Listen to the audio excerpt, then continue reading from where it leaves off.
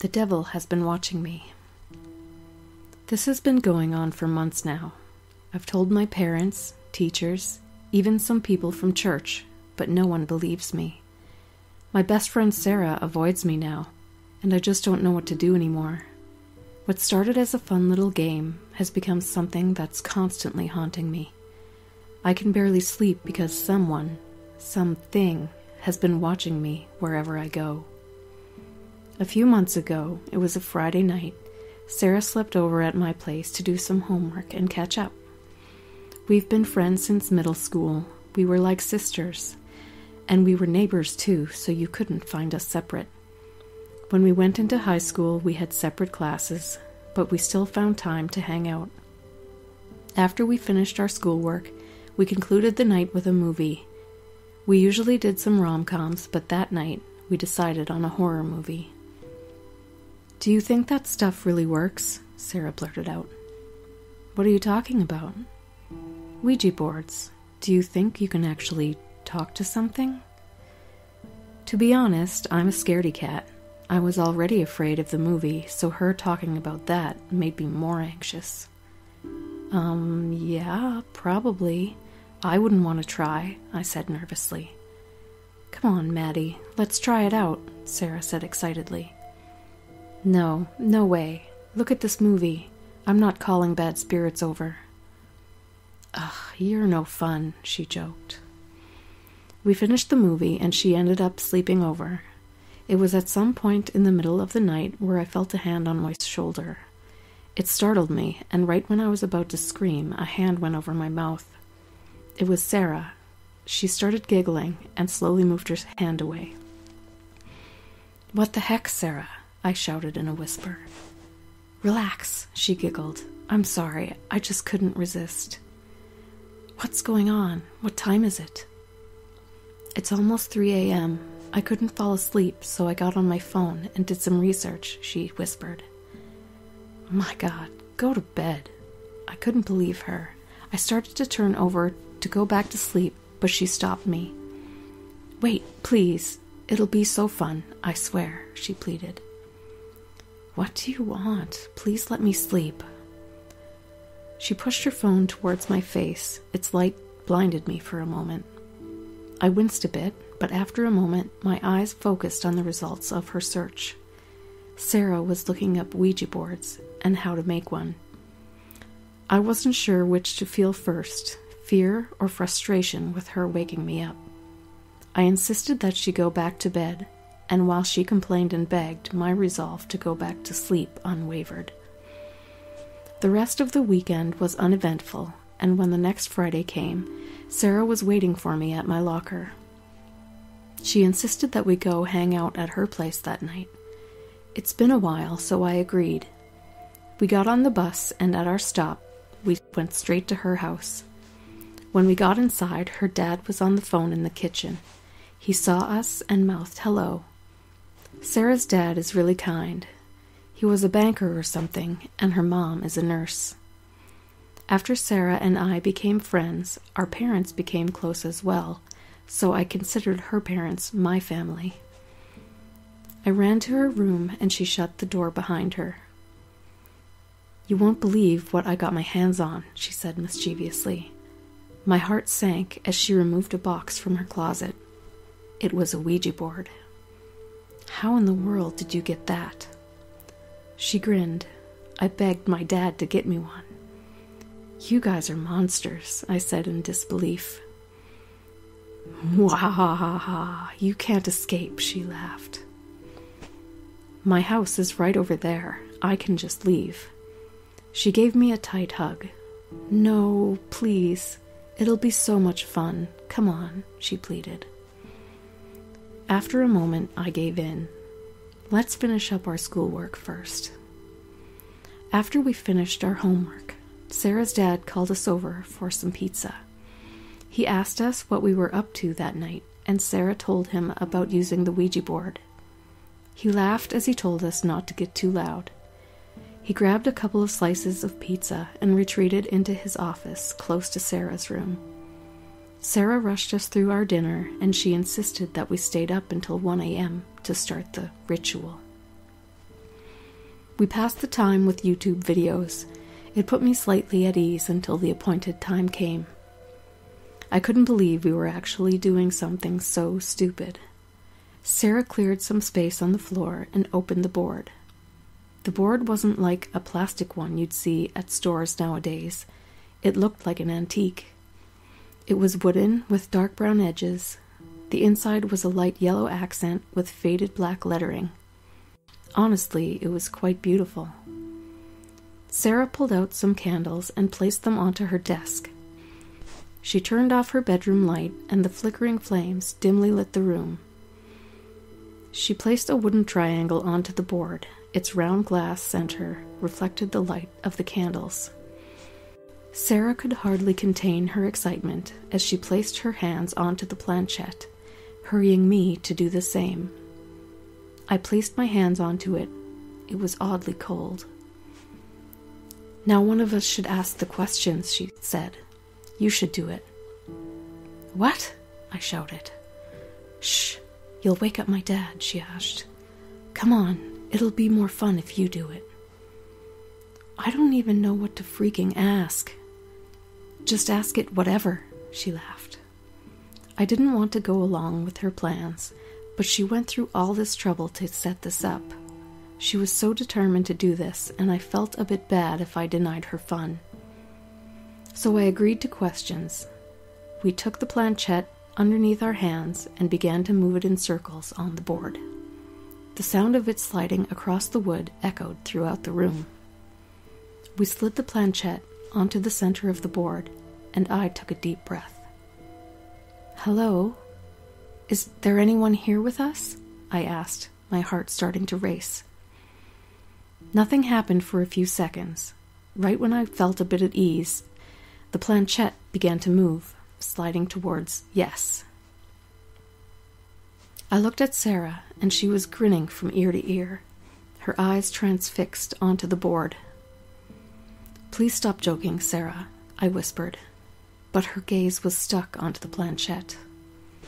Uh, are you a ghost? I asked warily. Sarah snickered at the question, and the planchette slid over towards no. My heart began to beat so fast. What do you mean, no? What are you? The planchette started to feel like it was burning cold onto my fingertips. Then I felt it move again. It started to move towards D, E, V, I. Before it could finish, I screamed and shuffled backwards away from the board. Sarah was laughing so hard at my terror. What the heck, Sarah? Why would you scare me like that? I shouted. She laughed for a bit and her face got serious. Come on, Maddie, stop joking around. I'm not joking. I wasn't doing that. Her face became deadpan. I wasn't moving it. I thought you were. Sarah's dad knocked on the door. Are you girls okay in there? We looked at each other for a moment and shook ourselves. Yeah, Dad, we just scared ourselves using that board, Sarah laughed. A long sigh could be heard from beyond the door. Well, all right then. Try to go to bed. It's getting late. Yes, sir, we both replied. We turned on the lights and blew out the candles. Sarah was putting up the Ouija board, but she had a look of worry on her face. What's wrong? I asked. Sarah looked at me, and she seemed reluctant in saying it. We didn't say goodbye. I was confused at what she said. What? You're not supposed to remove your hands until you say goodbye to the spirit. They say we open a portal by using the board, and saying goodbye closes it, she said. I've had enough, Sarah. Please, let's just go to sleep now, I pleaded. So we put up everything and turned in for bed. We both shared her bed and tried to go to sleep, but what she said unsettled me. Sarah's bed was in a corner close to her desk and a window, and as she slept towards the wall, I was on the outside. I pulled the blanket over my face and hoped the sound of Sarah's breathing would lull me to sleep but I couldn't get tonight's event out of my head. There was no way we were talking to something. There was no way it was the devil. this was all just a prank that Sarah was pulling on me. I closed my eyes and tried my hardest to go to sleep, but that was when I heard something coming from outside Sarah's window. It was the sound of heavy footsteps walking towards us, leaves and grass crunching underneath them. I was terrified. I was just imagining things. The Ouija board was just putting crazy thoughts in my head. I closed my eyes tightly and then I heard it heavy breathing right outside of the window. I didn't know what else to do. The breathing was so deep and haggard, but it was definitely real. I slowly removed the blanket from my face and peered out of the corner of my eyes towards the window. My heart sank as I saw something through the cracks of her blinds. Someone or something was outside of the window looking at us. Looking at me. For a moment, I swear we made eye contact, and I heard a low breath shudder. The eyes, I'll never forget those eyes. They were dark and sullen, but the way they curved, it looked like they took delight in seeing me squirm. Underneath those evil eyes, I saw illuminated by faint moonlight a toothy grin. Its teeth parted open, and a tongue came out to lick its cracked lips. A low, hushed laugh broke the silence, followed by a strange noise. Click, click, click. That's when I let out a blood curdling scream with all my might. Sarah jumped up and shouted, What's going on? she screamed. The devil. The devil is outside your window, I told her. My throat ached from the scream. She looked at me and shouted, Dad! Dad! A moment later, Sarah's dad flung open the door and looked at us. We were absolutely terrified. I explained to him what was going on, and he opened the window blinds and peered out. Give me a minute, he reassured us and ran out of the bedroom. We heard the sound of the front door open. A few minutes passed and he returned. He was covered in sweat and he was out of breath. He said he ran around the house and looked at the streets and didn't see anything. You said you saw someone outside? he asked. I looked at him for a moment. I didn't want to sound crazy and tell him that I saw the devil outside. I'm not sure. I just saw someone looking in from the window, I told him. Hey, why don't we sleep on the couch tonight? Sarah suggested. We spent the rest of the night on the couch. I tried to sleep, but the memory of those eyes kept me awake. Every time I tried to go back to sleep, I could hear that laugh echo through my skull. The way it licked its lips made my skin crawl. The following morning, Sarah's mom came home and made us breakfast. She worked the night shift as a nurse, but she loved having me over. Sarah's dad brought up what happened last night, and her mom chastised us for playing such a stupid game. After breakfast, I gathered my things to go home Sarah was worried about me, but maybe her mom was right and it was just in my head. As I left their home and walked towards mine, I thought I heard that low laugh again. When I got home, my parents asked the usual Did I have fun? How were the parents doing? The normal small talk. I went to my room and crashed onto my bed. It unsettled me a bit because I had my room set up similarly to Sarah's, and I looked towards the window. I jumped and pressed my back to the wall. I saw a set of dark eyes looking through the window at me. I ran towards the window and fully opened the blinds, but no one, nothing, was there. My mom came rushing in to check on me. I was out of breath, sweating, but I assured her that I was just tired. This went on for a couple days, into weeks. Every night I made sure that our windows were shut tight. My dad thought I was being paranoid. I told them what I was seeing, but they brushed it aside as some delusion. I even told Sarah that almost every time I looked out the window, I would see the devil looking at me, smiling at me. She also tried to brush it off like I was trying to scare her. But I was the one that was afraid. I could barely sleep. The devil was out to get me.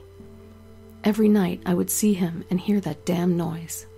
Click, click, click. No one believed me. I wasn't sure what to do.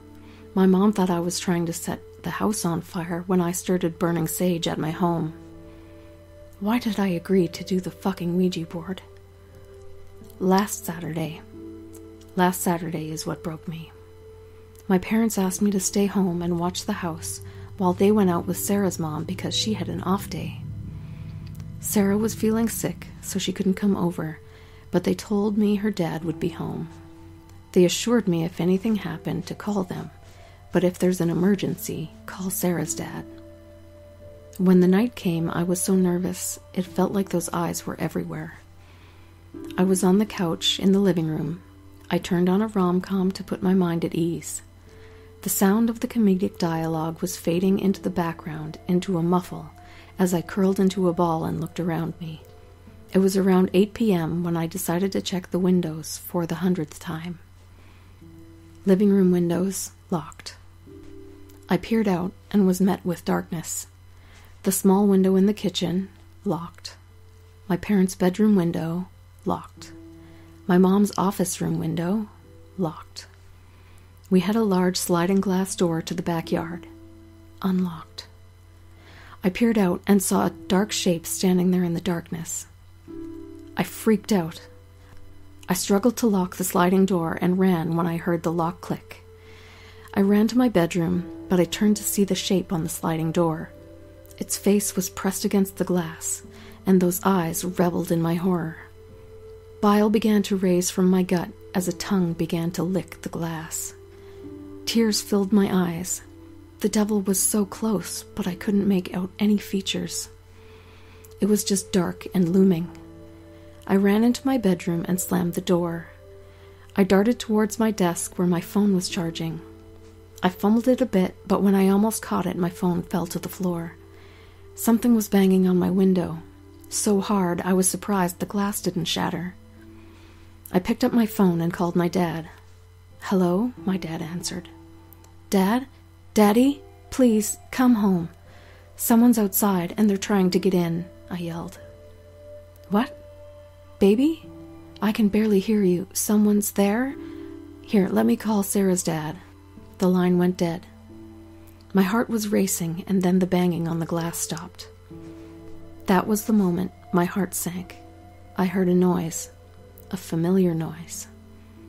Bzzz, bzzz, Bzzz. The sound of a phone vibrating.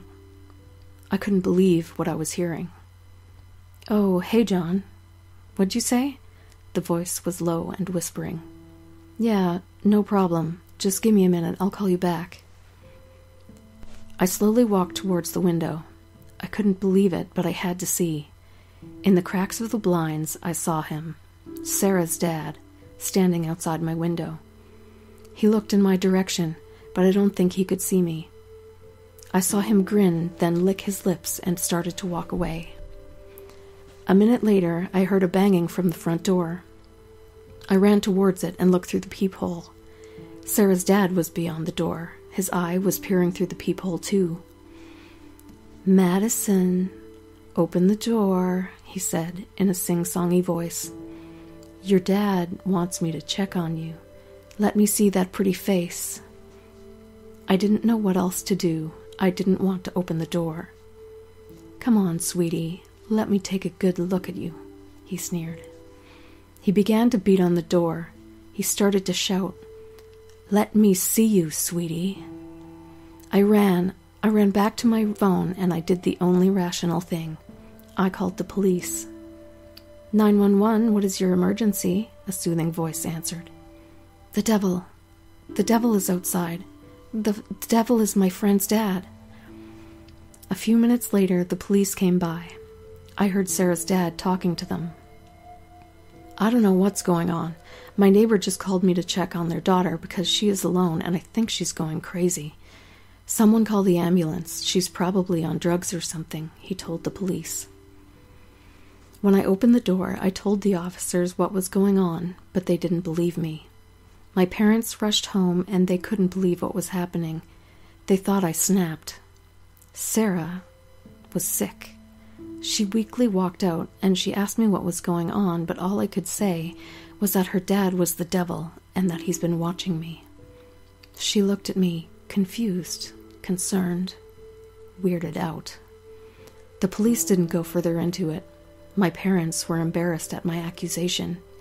Sarah's mom was angry with me, and Sarah, she stopped talking to me. It's been a while since that day, and everyone thinks I'm crazy. Everyone calls me the devil girl and keeps their distance from me. Sarah stopped talking to me, and my parents were so ashamed that they insisted on us moving. We're packing up our things now, and I just wanted to tell someone. Hopefully, someone will believe. I looked out the window and saw something taped to the glass. I ran out and saw that it was an envelope on my window. I opened the envelope and saw dark and blurry pictures of me through my window.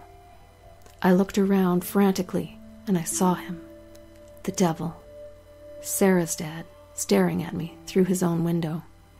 He waved at me and I saw a little note behind one of the photos. I'll see you again, sweetie.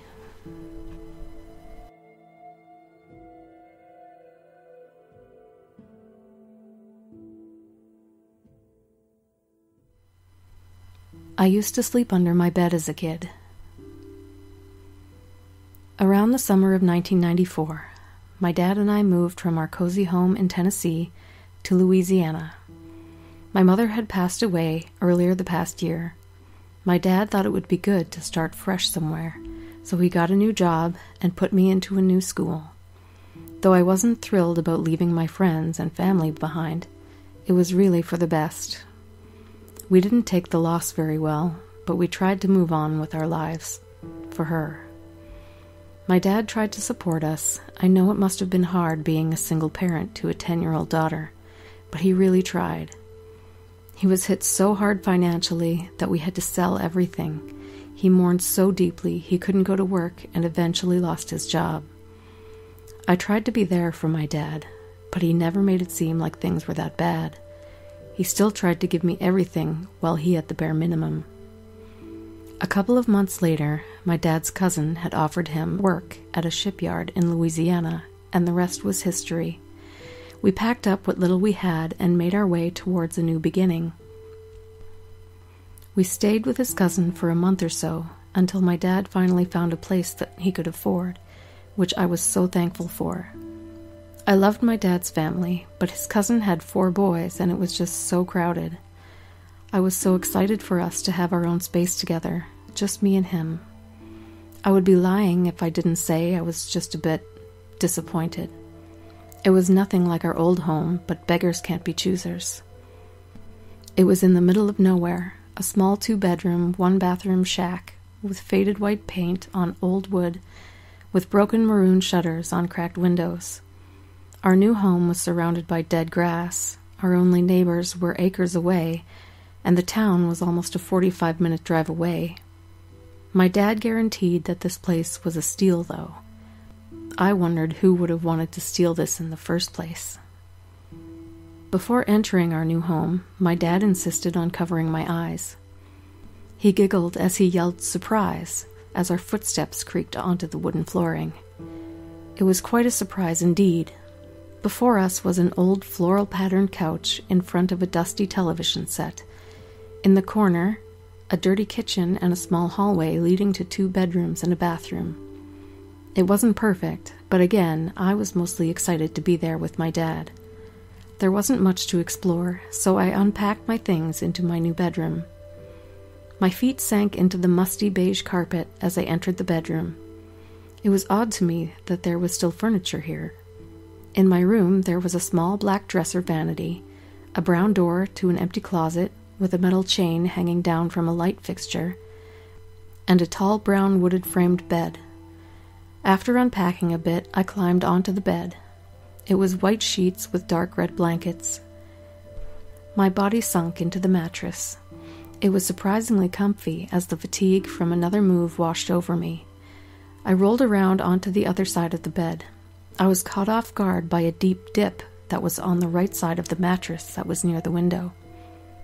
I jumped off and ran my hands over the bed. It was completely flat. My dad shouted from the kitchen to call me over for dinner, breaking me from my confusion. The rest of the night went along normally. We had our dinner, cleaned up, talked a bit, remembered Mom, and got ready for bed. I asked my dad where all the furniture came from, and he told me that everything was left by the people before us. He raved at how everything was in such good condition he couldn't part with any of it. That night it was so hard for me to sleep. The room was incredibly cold, and I shivered under the blanket. At some point, I eventually fell asleep, but awoke curled into a ball near the end of the bed towards the door. I shuffled backwards from my position until my back touched something solid. I was completely frozen at this point. I didn't know who or what my back was touching in my bed, but I was too afraid to turn around. I could feel them move as they breathed in and out, haggard breaths. At first, I had a moment of relief as I thought it was probably my dad. But my dad would never go into bed with me like that unless I had asked him, and he was snoring loudly in his own bedroom. I didn't know what else to do but scream for my dad. He came rushing in, and I sobbed when I saw him. Someone's in my bed! Someone's in my bed! I screamed at the top of my lungs. I jumped onto the floor and looked at the bed. Completely empty. My dad looked at me tired and confused. There's no one here, baby girl. Are you okay? You having a bad dream? I looked at him. He was as confused as I was shocked. I didn't know what else to do, but I asked if I could sleep in his room.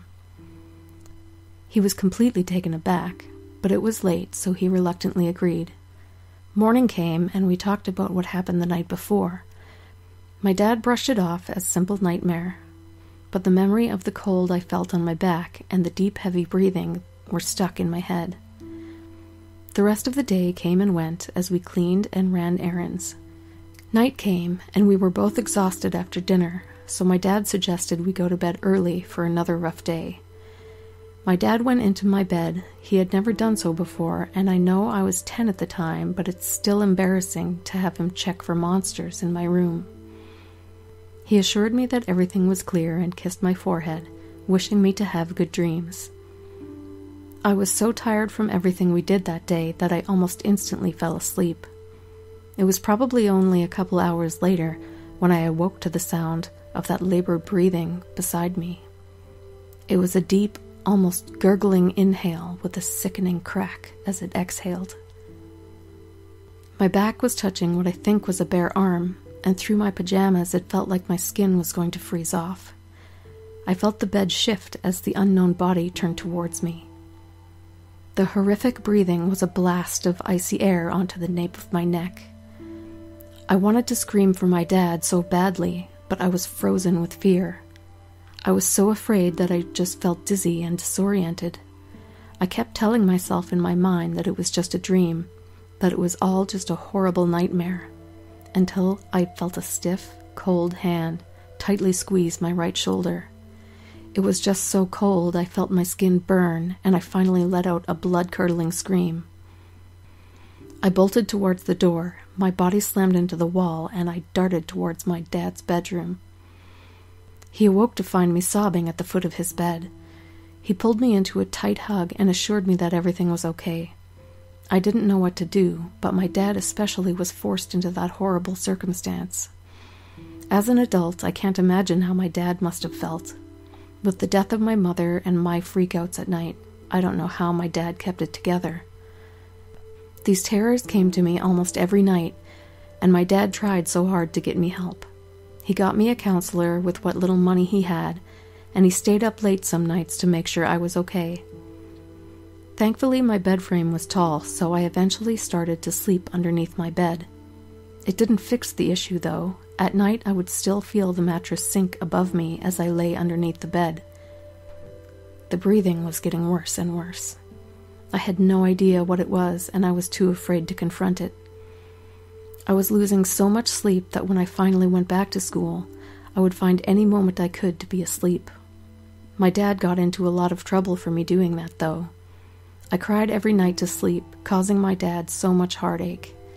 But things eventually got worse as one day my dad told me that he had to start third shifts due to staffing. That meant, for at least a month or so, my nights would be spent alone at home. I was depressed. I dreaded the moment until the night finally came.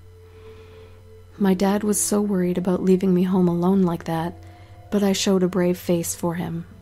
He left at 11 p.m., so I stayed up that night until he was gone and ran into his bedroom, locking the door behind me. Maybe if I wasn't in that bed, things would be better. Perhaps my nightmares would fade away like the dreams they were. I went to sleep in the comfort of my father's bed until I woke up a couple of hours later to the sound of banging coming from the door. No, no, please, please. I begged for the nightmare to go away, but the sound of its breathing and the banging answered my cries. I crawled underneath my dad's bed and curled myself into a ball, trying to make myself smaller and smaller. The banging eventually stopped, but the breathing remained. I held my breath as I hoped for the nightmare to just fade away until I heard the click of the lock on the door. I couldn't believe this was happening. I slowly turned so I could see the door from my hiding spot. I finally saw something.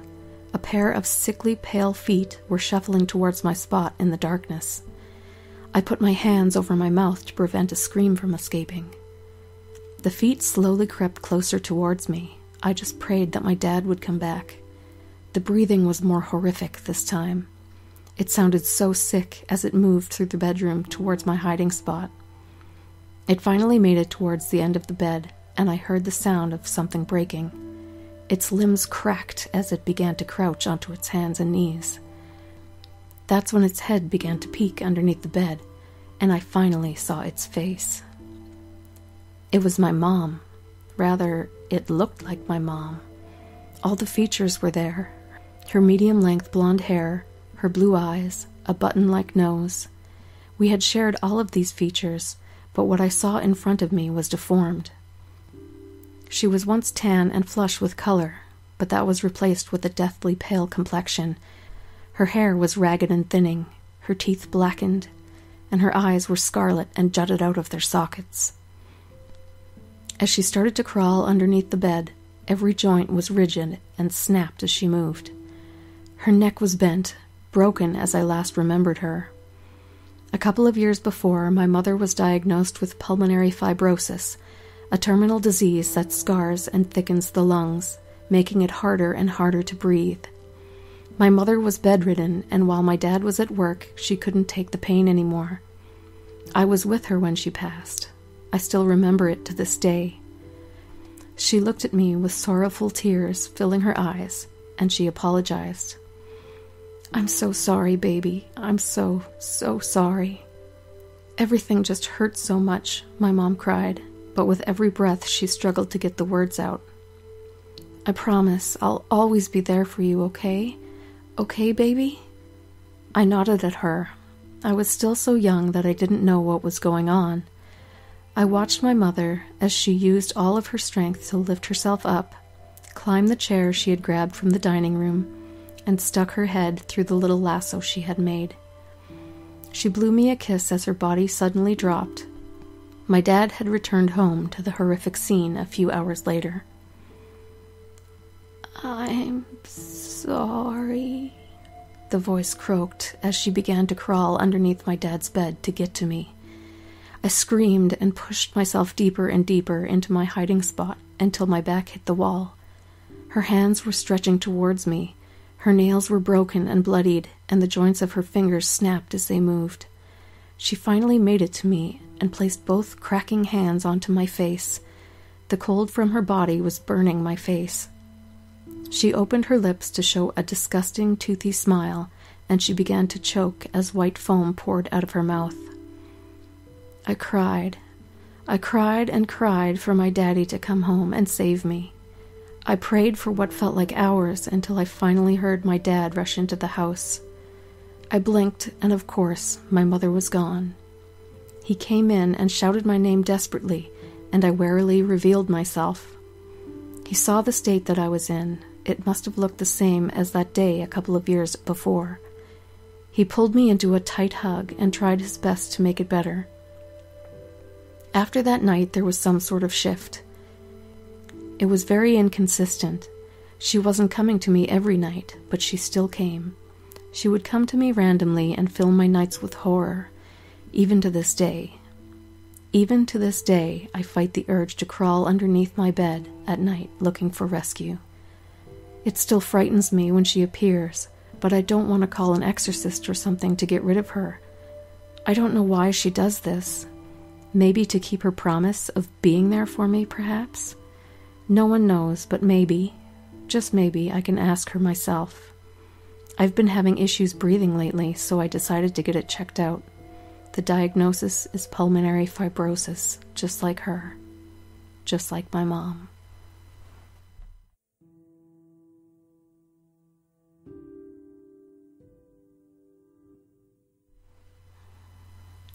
I just wanted to pay my bills. I'm sure everyone here can agree with me that 2020 was a completely shit year. Before quarantine, I was barely scraping by as a waitress at a chain restaurant as it was, and now that we're all trying to get back to some kind of normalcy, we're hit with financial bullshit. I tried getting a job back at the restaurant, but they couldn't afford the staff. I'm a 24 year old female who dropped out of college. I didn't have very many options in the job department. So when I heard I could make a bunch of money on a specific website taking certain pictures and videos of myself, I reluctantly hopped on the bandwagon. I don't exactly have the greatest self esteem. I'm extremely short, underweight, average looks, no style, and zero sex appeal. But I have two little puppies, an apartment, and tons of credit card debt, so I had to at least try. I'm not going to lie, it kind of stroked my ego when I started getting a bunch of subscribers after I set my profile pic to me in just a bath towel. The money was trickling in, as I had no idea how to work out pricing and all of that stuff. A dollar a picture seemed pretty fair to me, so those were selling quickly. Eventually, I became more bold and did short videos for $5. I was seeing other girls doing things for 10 times as much, but who would want that from me? In a few days, I still managed to make much more than what I would have been as a waitress, and I was able to get my puppers some dog food. A week later, I had over a hundred subscribers, and my phone was blowing up every second with them messaging me. I'm going to be honest, most of these guys really creeped me out, but they seemed pretty harmless. One guy offered $20 for a pic of me winking at him. Easy. Another offered me $30 for a one minute video of me complimenting his size. Weird, but okay. But another guy wanted me to pretend to be his little sister. Gross. No thanks. I'm incredibly shy, but I really care how other people think of me. Stupid me didn't exactly agree to do any of these weird requests, but I didn't exactly say no either. A few days later, my inbox was barraged with a bunch of guys that are upset about me not doing proper business with them, and they called me things like bitch, slut, stupid whore, etc. And that made me extremely upset. I really wanted to stop doing this, but I had bills piling up that needed to get paid. One morning I logged on and I got a message from a user named Mista underscore danger. That made me extremely nervous for some reason. It started off simple enough. We exchanged pleasantries, and he asked how the weather was where I was at. The conversation went on throughout the rest of the day. He wasn't blowing up my phone like the others. Rather, it was subtle. I let my guard down. This danger seemed pretty harmless. It was getting late, and I was getting ready to get to bed when he asked me if I had a Cash App. I told him that I did, and he asked me for my username. I didn't see the harm in it, so I gave it to him, and an hour later I received a notification on my phone. Mr. Danger had sent me a hundred dollars.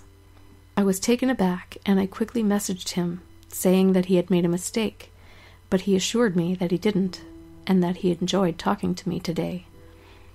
I didn't know what else to say. I tried to see if he wanted me to do anything for him, but he just brushed it off and said that it was okay, the next day he messaged me again and we began talking again. It was never anything perverted or sexual. It was just normal conversation, like catching up with a friend. He asked me simple things like what's my favorite food, where do I like to eat, and what's my go to snack. He was very sweet to me, and I let my guard down, and that night he had sent me another hundred dollars. This went on for a couple more weeks, and I had no idea what to do. The stranger had given me so much money, and he didn't ask for anything in return. I felt so bad, but every time I said I'd give the money back and that it was way too much for me, he would just say that I deserved it. The conversations were honestly really fun, and he made me feel so special. I felt so naive for thinking that, but things were so hard, and this one stranger had helped me so much. I woke up early one morning, and I had messaged him instead. Hey, Mr. Danger. Oh, hello, darling. Up early, I see. To what do I owe the pleasure? I can't take it any more. Why have you been sending all this money to a complete stranger? Don't you know how this works? Most guys ask for pervy things. Those things don't matter to me. I've enjoyed our conversations, and I just wish to see that you're taken care of, is all. I don't want to owe you anything. This shit gives me so much anxiety. There has to be a way for me to repay you somehow. Hmm, well, why don't we go on a date? You expect me to go on a date with a complete stranger? We've gotten to know each other a bit well, but how else would you get to know me without seeing each other in person? I was dumbfounded. I didn't really know what to say, but for some reason I knew he wasn't joking. I couldn't think of any other reason. Maybe I just lucked out and found a sugar daddy. But I seriously didn't think anything of it. I was so dumb at the time, and I felt like I had owed him for giving me hundreds of dollars, so I just said, okay. The rest of the day we had made arrangements to meet up. He lived in another state, but he said money was no issue. Mr. Danger had set up plans to meet him for dinner, and that he would have everything situated, including someone to pick me up. I was elated this man has been nothing but sweet to me, and honestly, the mystery in his identity just kept pulling me in. I just wasn't thinking about the repercussions. I had zero thought that this man would do me any harm. Especially when we finalized our plans, he had sent me $500. He told me to pick out a nice outfit, and like an idiot, I got myself a cute little red dress. I know you're probably asking me why I did what I did, and to be honest, I'm not sure why myself. I guess that's how little self esteem I had. Or I was just blinded by the money, blinded by how nice he treated me, by how fun our conversations were. A few days had passed, and he had stayed in touch, reminding me every day how amazing our date would be. The day finally came, and it was Saturday night, the plan was set, and I'd stupidly given him my address so a driver could come pick me up. It was around 7 p.m. when I heard a knock come from my apartment door. I pushed my dogs away to get to the entrance. When I had opened the door, I saw a large man in a suit and tie. He had asked me if I was ready to go. We made our way outside, and I was greeted with a sleek black limousine. The trip was a complete blur, I was too busy imagining what this man looked like and what he must do for a living. About thirty or so minutes later, we stopped in front of this huge house. It was gorgeous, like something out of a movie. I got out of the car, and the driver pointed towards the front door of the house. I made my way up the stone steps. Right before I was able to knock, the door flew open. There in the doorway stood a tall and slender man with an expensive two piece suit with long, slicked black brown hair. He smiled at me with perfectly white teeth, and his skin showed no imperfection. He held his hand out, and I automatically gave him mine. He smirked at me and kissed my hand. You're a lot smaller in person, he spoke with a low and dulcet tone, and winked at me. Uh, you're very, uh, tall. Smooth one, girl. He laughed. Why, thank you. Oh, and you look absolutely stunning. Red suits you, my dear. I laughed nervously. I don't take compliments very well. Well, I hope you're hungry. I've had dinner all set and waiting for you. He guided me into the house and walked me through to a large dining area. May I take your bag? he offered. But I refused. I didn't feel comfortable not having my phone on hand. The dining room table was filled with an assortment of different types of foods, and there was platters upon platters. This was definitely overboard. I looked around and noticed that it was definitely just me and him. So why was there so much food? There's no way he actually expected us to eat all of this. Please have a seat. He pulled a chair out from the table, and I sat. Allow me to fix you a plate. So, uh, Mr. Danger, I said nervously. Please, let's go by my real name, Adam, he chuckled. Oh, right. I'm. Before I had a chance to tell him, he cut me off by saying my real name. I'm not sure why my brain finally started to kick in now, but now it was in overdrive. You see, my name is Maria, but my online name was Kendra. He had never asked me my real name, so he should only know me by Kendra. Alarm bells started to go off in my head, but stupid, stupid me allowed herself to be driven here. Adam began to prepare a large plate of food with different cuts of cooked meat onto it and handed it to me with a smile. I reluctantly grabbed the plate from him and looked at him. He continued to just stand there. I asked him if he was going to sit down and join me, but he said he was perfectly fine as he was. So if he wasn't eating, why the hell did he prepare so much food? Do we have anyone joining us tonight? I asked warily. None at all. It's just you and me, he said with a smile. But his tone didn't match his face. It seemed a bit sinister for a moment. This is all prepared for you. Um, you've got to be joking. There's no way I can eat all of this. This is easily enough to feed twenty people. I forced a chuckle.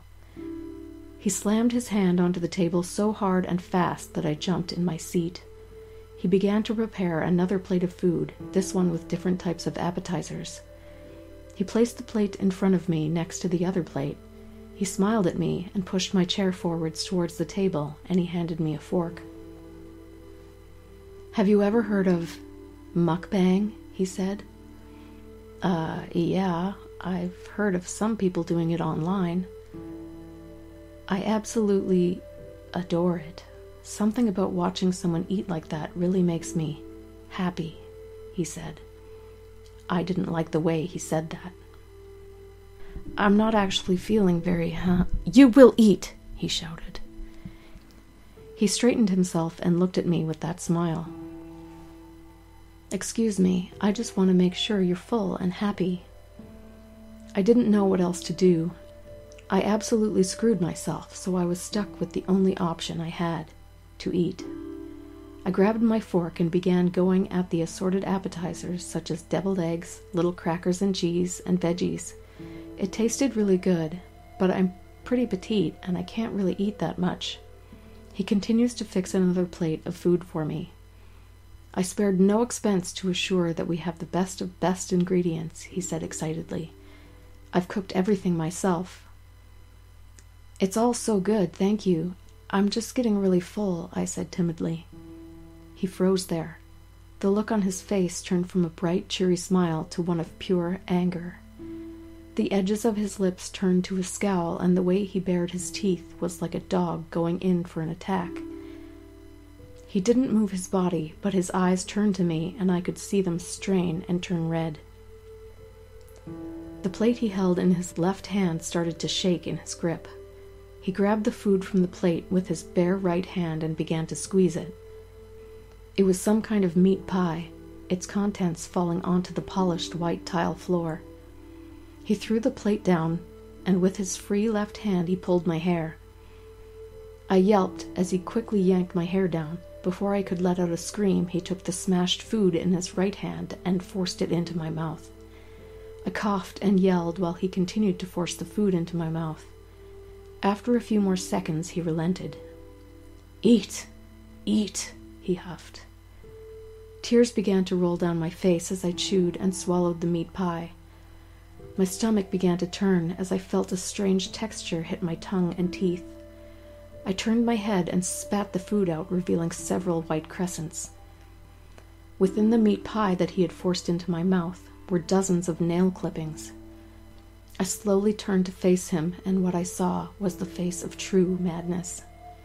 His face turned red, and you can see veins bulging on his neck. His eyes were completely bloodshot, and he was gritting his teeth. I pushed myself away from the table and tried to bolt towards the entrance. As I ran with all my might, my body flew forward as my head was yanked back by my hair. He pulled me down onto the floor by my hair and forced me onto my back. I kicked and screamed as he removed his jacket and used it to tie my hands together. You will eat what I've prepared, and you will eat it all, you greedy little pig, he yelled. I've paid for you. You fucking owe me. He stood up and began to drag my body with my tied hands. While we got to the table, he stared at me while he began to roll up the sleeves of his shirt. That's when he revealed his bloodied, bandaged arms. His bared teeth turned into a sinister, toothy smile as he grabbed one of the plates with the stainless steel cover. I really put my all into tonight's dinner, he said, as he removed the cover from the plate to reveal thin strips of cooked meat. It looked almost like bacon, but the smell was so rancid. He took one of the strips of meat and slowly put it towards my mouth. He was so fixated on my eating that I was able to grab the fork from the table and jab it into his stomach. He howled and stepped backwards in shock. I took that moment to run as fast as I could to the front door. I could hear him cry in pain behind me as I was able to escape. The car and driver were gone, and I was in some unknown neighborhood. I didn't care. I ran and I ran. I didn't care where my feet took me, but I just ran. I didn't know how long I was running or how far I got away from that house. When I felt the coast was clear, I grabbed my phone and called the police. I looked around to see what kind of neighborhood I was in and if it had any significant landmarks. It was about fifteen or so minutes later when the police came. They were shocked to see the state that I was in. A young woman that was bruised, hair messed up, red dress stained with food, and an expensive jacket at my feet. I told them what had happened, and they were as shocked and confused as I was. They made haste and took me back to the station for questioning, as they got some other officers to investigate the area. An hour later, after all the questions they asked, they had some officers return with more questions than answers. The neighborhood I was in was still in development, and most of the houses there were still empty. They ended up finding the house I described, and when they got inside, they found it was completely clean and empty. The police were confused. They believed me for the most part, but they had no answers to give me. I showed them the messages on my online account and all the money transactions on my Cash App, but it led to nowhere. Fucking nowhere. A few hours later, I eventually went home. I refused to eat for days. Every time I thought about food, I felt like vomiting. All because of me being a fucking idiot. So take the story with a grain of salt. I know what I did was completely stupid, but really, I needed the money. I just wanted to pay my bills and take care of myself and my dogs. I've decided to quit it all, though, and go back to looking for a job. The money from it was pretty good, but it's just not for me anymore. It's been a couple of months since the events of that night, but ever since then I couldn't do as much anymore. I needed to find something different. I got a message from another user the other day. The message came in from a user named Adam underscore Eve, and all it said was, It's been a while. Are you hungry?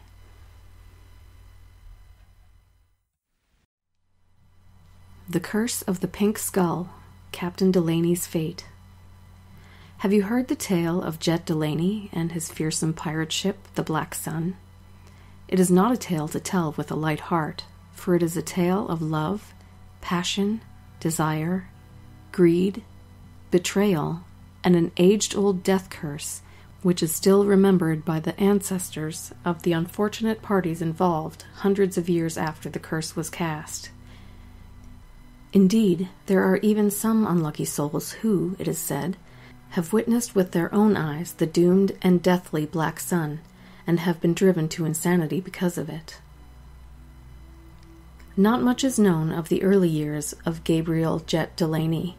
However, we can estimate, for the sake of our tale, At the time our adventure begins, in the year 1719, our dubious hero himself was five and thirty years.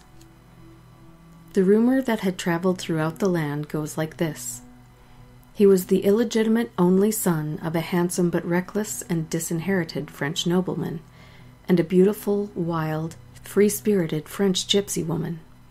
However, as Jet Delaney had both his father's pugilistic attitude and his mother's quick, hot temper, no one was ever brave or stupid enough to raise the circumstances of his parentage to his face.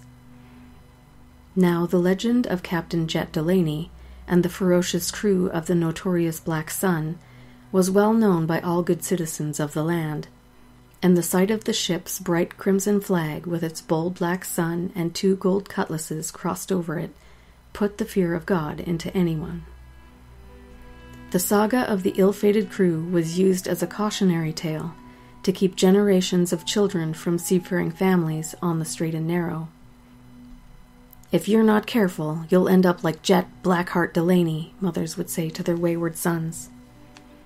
His ship sailed the seas until she came upon Abra Bay in the port of Bilbao, where there lived the beautiful and graceful Condessa Rosalina Casa del Mar, along with her husband, the handsome, noble, and very wealthy Conde Sebastian Casa del Mar. Captain Delaney caught the fair Condessa's eye and she was very much taken with his sense of adventure, dashing charm, and elegance and aura of danger. And soon after, the pair embarked on a liaison as deep, wild, and torrid as the waters that had carried him to her. Another of Rosalina's passions was that of collecting rare and beautiful jewelry, and her most prized possession, and the oldest, passed down from grandmother to granddaughter for generations upon generations, was La Calavera Rosa. The pink skull was an exquisite brooch fashioned from a pure piece of rose quartz native only to that area of Spain at the time. It was carved into a skull, and it was only off her breast when she retired to her bedchamber. On many stolen, not so secret moments of illicit love which they had both shared together, Captain Delaney had been drawn to its pure, simple beauty illuminated further by the beauty of its wearer. And from the first time our jaded hero saw La Calavera Rosa, he had started to make plans to relieve his alluring, exotic lover of her burden. So he did. Like a thief in the night, he came, stole kisses, love, along with the priceless pink skull, as well as the lady's impeccable reputation and virtue, and was off on the high seas again before you could even blink leaving a noble union in tatters and the poor forsaken Condessa heartbroken and enraged, the fire of passion replaced with the desire for revenge. You could be forgiven for thinking that this is the end of the story. Captain Jet Delaney did, and he continued on his wicked way alongside his motley crew as he always had. Hell hath no fury like a woman scorned. Captain Delaney had not known his lover as well as he thought. He could never have known about the ancestry of his pretty and vibrant Condessa, a long line of enchantresses and spellweavers and curse casters. So, on a stormy, wild night, Condessa Casa del Mar stood on the shore of Abra Bay, and raising her eyes towards the heavens, she spoke mysterious, taboo words to the ancients. Let the black sun sail the seas for all time, her crew doomed to an eternity of dark, lonely voyages, unable to sleep, unable to eat or drink, unable to die, and the treacherous maggot Captain Jet Delaney will be damned to Hades. From that day forward, the Black Sun was a cursed ship, and the scourge of the healthy, wholesome, and good. The fair Condessa's terrible, vengeful curse resulted in transforming the entire crew of the Black Sun into diseased, flesh eating ghouls who preyed upon any unfortunate human who happened their way. As for Captain Jet, Blackheart Delaney, he came off the worst from the curse, hardly surprisingly. His strong, fine figure and dashing good looks were corrupted immediately, and the once terror of the Mediterranean seas soon gave his nefarious title a whole new horrifying meaning, becoming a decaying, crumbling, walking cadaver with the stink of the grave upon him, and pus filled sores covering his whole poisoned body, spreading death and destruction in his wake. Nowhere that the black sun set down her anchor escaped its dreadful fate, and many ports and towns were wholly obliterated by the cursed ship's unwelcome visits. That is the fate of the Black Sun, her crew, and their infamous Captain Jet Delaney.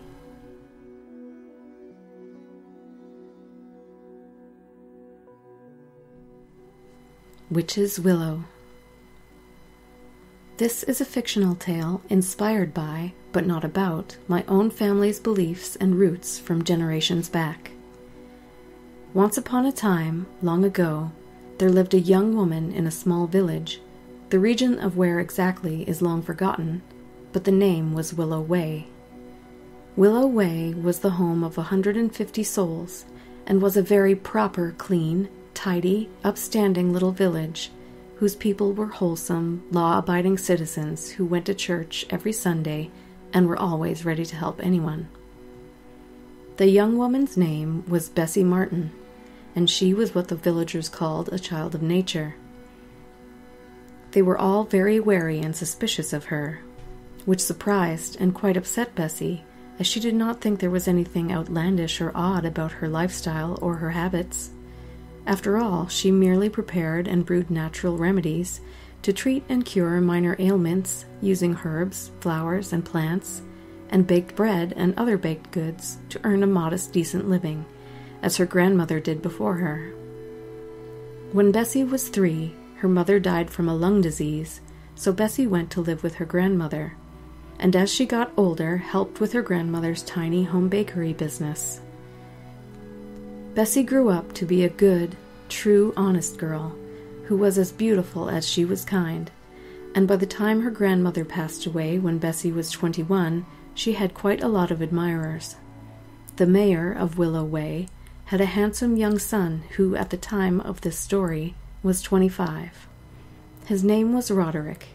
He was very tall, strong, and with a group of his friends liked nothing more than to go out and about the area spending their money, drinking and fighting with the local youths of the community. Nothing ever happened to Roderick or his friends. Money can pay off injuries and damages and buy freedom. Roderick had a long term understanding. He was betrothed to the village squire's lovely daughter May. She was pretty, eighteen, and educated in the ways of a lady of high status. Now, the story told is that one day when Bessie Martin was by the stream, she had been spending a much deserved morning off from baking to enjoy the warm spring sunshine, and after paddling her small, dainty feet in the cool, calming water, she decided to rest up against the big old willow tree. Suddenly, she saw Roderick, or Roderick saw her. Roderick was taken by her assured confidence, her wild yet gentle beauty, and her pure, kind soul which was one thing that his betrothed May did not possess. For Bessie's part, she was intrigued by him, in his boisterous and wayward behavior, fascinated by his entire presence, and flattered by his attention to her femininity. What happened next does not need to be mentioned, it can be imagined. Needless to say, it began with, Hello, fair maiden, promises spoken that could not be kept, not even by the most honorable of men and we know Roderick was not at all honorable. It finished with a heavy, swollen belly and bitter tears of loneliness. Roderick and May were married in the autumn after Roderick's secret liaison with Bessie ended so bitterly, and the heated longing he had once felt for his bonny wildflower soon cooled and faded altogether, to be replaced by the constant, adoring love for his fresh young bride. A year passed, Bessie had her child, a fair and delicate infant that she named Lily, in the same little cottage that she grew up in, and for many months Bessie and her baby lived a happy, peaceful, carefree life. Roderick's decaying, blue bloated body was discovered by the stream he first saw and started to woo Bessie Martin.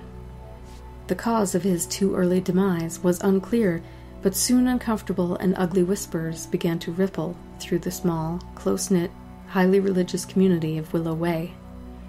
The whispers suggested that Roderick's death was not a natural one, nor not quite murder either. The whispers, insidious and filled with untamed spite, spoke of taboo and unholy acts committed by godless and wanton creatures. One creature, in particular, was the subject of these unfounded suspicions. These suspicions were not new, merely old ones given more fuel by fresh and undeniable evidence of wrongdoing. The whispers were of Bessie Martin, and the source of the whispers, perhaps quite understandably, May. The first thing Bessie knew of the angry mob was when they used brute force to break down the little wooden door and drag Bessie out of her meager bed by her hair. Another member of the mob plucked the terrified babe, Lily, from the cozy warm cot and followed the leader out of the small dwelling, where he, the mayor of the good, upstanding Willow Way, in turn put his lighted torch to the modest cottage. The kindling blazed throughout the deep, dark night. The vengeful mob brought Bessie Martin to her beloved willow. They strung her up to the tree by her neck. They watched until the last flicker of life left her twitching, tortured body. When the corpse of Bessie Martin swung limply to and fro, the mayor of Willow Way coldly placed the fragile infant Lily into the hollow of the willow, turned away, and commanded the mob to leave. Before she relinquished her precious life, to the pitiful wails of her cherished child. She looked over upon the still tranquil stream where her lost love had made so many breakable promises to her, and in turn had paid for his indiscretions in a watery grave. Cold, steely hatred of everything and everyone who had ever forsaken her and her innocent Lily filled up her eyes, replacing the tears of sorrow, and with it came the hex. The hex was as dark as the night around her. It had formed as she had succumbed. Bessie Martin was 23 when she died. Lily Martin was eight months when she died. A month after the fateful night, a youth from a neighboring village came forward to confess that he was present on the day that Roderick died. They had fought, and Roderick lost his footing and fell, banging his head against a rock on the bank of the stream. Roderick had fallen into the water. The youth, fearful that he would be accused of murder, panicked and fled. However, his conscience laid heavy on him, and he soon felt obliged to come forward and tell his tale. Nothing happened. The angry mob had already exacted their gruesome and terrible revenge after acting as judge, jury, and executioner. A few weeks after the unfortunate youth's confession, the mayor of Willow Way was found dead near the willow. The village chirurgeon of the yet unknowingly damned little village found the death was caused by a bullet to the heart, probably a lethal hunting accident, although no other living person was found near the area, and the bullet indeed came from the mayor's own gun. A few months after the mayor's death, May, the newly bereft young widow of Roderick, was found by the housemaid face down in the stream. Talk was that she had been a shadow of her former self since her husband's untimely passing, and unable to fend off the dark, sinister shadow of grief, had chosen to join her groom. Others believed that a more ominous supernatural hand had guided and overseen the two sad tragedies. They kept their notions to themselves, it is said that the small village of Willow Way and the immediate area around it was soon after abandoned to nature herself, and, left to its own devices, it became dilapidated, and an odd sensation of dread and fear soon rose up all around it. The area soon evolved into a place of shadow and darkness, of boogeymen and childhood nightmares. All that is left of Willow Way now is the legend of the witch's willow. If you find yourself in the area, maybe you will wander upon Bessie Martin's cottage, or where it once stood. People say that it is still possible to see a circle of burnt, charred ground where she and her baby once lived in their humble little dwelling. Nothing grows there. No bright, colorful wildflowers, no plants or shrubs either, or sounds of beast or bird. The stream, which was once clear as glass, and flowed as free as Bessie Martin's own spirit, is now sluggish, still as the grave it was, dark, oily black, and slimy with algae. Sometimes a cry of an infant has been heard around the looming, ancient, twisted willow, where an age ago a young, beautiful, carefree girl sat enjoying the warm spring sun, and where a year and a half later she and her baby girl lost their lives in the name of misdirected anger and prejudice. A person needs to take care to not go too close to the slippery bank and the long, tangled weeds that straggle up from the murky depth of the stagnant stream to lay listlessly against the bank, in case they miraculously entwine themselves around curious, exploring feet and drag them down beneath the surface of the cursed water.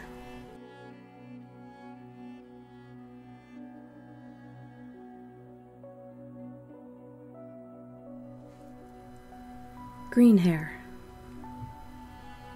This is an incident that happened to my family when we were young. We came from a family of healers and sensitives with Irish and Spanish heritage, so we have had paranormal and supernatural experiences all of our lives. This was just one more unexplained, slightly creepy event that I remember. The more interesting part, true or made up, is the old wives' tale behind the event. We were about eight or nine the day Mum took Elle and I over the heath. It was a hot and bright day in the middle of the summer holidays. We had been collecting natural materials to make a collage when we got home, and Mum's rucksack was full of stray feathers, wild grasses, leaves, and twigs, and we were on our way home where Gran was making a cheese flan and salad for dinner. As we were all very hot and slightly tired, Mom had decided that we would wade through the river instead of going back over the hills the way we had come. The thought of pushing my tiny wheelchair through the muddy bottomed, weed tangled river never seemed to faze my mom. She was a healthy, fit 26 year old and knew the heath like the back of her hand. The river wasn't very deep at that part, so Mum tipped my wheelchair back, told Elle to hold on to the handle, and we went in. The water immediately soaked our clothes through, and Elle and I started to scream, giggle, and splash each other in sheer delight. Then we saw them. Weeds? Flowing with the current of the river, swaying back and forth like a woman's long, tangled, unkempt hair, and I got the distinct impression that what we saw could have been either thing. I glanced at Elle and instantly knew that she was having the same uncanny notion. The weeds started to curl around our legs and the wheels of my wheelchair, making our progress a little more laborious, and our previous screams of playful fun changed to moans and squeals of unease and disgust as we felt the weeds gently tugging at our legs. At no point did Mom ever look anxious or fazed by this experience. She just kept saying, It's only water weeds, you two. Come on, don't be silly. You've seen them loads of times. We finally reached the other side of the river and as Mum dragged my wheelchair backwards up the riverbank, Elle climbed up it and sat down beside me.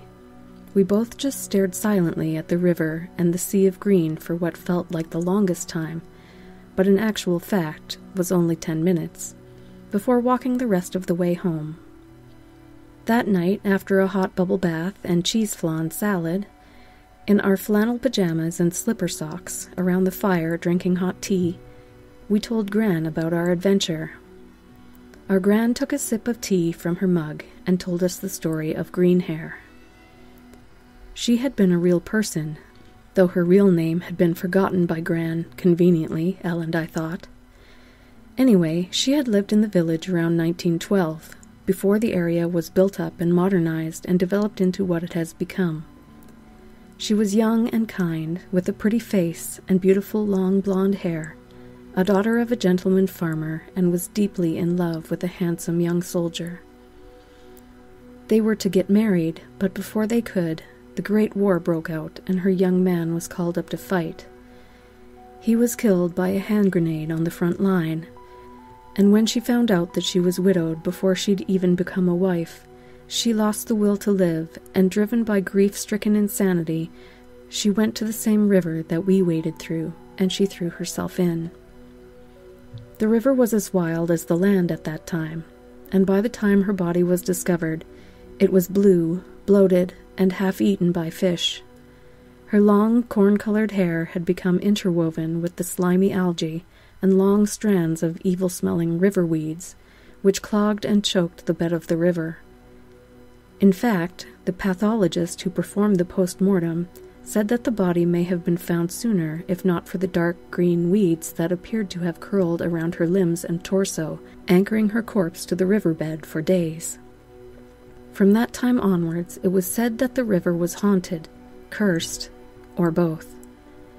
Anyway, an extremely bad place. People claimed to see the spirit of the young woman kneeling beside the river and weeping bitterly. More commonly, people often saw the body of the girl floating on top of the water, with long green hair slash weeds streaming out behind her, and so she was given the name of Green Hair. Elle and I asked Gran why we hadn't heard this story before. Gran just smiled and said because it was an age ago, even before she herself was born. The area was developed and built up, and the river was tidied up and reconstructed, and along with it the tragic tale of Greenhair was lost in the stream of passing time. We didn't altogether believe Gran's morbid tale, but when Elle and I talked about it in bed that night, neither of us could dismiss the eerie feeling that we saw green hair flowing in the river that day.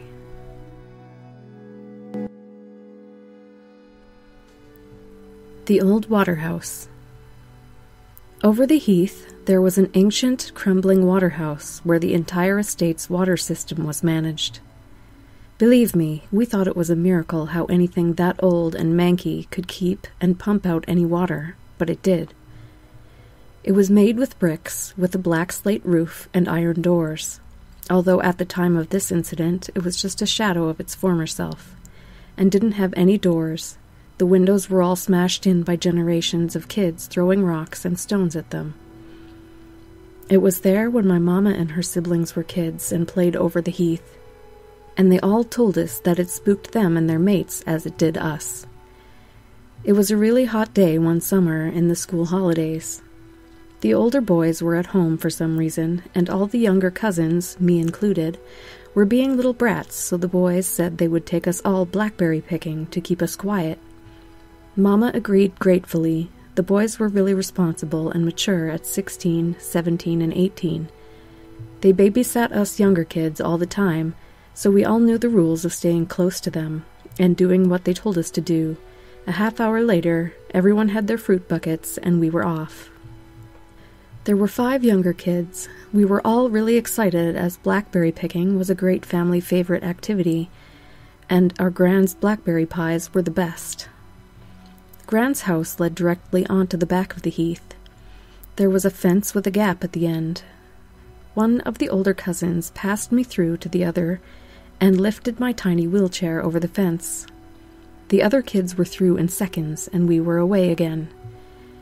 On our way to our destination, the older boys told us spooky stories, as they always did, half because they liked scaring us, and half because we all used to beg them to.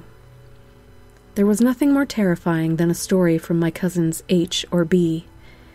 They were masters and so believable, and we loved it. We all stopped talking when we came to the waterhouse. Nobody ever dared to speak around or near the waterhouse, not even the older boys. For something so mundane, it always looked, and still does, so eerie. There was a second fence to get through before we reached our beloved blackberry field. This time, as we squeezed through the gap of the fence, we were all more somber as we remembered the old wife's tale, or urban legend that we all knew about the Waterhouse. The story goes once in the early 1960s, there was a gang of bank robbers. They were local to the area and were really nasty pieces of work. Their expertise was terrorizing bank customers and staff alike before grabbing and shooting anything that moved. They did several jobs without getting caught, but they really messed up a particular job, and a sweet 19 year old trainee bank clerk was shot dead, and five more people were seriously injured.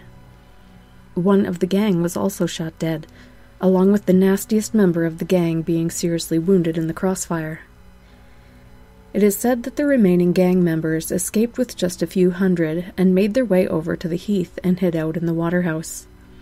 It was newish at that time and was a perfect hideaway for the murderers. There was a lot of contention and stress between the remaining gang members, and although it was never proven how, the bodies of all three of the remaining gang members were discovered rotting away in the Waterhouse six months later. A few years after, the weird stuff and creepy noises started occurring near and around the Waterhouse. Mysterious, hairy figures were glimpsed moving stealthily among the pipes and wires. A dank, moldy, rotten smell, like aging river weeds, was always smelt around the area of the Waterhouse and eerie wails and menacing murmurs could be heard day and night. In the late seventies, there was a spate of mysterious deaths of homeless people who would shelter over the heath not far from the Waterhouse. There was nothing to ever link the deaths to the Waterhouse, but the locals soon started giving the Waterhouse and surrounding area a wide berth because of the creepy history and dark reputation, and that left the Waterhouse abandoned and in disrepair. That's what we knew of the Waterhouse's dark history. That is why we were so wary and anxious to get away from it as quickly as possible. When we were all through the gap in the fence further away from the Waterhouse, us younger cousins built up enough courage to glance over at the building of ill repute before being rounded up by the older boys. A put me in my wheelchair again, and we set off to the blackberry field. We soon arrived at the field, where some other local kids we knew were already there, and we spent a nice afternoon picking and eating the juicy, sweet blackberries and splashing in the river. Soon the sun was getting low, and it was time for home. Our journey home was much like the one there. We were still bantering, laughing, and the older boys were still winding us up slightly. But being as it was getting later, we were feeling wearier and slightly subdued. When we reached the fence before the Waterhouse, the air felt slightly too close, like before a thunderstorm. The youngest of the three older boys got me out of my wheelchair so that B could lift it over the fence. The other kids were already on the other side of the fence with H and B. A suddenly said to his brother in a low, guarded voice, Something moved at the back of there, bruv. B just looked at him sideways. Out of the boys, A was the most likely to pull a stunt or wind anyone up for a laugh.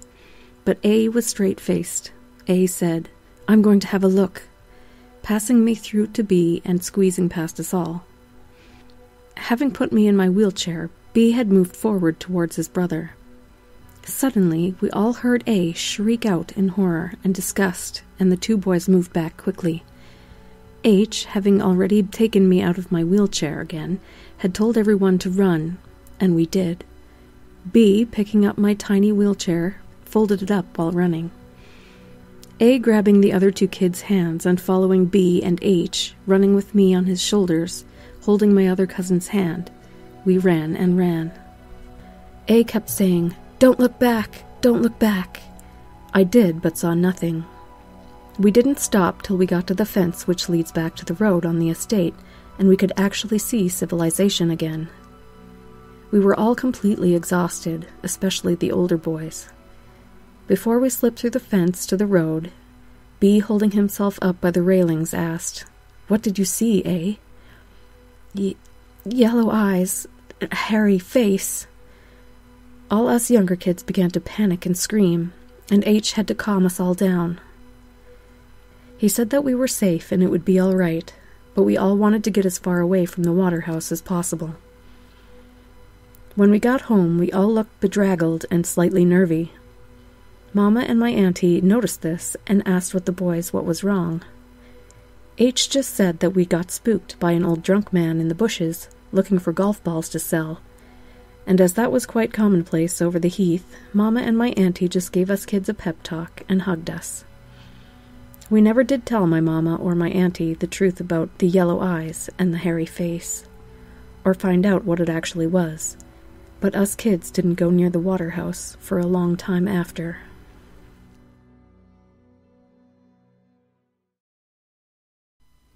The Stuff of Which Dreams Are Made by Elizabeth Fenley. The morning after the dream, I went to see Sylvie.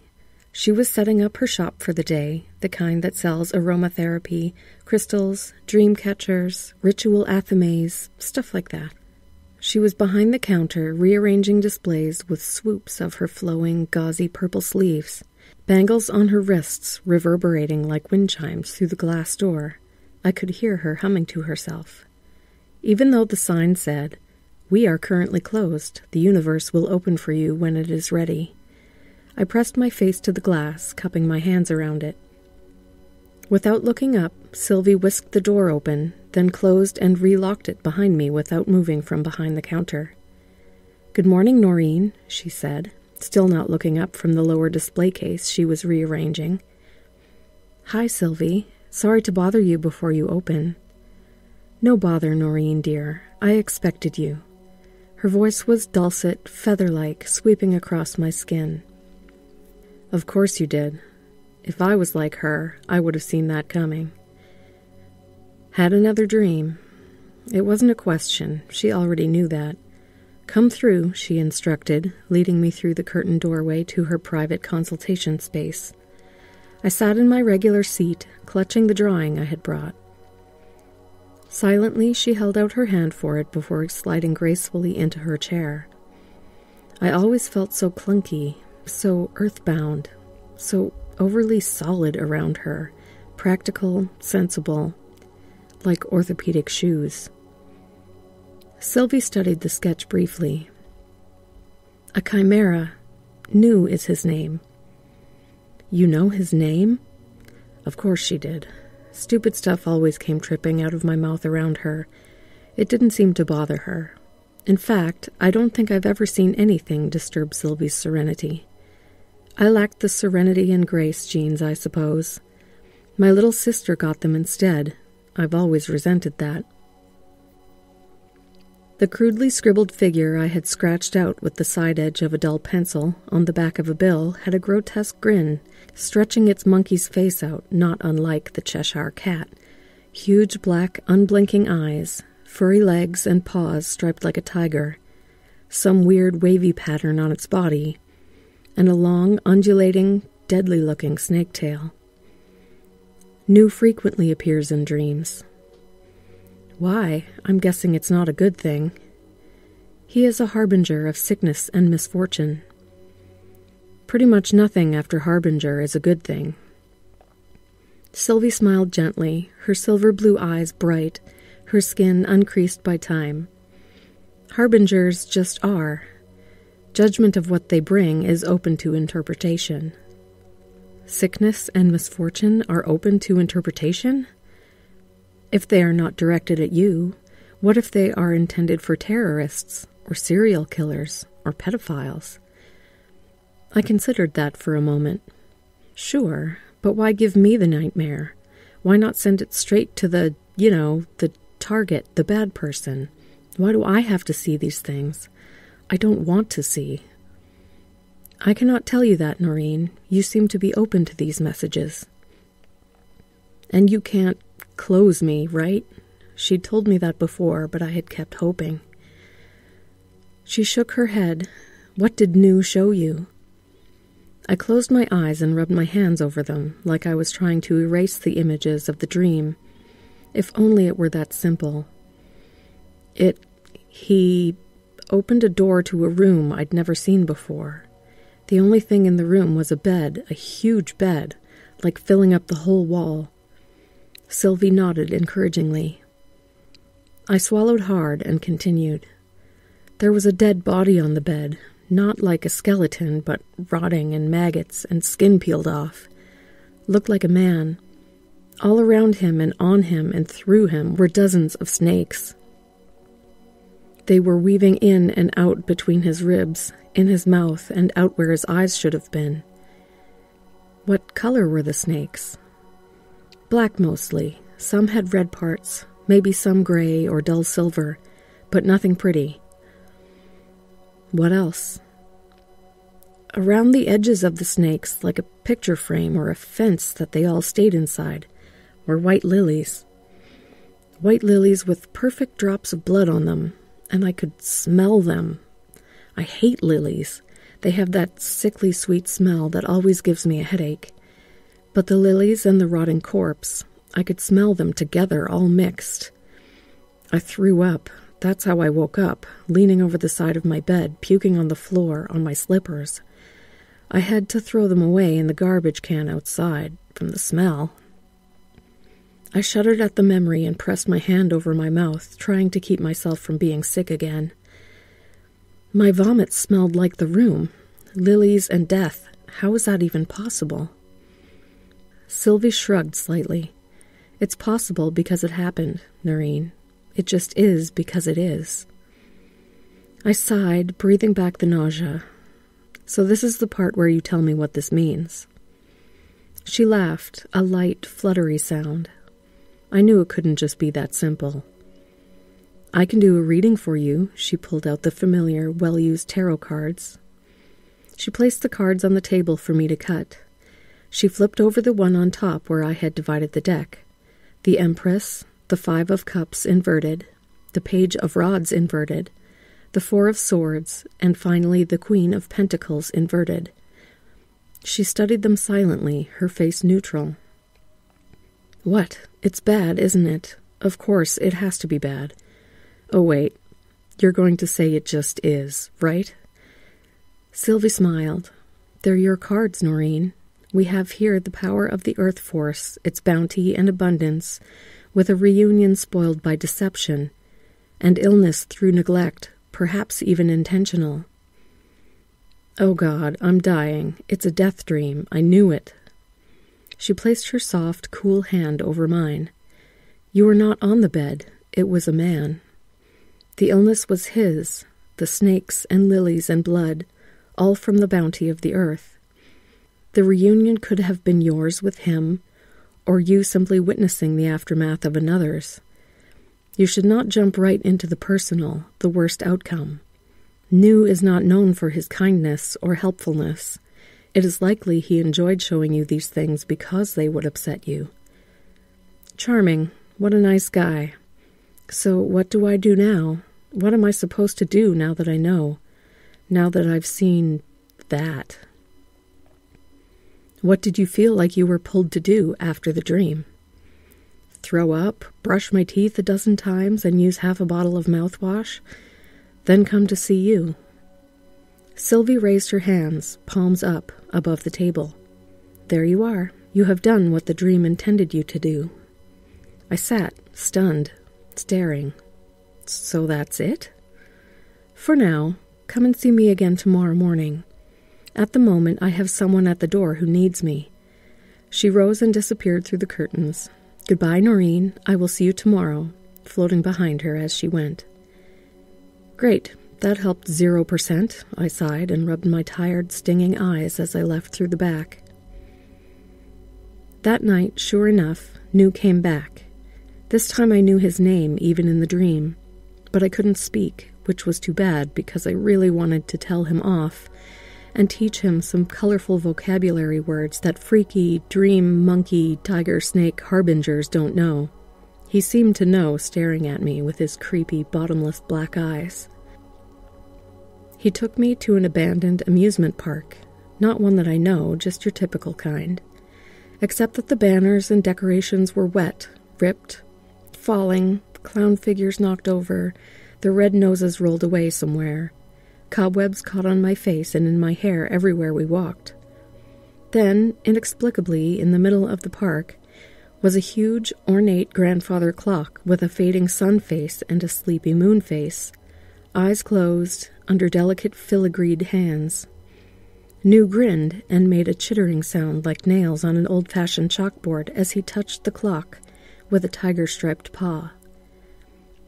The clock began to run, backwards.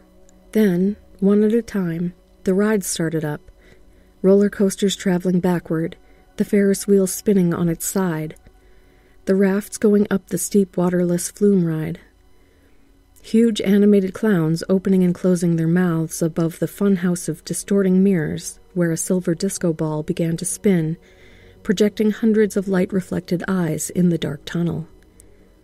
The rumbling of the machinery began to vibrate deep within the concrete below my feet. A crack split open near my feet, pulled open into an oval, and helplessly I fell, landing on the floor beside my bed, right where I had thrown up the night before. Good thing I had cleaned it up. Time, Sylvie told me simply. Time, that's it. No looking at the cards, no peering into the scrying bowl, no seeing. Just time, Noreen. Even the cobwebs are symbols of time. But everything was going backwards, starting with the clock. She nodded. Time is out of joint, O cursed spite, that ere I was born to set it right, she quoted. Great. Shakespeare, as inscrutable as Nue and backwards time. To distract myself, I went to my favorite consignment store, the Red Collection. It had antique furniture, paintings, clothes, toys, knickknacks, you name it.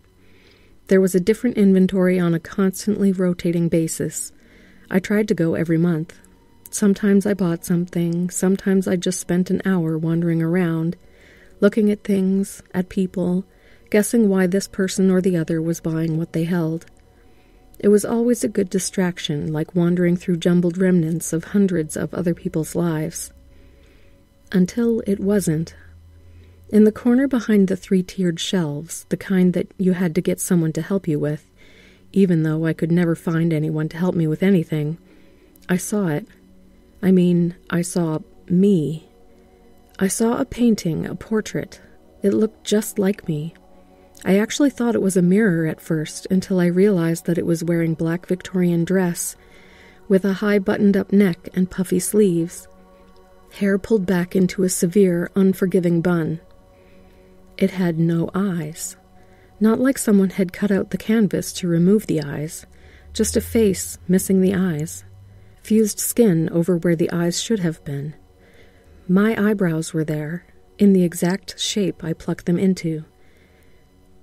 Then my face just sloped into cheekbone and nose, like that was the normal way a face should look.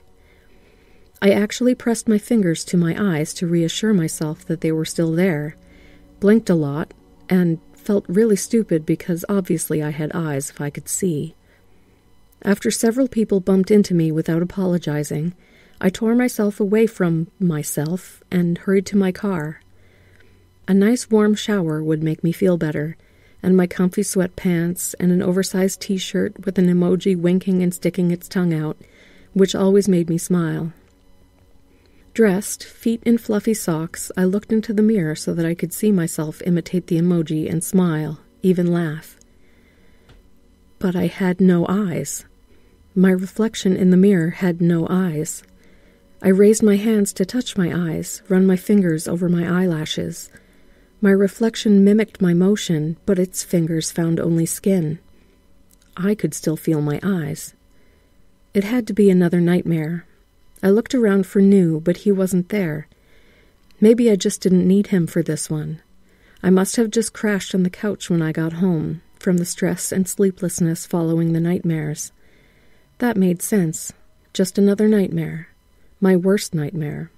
But it would end, and I would go back to see Sylvie. I sat down on my bed to wait for something to happen. Nue didn't appear. No other grotesque images appeared. I got up again and again to look in the mirror. Still no eyes. That's such a weird thing to have to think. I waited and waited. I checked the time on my phone, my alarm clock, the microwave. Time had stopped. I'm not waking up. Or I'm not asleep. This is my worst nightmare.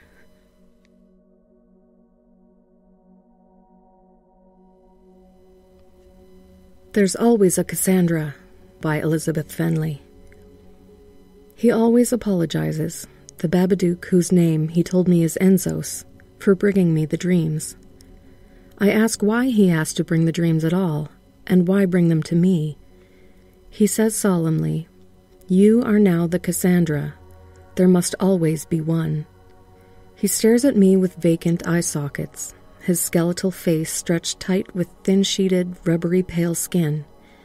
His black top hat, worn, crumpled, dusty though it is, gives him an air of dignity, of reserved poise, even grace. When his long, skinless, boned fingers stretch to remove the hat, the nightmare begins. I write them down when I wake up from them, sweating, panicked, in the middle of the night or by the screech of my unforgiving alarm clock. I've heard anyone with especially vivid dreams should keep a dream journal, and then you could look back at your dreams and decipher the symbolism found in them. Only my dreams aren't symbolic. They are foretellings. The people are real, the events are real. My neighbor's mother fell on the icy front steps of the house while I was having a snowball fight with my boyfriend. The ambulance took her away. Patrick couldn't understand why I was so upset. I pulled him inside, shaking off snow and ice. I showed him the entry in the journal from two nights before. It was identical. I remember the image. Watching it happen in real life was like deja vu. If I hadn't written it down, I would have shaken it off as a brain malfunction, short term memory accidentally rerouted to long term memory. Patrick read it, skimmed it really, and then looked up at me, shaking his head. It's just a coincidence. You knew there would be snow. You must have heard your neighbor telling your mom about the visit. No, I didn't. She didn't. This says she died in your dream. She didn't die, so it's nothing. Just your subconscious processing shit you haven't gotten around to. Nothing to worry about. Did I tell you about that time I dreamed? He told me about his weirdest dreams and a few nightmares from his childhood, mostly about monsters, snakes in his bed, getting trapped in a closet full of spiders, while we sat by the fire drinking hot chocolate. I listened, dropping little marshmallows in and stirring them around, watching them congeal and melt, sipping the froth off the top and then adding more. The next morning, my dad told me that Mrs. Matresse's mother died before they got to the hospital. We all signed a card for the flowers my mother took over with a turkey tetrazzini. I texted Patrick when I heard, but he told me not to be all caught up in the dream. My own boyfriend wouldn't even try to believe me. I didn't tell anyone else. After the fifth dream about someone dying, I asked Enzos why all the dreams were about death. I am Babadook, bone built of grief. Death is my companion. I am her messenger. Do you take death nightmares to other people, or just me? He stood silently for a moment. He was always careful in developing his words. There is only one Cassandra for each time, each plane of existence. Plane of existence? What are you? I have visited others for millennia. Now I bring you the sight. There have been many before, as there will be many after. After what? After I die? What happened to the last one? Empty bones somehow conveyed his sadness. The last dream I will bring you will be of your own death, when it is time. He removed his hat, placing it somberly across his chest as he faded, and the next nightmare began. A family of five killed in a car accident on an icy bridge driving home from Thanksgiving dinner. Again, I showed Patrick the Dream Journal entry from two days before Thanksgiving and the story on the news website to match. He accused me of writing the story down after it happened. You're calling me a liar? I'm telling you these horrible things I dream about, and then I walk around just waiting for them to happen. Can you imagine how that feels? To know someone's going to die, and you're the only one who knows, but there's nothing you can do about it? Why the hell would I make that up? God, dramatic much? You think I'm doing this for attention? For sympathy? Either that or you're killing them yourself, and this is some kind of insanity defense, he replied with a stupid grin on his face, one I almost slapped out of existence. Or maybe I'm just crazy. Maybe that's it. Listen, Alexandra, he reached out to grab my hand, but I flung his hand away. No, I won't listen to you. You don't believe me. My own boyfriend won't even fucking believe me. You know what? Fuck you then. Patrick spread his hands as if to say, See? Get out, now. He stood up, dropping my journal on my bed. Major drama queen. Whatever, just leave. That night, Enzos brought me a dream of a school shooting. Sixteen students, four teachers, and the principal killed, twenty others injured. When I woke up, I spent an hour throwing up. I didn't bother checking to see that it was true. December was full of fires from faulty Christmas lights and one about a candle from a menorah. The week before Christmas, armed robberies of shoppers putting newly purchased gifts in their cars, and families killed in their homes for the presents under their trees. On Christmas Eve, a man who had just lost his job killed his entire family and then himself rather than face a joyless, giftless Christmas. Seven kids, his wife, and her elderly mother. After that, I stopped keeping the journal. When an unknown respiratory virus killed a dozen babies in the NICU, I burned it. I asked Enzos to stop apologizing, to just skip right into the dream. He did not speak, simply lowered his hat and his head. My parents took me to doctors and therapists when I stopped sleeping. I thought if I didn't dream, it wouldn't happen. After a few nights, I fell asleep on the couch, even though I'd used up every K cup of coffee. The doctors found nothing wrong with me underweight, exhausted, stressed. They suggested melatonin, yoga, guided sleep meditation, and ironically, journaling. And they all referred me to a therapist. I didn't tell the therapists, of course, about Enzos or the dreams or the journal. I made things up, exaggerated about school stress and breaking up with Patrick. Otherwise, I would end up in some mental hospital on lithium and sleeping pills. I dropped out of college my junior year after I dreamt about a suicide on our campus. I worked as a waitress, took shifts in retail during holiday seasons. My parents were disappointed in my failure to reach my potential and wanted me to go back into therapy, but they couldn't make me. I avoided serious relationships, never spent the night, I had acquaintances at work, but no real friends. I couldn't go through the questions, and I wouldn't chance telling anyone again, not after Patrick. The night before I turned thirty, Enzo spoke.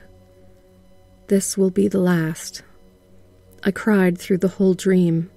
Relief. It was someone else's turn to be Cassandra.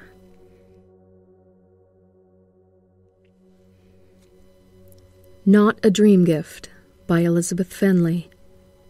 The dream deities must be pissed off. If I had to guess, Morpheus is delivering his messages in record numbers. His brother, Phobetor, the son of darkness, is bringing more nightmares, and Mara is sitting on the chests of the sleeping to pour nightmares into sleep cycling brains. They have to be the ones responsible because the dreams are so palpable so tangible that they exude from people as they go about their normal days. I have the misfortune of reading everyone's dreams. I can't control it, and I certainly don't want it. It's like music from the car next to you at a stoplight, blasting stupid loud with the windows rolled down as if everyone wants to hear their music because they and their music are just so awesome. Personally, I believe there is an inverse proportion between music volume and intelligence. The louder the music, the dumber the person. This ability is doubly unpleasant because once the dream opens up, it brings the current thoughts as well, reading their thoughts about the dreams in addition to interpreting it. I wonder what I did a year ago to piss these dream gods and goddesses off enough to deserve this. It's been a long, alarming year, bombarded by so many dreams.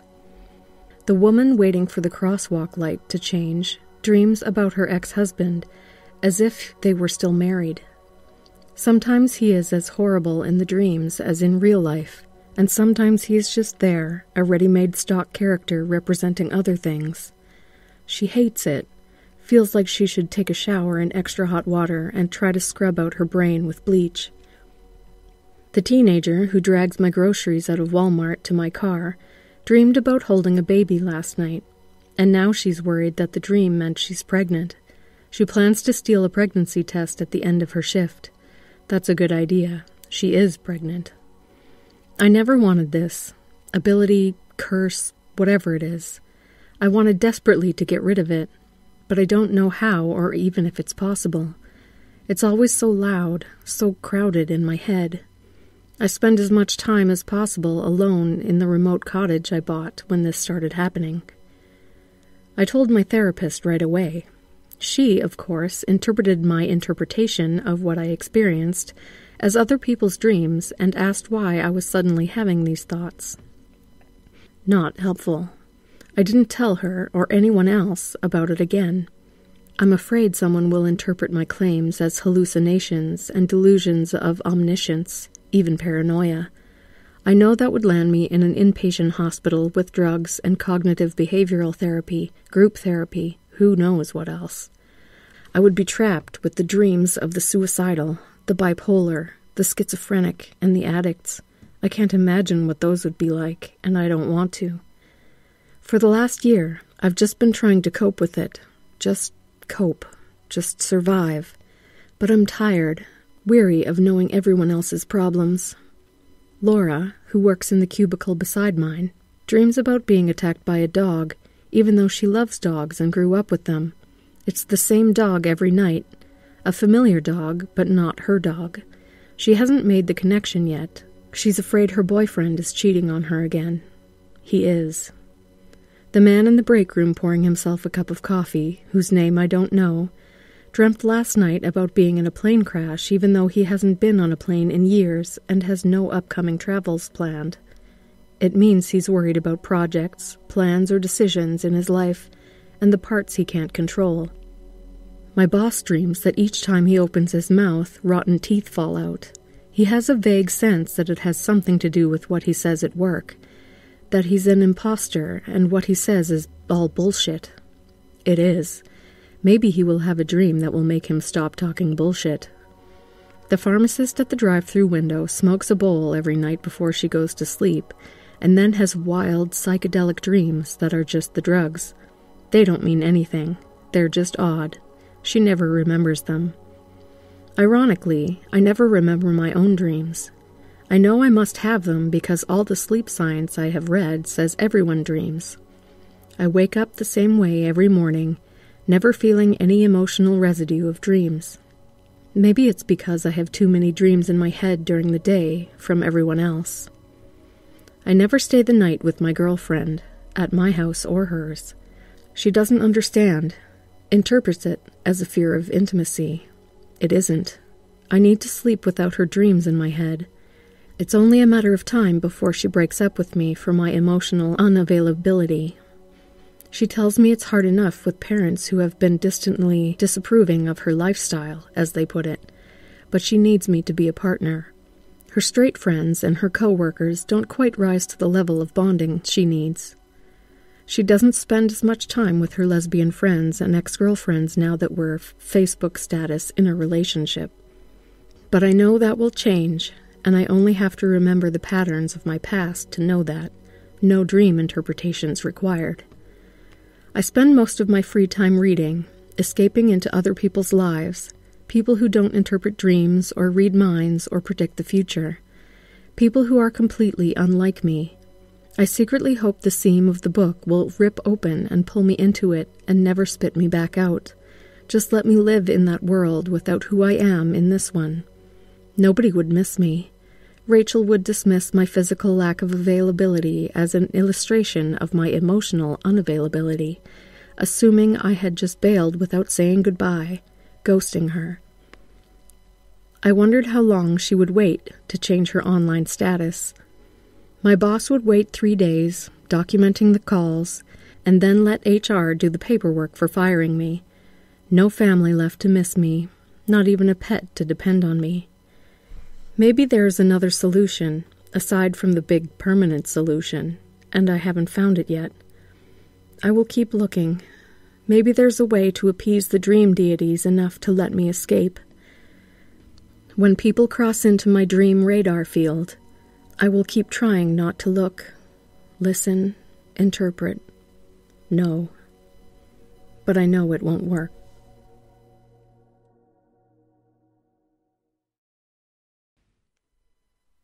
The Tooth Fairy.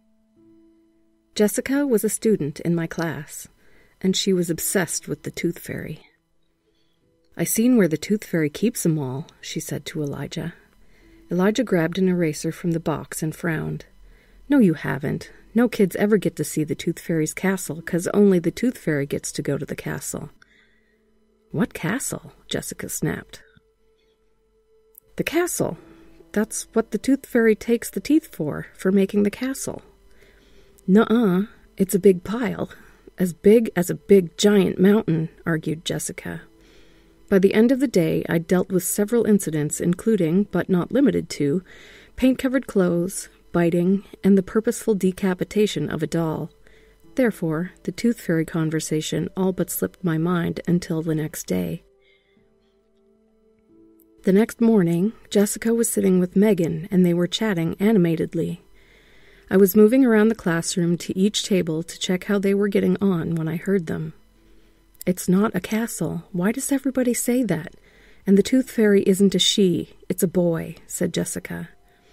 No, she's a girl, argued Megan. Boy, girl, boy, girl, boy. Wow, that's a beautiful picture, Megan. Do you think that you could tell me about it? I interrupted. This is Daddy, and this is Roger, and this is me, and we are all playing football.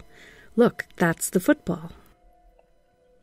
You all look so happy. I really like those big smiles. Do you think you could write your names underneath? She nodded happily and started scrawling Megan, Daddy, and Roja below the figures. And what about you, Jessica? Can you tell me a bit about your drawing? I drawed Mummy and Daddy and me in a tent, and we're all sleeping so close together. You gotta sleep close together in a tent, else you get too cold, see?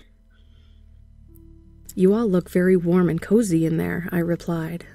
Jessica's parents were divorced, and there was something kind of heartbreaking about seeing her picture of the three of them together. Yeah, and there's no one else around, see? So Mummy and Daddy just play with me all the time, and we play all day and all night except to sleep and to eat. And where is it that you're camping? She paused for a moment. In the woods, I think, so I should draw some trees. Real big trees, as big as the sky. I smiled and moved to the next table. As soon as I moved, I heard from behind me Girl, boy, girl. A week later, Simon lost a tooth in class. They were at the age where teeth were just starting to fall out, so it was quite an exciting moment. Two girls hugged him tight in comfort. One of the boys asked if they could touch it. Another asked if they could try to put it back in. Jessica wailed loudly, her hands clasping her face as she stared at Simon in horror. Simon was not perturbed by this in the slightest. He grinned proudly, his smile now gappier than before. He placed the wrapped up tooth in his bag, excited to show his parents. I reassured Jessica and sat them all on the carpet to talk about what happened. Simon lost his tooth today. Simon, can you tell everyone what that felt like? For days and days it's been wobbling and wobbling, and Mam said that it should soon come out. She said I shouldn't play with it, so I only played with it a little bit. Just then, just right now, I was playing at the water table and felt it fall in my mouth, and I thought it might fall down into my belly, but I spitted it out first. Did it hurt? whispered Jessica. No, not even a little bit. Feels nice when I put my tongue in it. Look, he said. Then he opened his mouth awkwardly, his tongue stuck through the gap. Gross, cried out Megan. It's completely normal for children to lose their teeth. What you all have now are called milk teeth, or sometimes they're called baby teeth. Over the next few years, they'll fall out, but that doesn't mean anything is wrong. You'll start to get new teeth, and they will be your adult teeth, which you will keep forever. When they fall out, the tooth fairy takes them, and he only likes real white teeth, said Jessica. I smiled. As a teacher, it wasn't my place to confirm nor deny the existence of Santa, unicorns, fairies, or festive bunnies to my students. Well, it's very important to keep our teeth clean. We should brush our teeth twice a. I don't want to clean my teeth. I don't want the tooth fairy to have them, Jessica squealed. Then she burst into tears. Admittedly, I couldn't blame her. The tooth fairy thing had always struck me as odd. You tell your kid that when they're sleeping, a stranger comes into their room and starts rummaging around under their pillow, but it's all good because they give you some money. Yet very few parents seem to consider that it might be a bit frightening. I managed to calm things down, and we carried on with the day. At the end of the day, at pickup time, I explained to Jessica's mum what had happened, and she assured me that she would deal with it. I got a secret to tell you, Jessica said the next day. I got a secret, but you can't tell no one else, okay? Well, I can't promise to keep secrets, Jessica. Sometimes there are big secrets. They might involve you or someone else being hurt in some way. Then I have to tell those kinds of secrets. Well, the secret is that Daddy is the tooth fairy, she whispered. Now that you know that, does it make you feel less frightened? You seemed very worried yesterday, I said. She looked confused. I already know Daddy was the tooth fairy. I just didn't want to tell the other kids, but I still don't want Daddy to take my teeth. Maybe you could talk to Mummy and Daddy about it, and you could tell them what you would like to do with your teeth when they fall out. But I don't want Daddy to take my teeth. When he takes people's teeth, it really hurts, and they scream and cry and cry, she sobbed. The bell rang then for lunch, and I replayed the conversation over and over in my head, confused, as I grabbed my lunch and sat next to my colleague Sarah in the staff room. Jessica? I taught her brother last year. Their dad's a dentist, Sarah said. Oh, I said. That makes sense. Haven't met the dad yet. I only met him once all year. Usually Mum does the school stuff. He's quiet, but hot. I laughed. You're so bad. He is, and the mum's not much of a looker. I wonder if that's why he left her. Sarah! What? It's true. Anyway, what are you going to do about Jessica? I'll talk to her this afternoon, and then maybe talk to her mum again. Poor kid. She's under the impression that her dad is a tooth fairy who randomly yanks out people's teeth. Well, nobody likes the dentist, Sarah grinned. That afternoon, I sat with Jessica in the reading corner. Hi, Jessica. I'd like to speak with you about what happened earlier. It sounded like you were really frightened about losing your teeth. I wonder if maybe we could talk about it more? Okay, she said. Do you know much about your dad's job? He's a dentist, she said, and he's a tooth fairy. Do you know what dentists do? They take people's teeth, and it really hurts so much, but they take them anyways. Dentists care for people's teeth. They check they're healthy.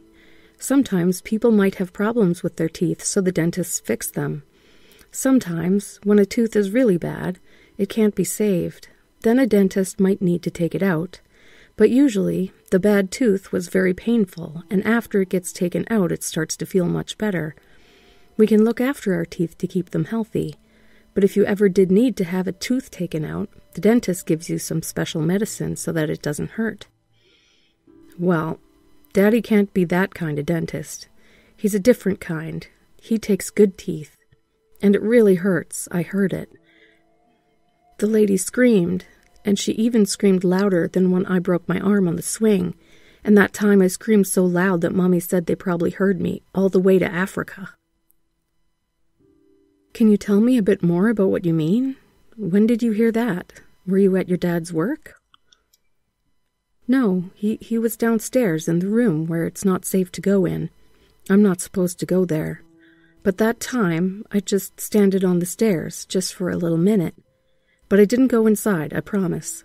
And that's when I heard it, and it was a lady's voice, and she screamed. Did you see anything that happened, Jessica? No, but I know he was taking her teeth, 'cause he takes so many teeth, and no matter what anyone says, he isn't building a castle. He keeps them all in a jar in a big, big, big pile. And they're all really white. He's the tooth fairy, so he only likes clean teeth. What? But don't tell him I seen it. because I'm not supposed to go in his room, but I thought maybe he had my birthday present in there, and I just wanted to see what it was. I wanted to have a little look so I could know how excited I could be. That's when I seen the teeth. I putted them back so he won't ever, ever know. Jessica did. And then yesterday in the car, Mummy said that people tell their kids there's a tooth fairy, but really it's just the mummies and daddies who gives the kids the money. And I already know that Daddy is the tooth fairy, but I couldn't tell her, else she would have known I'd done something bad. I don't want Daddy to be the tooth fairy and take my teeth. As she spoke, I felt the blood drain from me all at once. As words tumbled out of the poor, confused girl, who was unable to stop when she started, my confusion turned to fear, which turned to complete and utter terror. When she finished, she looked up at me expectantly, her eyes searching mine desperately. Ignoring the pounding of my heart, I told her that she had done the right thing in telling me. I told her she wasn't going to get into trouble, and she hadn't done anything wrong. I told her that it was all going to be okay. 128 adult teeth were found at Jessica's house. They belonged to four women who had been reported missing over the last five years. The women were different ages, different races, different backgrounds. The only thing they had in common were their pearly white teeth. Jessica's father had kept the teeth of the women he had murdered as trophies. Even now, years later, I think of Jessica whenever one of my students thrusts one of their teeth excitedly in my face in class. And after Jessica, when I have children of my own, there will be no fairies, of the tooth variety or otherwise, in my house. Hamburger Lady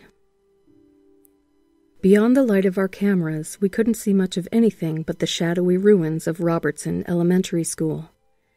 The moon was thick and heavy, shining brightly on the ground and through the overgrown remnants of the playground equipment. Christina was much braver than I. She wanted to lead the way, and I didn't hesitate to let her. The way the pitch darkness of the building just seemed to be waiting on us to walk into it was unnerving to me. But to Christina, the desire to explore was freshly lit in her soft blue eyes. She was even more beautiful when she was brave. The whole town knew the story about Robertson Elementary School. It caught fire in 1976, burned upwards from the basement level cafeteria, and eventually claimed the whole building. Luckily, the students were on recess when the inferno started, but one unfortunate cafeteria lady was unable to flee the destruction. She died in the back corner of the cooking space. Pictures of Maria Aria showed that she was beautiful. The fire was so hot, though, that she was completely unrecognizable when the responders discovered her. It was a tragic accident that still haunted the memories of our small town. Christina wanted to become viral. She heard the ghost story about Maria Aria, the hamburger lady, and thought she could become infamous for leading a live streamed ghost hunt. She wanted me to be the cameraman, and I couldn't refuse turning my crush's whims away. Everything was going well until we got down to the cafeteria. The walls were still black, even after almost fifty years, and there was a stench of mold and abandonment that hung heavy in the air. Mice scattered everywhere when we got down there, and I don't know exactly how to describe it, but there was just this feeling that we were not supposed to be there.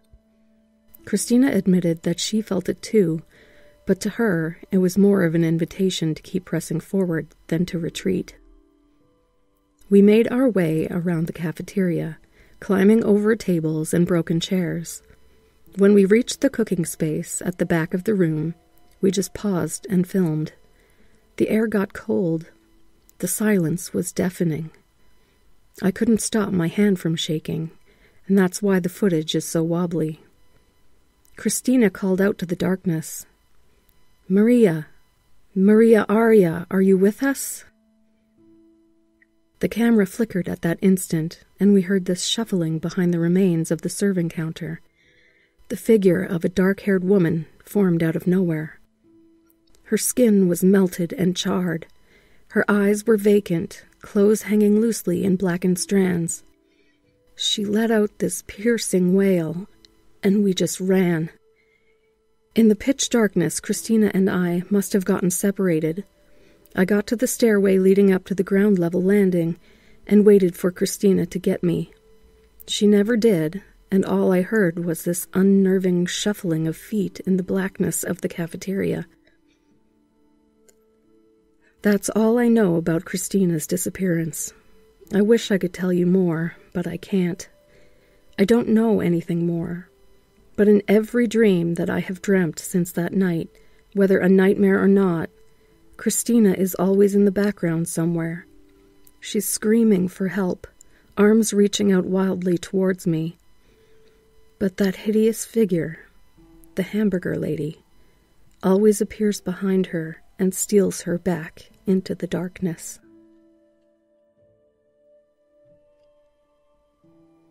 The Dark Room. I lie awake, the dream of sleep evading my grasp. Today, we laid to rest my father in the cold, damp earth. Our relationship was not one you'd call ideal, but being his only child, I was left everything. That included his photography studio and darkroom. My father and mother had split when I was born, him having no time to raise a child as he made his name in the art community. A birthday card every couple of years, always with the wrong age written in them, and that was all I saw of him. I didn't mind much, having my mother there was enough. But then he died, and I received everything. I wondered why he would leave his life's work to me, a daughter he never bothered to know.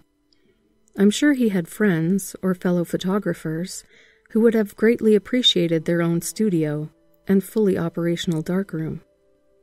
Maybe he really didn't have anyone and no one else to leave it to. I myself was a photographer, but more of a casual one. I took photos of my pets, friends, and family, the occasional scenery, nothing that was taken for others' admiration it was for me to relive moments that made life worth living. The next day, I drove to the address listed on the scrap of paper my father's lawyer gave me. It was on the outskirts of town and seemed to be the only building out there. The building itself was that of a large warehouse. The metal paneling on its walls was rusted in spots and completely missing in others. Its few windows were smashed and boarded up with wooden planks from the inside. There was a large garage door that shuddered in the breeze.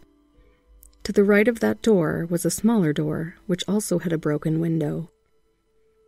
The place looked like a hollow monolith, and I almost doubted that it was my father's studio. How could such a highly esteemed artist work out of such a dump? It was dull, falling apart, and devoid of any signs of life. The one thing that told me this disgusting place was indeed my father's was the painted camera lens on the garage door with my father's name written underneath. I gripped the little metal key in my hand and entered the decaying giant. The inside was more appealing than the out, but not by much. There was a long metal table in the center of the room, littered with cameras, photos, and lenses. For an artist who cared more about his work than his family, he really didn't take very good care of his equipment. A layer of dust coated everything, and most likely ruined everything on the table. Back behind the table, though, was the dark room. It was a large, handcrafted black box that had been erected in the back center part of the warehouse. A door that revolved was the only entrance, and made it so that no light could penetrate into its dark interior. I slowly walked along the table, trailing my fingers along the dust. The photos were all black and white, most likely developed in the dark room behind me. They were photos of buildings, animals, flowers, the normal things photographers photograph. I picked up an old Canon film camera and poured a pile of dust out from where the film reel would be installed. Disgusted, I tossed it back onto the table and turned to the looming black box. Everything on the table was now useless, and I was disappointed to see such a beautiful antique. And I was disappointed to see such beautiful antique equipment left to deteriorate. The revolving door wouldn't budge at first, and I struggled to get it to turn. The metal railing along the bottom must have rusted. How long has it been since my father was last here? It was like this place hadn't seen a living soul in decades. With one hard shove, the door finally relented and spun to let me step in. The smell of mildew and old chemicals hit me like a brick wall. I covered my mouth with my hand to stifle a gag as I stepped into the door. I should have brought a ventilator or at least a mask. As I swung the revolving door around me, I was plunged into utter darkness. The smell was overpowering, and I tried to take as few breaths as possible. I could see the glow of the red light start to appear when the door jammed. I pushed, and the metal groaned in protest. I was trapped inside the door and could barely see anything around me. I held my breath and used the hand previously covering my mouth to try to pull the door open.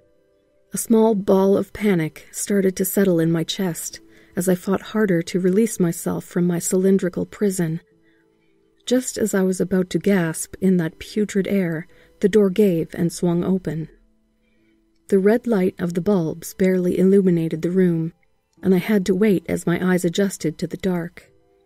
I held the collar of my shirt over my nose and mouth and coughed violently. The smell was now overpowering, and my head was beginning to spin. Just a quick look, just to see if anything was salvageable, then I could leave. Stepping into the room, I could see strings running across the room with photos pinned to them to dry. Empty containers of chemicals littered the floor, and the faucet in the sink was dripping. I knew how dark rooms and developing film worked, but had never actually stepped foot into one. I couldn't help it as a bit of excitement fluttered in my chest. I had always wanted to develop my own film and expose my own photos.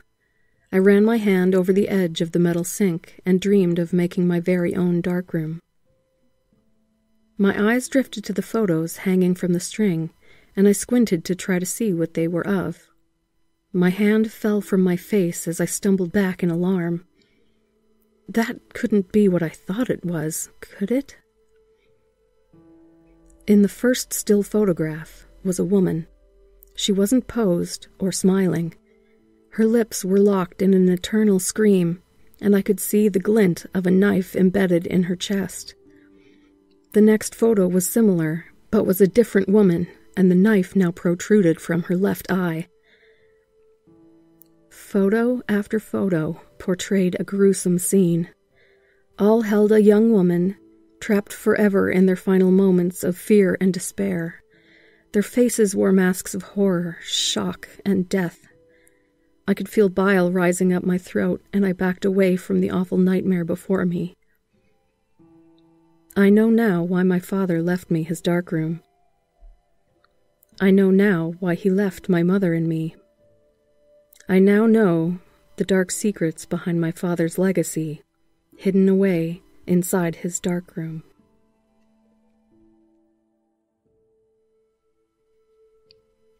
The Last Man on Earth the Mustang roared to life. The body of the beast shook as he stepped on the accelerator, his manic laugh piercing the day. His laughter ceased as he sat for a moment listening to the noise produced by the car. Having his fill of the exhaust system, Dan threw the gear knob up and to the left, first gear, and sped out of the dealership. The car was a display model, the red paint gleaming in the bright lights of the showroom. He crashed through the glass of the shop and onto the street, laughing like a naughty child who had gotten away with a misdeed. The scream of the car, the only noise in the desolate street. There wasn't many cars on the road, and Dan pushed the machine as hard as it could go. The speedometer needle climbing until it sat constant at the top speed it could get to. The drab buildings whizzed by as Dan clutched to the steering wheel the brilliant sun smiling down on the bright red Mustang, galloping down the empty streets. Slowing the car down, Dan switched the radio on. Static greeted him. Glancing around the streets, HMV was a welcome sight. Slowing his newly acquired vehicle to a complete stop, he opened the door and set towards the music store. The door was locked, naturally, and Dan made use of a trash can sitting on the sidewalk. He winced as it went through the window, nervously looking around. He laughed softly to himself. No one was around to see him. The lights in the store were non functional, but thankfully the sun bearing down was bright enough to illuminate his shopping trip. He walked through the aisles, looking for something worth listening to. Eventually, Dan stumbled upon a CD of the top songs of the decade. Nothing special, but it would do. Picking up his selection, he climbed back out towards his car, using the makeshift entry he made. Sitting in the driver's seat with the door open, Dan opened the CD case and inserted the CD. Music blared out the speakers, the voice of Justin Timberlake serenading the lonely man. He sat, staring at the hole he created in the store window. He looked up and down the street, hoping someone would bound up to him to seek justice for the theft that had occurred. He was foolish to hope, but the hope remained. He'd go home now and do what he did every day read comic books and drink himself unconscious. Leaving the music playing with the door open, Dan walked past the music shop and towards the bottle store he frequented. The door had been left open, and so he had not needed to improvise an entrance. He had a hankering for whiskey today, he decided. Walking over to the cabinet containing the good stuff, he accessed the expensive whiskey by kicking through the glass door. Open bottle in hand and already visibly depleted, Dan walked back slowly to his car to head home. He had changed homes a number of times this past year. Just as with the cars, appliances, and everything else, Dan had his pick of it all. He was, after all, the last man on earth. Everyone else had simply vanished, he remembered the day it started all too well. Leaving work early with a stomach bug, he took a nap once home and suitably drugged up on medicine. Waking up from the nap, everyone was just gone. No bodies, no mess, nothing. Just him, Dan, the 32 year old marketing manager of a high end retail company. Perplexed at first, it didn't take him long to unwind and make the best of the situation. No people meant no rules and no boundaries. Everything was his, and that suited him just fine. He had no family apart from his mom and grandparents. These were the first places he went once he realized something had gone terribly wrong. At both houses there was not a sign of any of them. Just as everyone else had, they had disappeared. Dan spent the first few nights in his childhood home trying to make sense of all that had happened. Eventually, he gave up trying to understand it all and went back to his flat. Netflix still worked, and his PlayStation was operating fine. The days passed, and boredom set in. Call of Duty was not as fun with no one to challenge online. Dan ventured out of his house to explore and seek any other possible survivors of whatever had happened. Driving his 2002 Toyota Vitz, the realization set in that he could borrow any car he liked. He figured if he returned it before the people came back, no one would ever know. His first acquisition was a BMW M3 Coupe, a car he had dreamed of since he was a child. Hunting for the keys was difficult in the dealership, but once he found them, it was all worthwhile. Dan ventured to many a city, both near and far, in the hopes of finding someone. All his voyages were in vain, as each day he returned home dejected and with a sense of loneliness. Eventually, he stopped trying to find people and decided to enjoy his life while he was still breathing. Cars were his main devices for enjoyment, but the bottle stores and houses he raided to find narcotics were equally as entertaining. Many a day was spent in a zombie like state, with no one to reprimand him for operating high performance vehicles under the influence. His mind was his own worst enemy. Plagued by loneliness and fear of what had happened to the world, many a night were sleepless. What was he going to do once the electricity switched off and the water was no longer running? Having no knowledge of the ways in which either worked, Dan was frightened of living in a powerless and waterless world. Food would inevitably run out, and he had no expertise in growing crops. These were the thoughts that haunted him, and when such hauntings occurred, sleep in a bottle was to his aid. Arriving home in his new Mustang, he parked it alongside the numerous cars he now owned. It had been many months, nearly a year, and his car collection had grown vast. He walked up the unkempt driveway and walked into the open house. He didn't bother locking anything, as no one was around to steal. Flipping through a flash comic book, he drank the whiskey from the bottle. It burnt his lips and throat, but the pain kept him sane. That and the exhilaration from driving at breakneck speeds were the only sensations that reminded Dan he was still alive. Putting the comic down, he walked the halls of his new mansion. The antique paintings he stole from museums and art galleries hung side by side on the walls. In that other life, he would never have owned such a grand home. Now, however, the world really was his oyster. He was the king of everything, and all in the land belonged to him. Setting himself down after lighting a fire in the library fireplace, he returned to his bottle of fire. Sighing, he could but lament the passing of the world as he knew it. This was the world now, a world that, for some reason, he was condemned to walk alone. He missed his mother and his grandparents. Hell, he even missed his mean SOB of a boss. This was no life to live. He took another deep sip of whiskey and sat, staring into the roaring fire. Just as brightly as the fire burnt, so too could it be immediately snuffed out. The fragility of it was incredibly similar to people. We were a strong people, and yet somehow the rest of the world now has disappeared. Standing up, Dan looked at his options he had been putting together over the weeks. The prescription bottle lay neatly next to the revolver he found in the upstairs bedroom. Deciding on the seemingly less painful approach, Dan emptied the contents of the pill bottle into his hand. Sitting down in the chair by the fire again, he gazed into the fire one last time washing the pills down with the last of the whiskey. Dan closed his eyes as he prepared to take one last nap. The embers burnt gently in the fireplace. The fire had died down. Dan felt warmth on his chest. Struggling to sit up, he opened his eyes slowly. Had the tablets not worked? Why was he able to open his eyes? Maybe I'm in purgatory, Dan thought to himself. With a haze over his eyes, he looked down to establish what warmed his chest. Spread across his chest and running down to a puddle on his lap was vomit.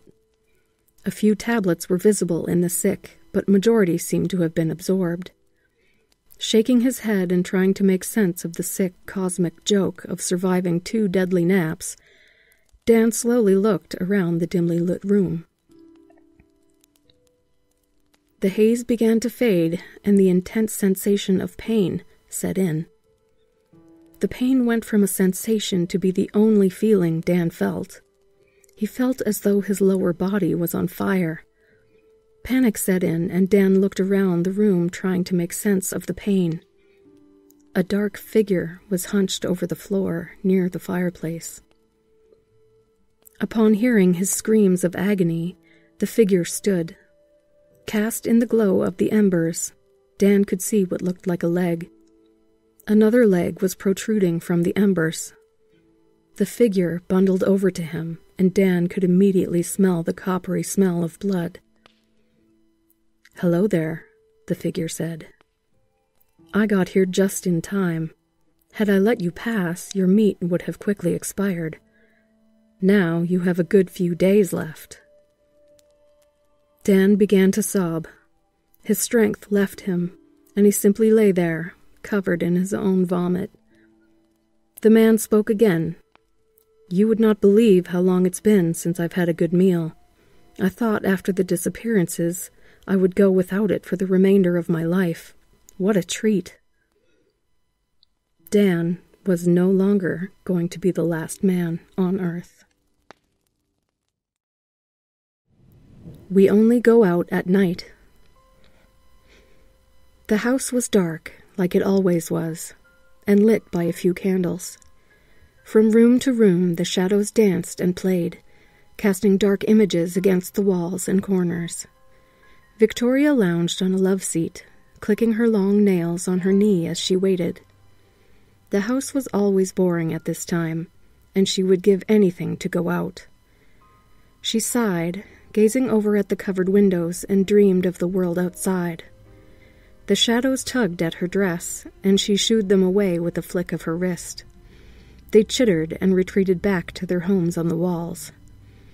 Victoria sighed again and twirled her fingers around the flame of a nearby candle. The heat danced between her fingers, and the smoke billowed in the palm of her hand. The others were so old school. The least they could do was get a TV so there was at least something to do while they waited. Victoria wasn't much of a sleeper, wasn't before, and wasn't now. So while the others slept, she sat and waited. It was mind numbingly boring, and she hated every second of it. She lived for when they could leave, and she dreamed of escaping this place, running far away and building her own home, and maybe making her own family, without all the stupid rules. What are you still doing up, child? Why are you not sleeping like the others? Madame Natalia said as she entered the room. She held a lit candelabra in one hand, her dress skirts in the other. Out of them all, Madame Natalia was the oldest. She wore a thick velvet Victorian dress that wrapped around her body tightly. It had a high neckline and seemed to be strangling the poor woman, but she never seemed distressed or uncomfortable. Natalia set the candelabra down on the table and sat on the love seat across from Victoria. I can't sleep. Is it time to go soon? Victoria asked eagerly, but not too eagerly. She didn't want to show weakness in front of the madam. Natalia looked across the room to the old grandfather clock, whose metal arms read 824. Yes, it is nearly time. But, child, you must start resting. You'll grow weak and fragile if you don't. To emphasize this, Natalia ran her long fingernails over her dress, smoothing out the wrinkles. Her nails were almost as long as her fingers and very sharp. They glinted in the candlelight and Victoria winced. She remembered when she first saw those nails, and exactly how sharp they really are. Absent mindedly, she ran her fingers over her left side, envisioning the scars underneath her dress. I have trouble sleeping. I always have, Victoria said, taking her eyes away from those dreadful nails. Natalia smiled kindly, but her eyes were dark. After all this time, and you still have trouble? Darling, what am I going to do with you? she cooed. Victoria winced again and looked down. Maybe if I let you out early, you can let out some of that energy, hmm? Natalia stood and started to head out of the room. Victoria jumped to her feet quickly and followed after, but not too close. Really? You mean it? I can go out? she said, wringing her hands in anticipation. Natalia nodded and placed her hand on the knob of the front door. She looked back at Victoria and smiled that sweet smile again. Just remember to be back before the sun rises. Happy hunting. With that, Natalia flew open the door. A cool autumn breeze greeted Victoria playfully, and the full moon cast a sickening glow. Victoria smiled widely, revealing a mouth full of sharp, jagged teeth. She took off quickly, not giving the older woman a chance to change her mind. As she ran, she unfurled her wings and started to lift into the air. The wind rushed past her, and no clouds dotted the sky. The moon hung wide and bright, guiding her way through the night. She giggled as she went faster, the hunger starting to grow in her stomach. It was Halloween, the perfect night for a feast, and Victoria, well, she had quite the appetite.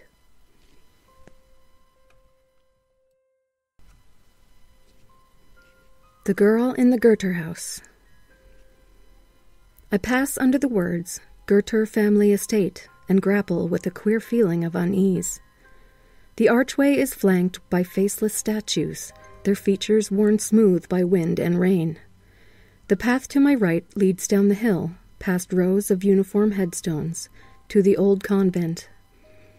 Ahead of me stands the Goether Manor House. The convent was closed decades ago, and the Goether House has been abandoned for over a century. The only building on the estate that is still occupied is half a mile away, the former Catholic girls' school, now converted to a nursing home for ailing and aging nuns. The breeze lifts the hair from the back of my neck.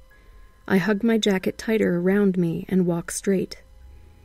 I cannot place the source of my discomfort. Graveyards hold no dread for me, and I have spent much time inside crumbling buildings. Perhaps it is the trees that grow alongside the path, brought from faraway places and replanted at the Goether family's command. Perhaps I can sense they do not belong. The Goether house looms larger as I approach. It is made of a yellow stucco that looks out of place in the gray light of the Pennsylvania autumn sun it looks tired, with peeling paint and sinking edges. But strangely, all the windows are intact. I lean down to inspect a monarch drinking from a thistle that pushed its way up through a crack in the stone walkway. It is late in the season to see one, and the unexpected beauty makes me smile. I hear my grandmother's voice. Butterflies are pretty, but moths are special. They carry souls to the moon. But what happens when a moth gets trapped inside? I had asked her. Then the soul is trapped too. Why do you think so many houses are haunted? The insect flutters upwards and drifts past a second story window. A pale face peers from it, watching me from a room I know is empty. I raise my hand to the girl in greeting when bony fingers wrap around my wrist and whip me around. An ancient nun drags my face closer to hers. A few solitary teeth jut from her gums like crumbling gravestones in a forgotten cemetery, and her breath is sharp and sour. It consumed the sisters who walked without feet, she spits, her eyes boring into mine as if she could burrow her thoughts into my head by the force of her stare. Her rheumy eyes filled with tears. Don't let me die here, she weeps, as two women appear by her side to pry her clenched fingers from my arm. Not here. Not here.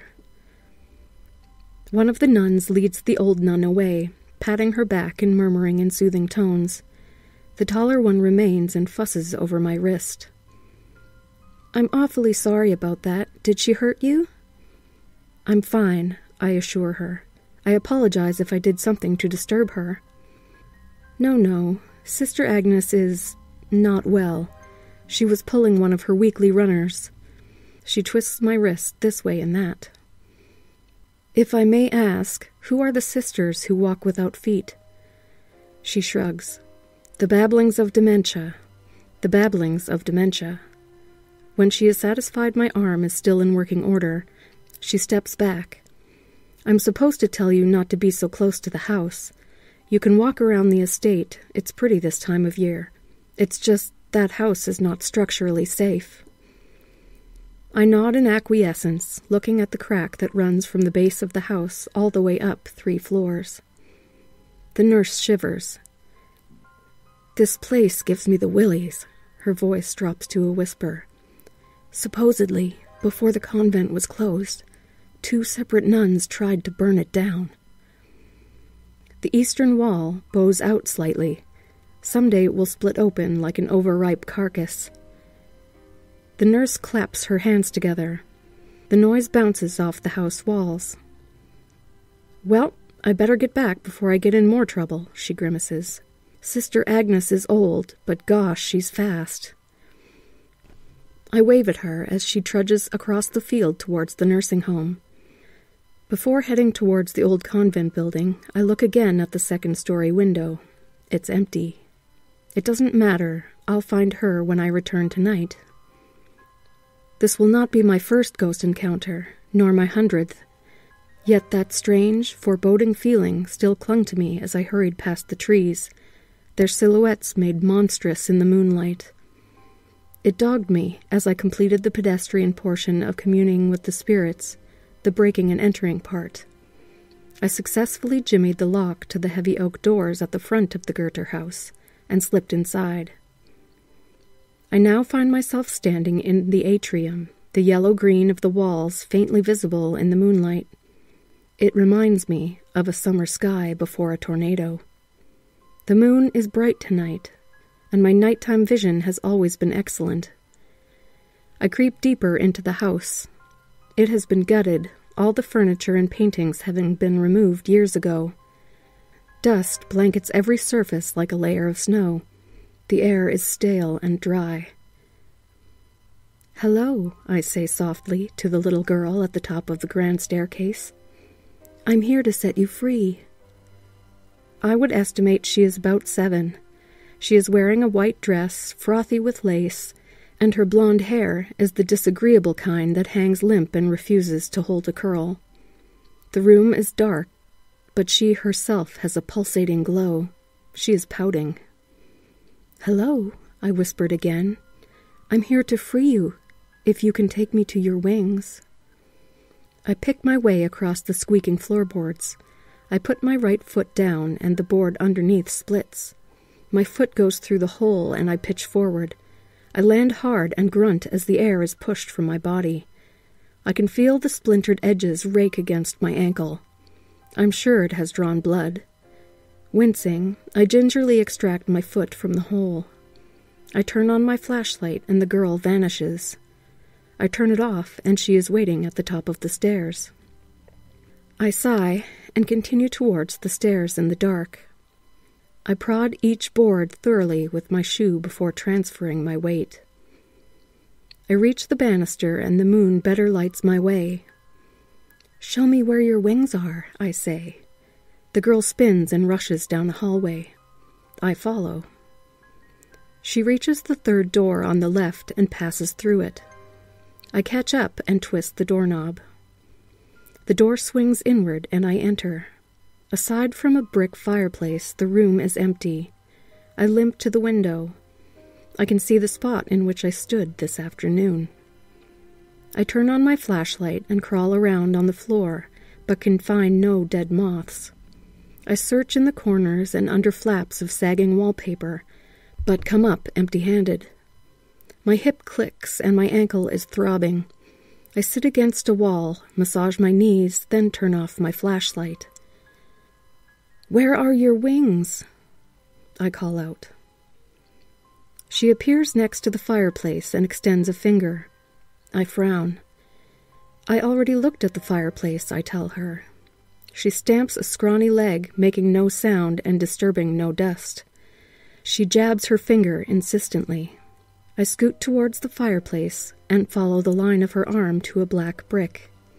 Her otherworldly shine makes it easy for me to see that the brick is not mortared in place, but rather juts out.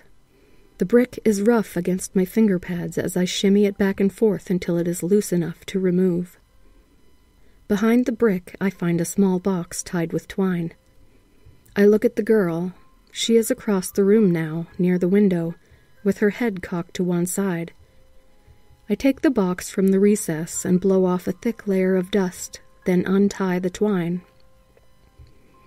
I unlatch the box and lift the lid. Inside is a dead black moth. I can't imagine how it got here. Not caught, I think, entombed. I think of that yellow green sky. I lift the box towards the girl. These are your wings? She nods, her eyes big and mournful. I can easily imagine her sitting dejectedly in front of a mirror as her mother pulls at her wilted hair, trying to make it presentable. I wonder who she was and what happened to her. She is just a child, trapped alone in this comfortless house for a century. I have helped countless other like her.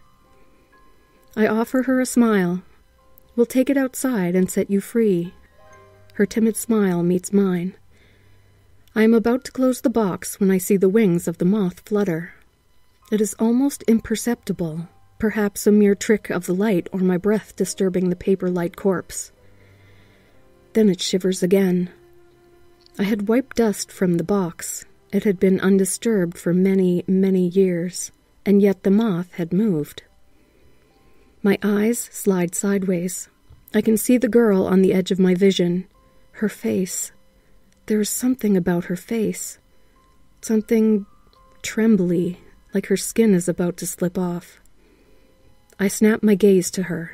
She looks normal, as normal as a ghost can look, still. These are your wings? My tone is soothing, loving. She nods emphatically and runs into the hallway, beckoning me to follow. I hesitate, then shine my flashlight on the box. The moth is grotesque and disfigured. It has eight legs when it should have six. Its wings are hard and shiny, its body too long. Is it even a moth? It consumed the sisters who walked without feet the sisters who walked without feet.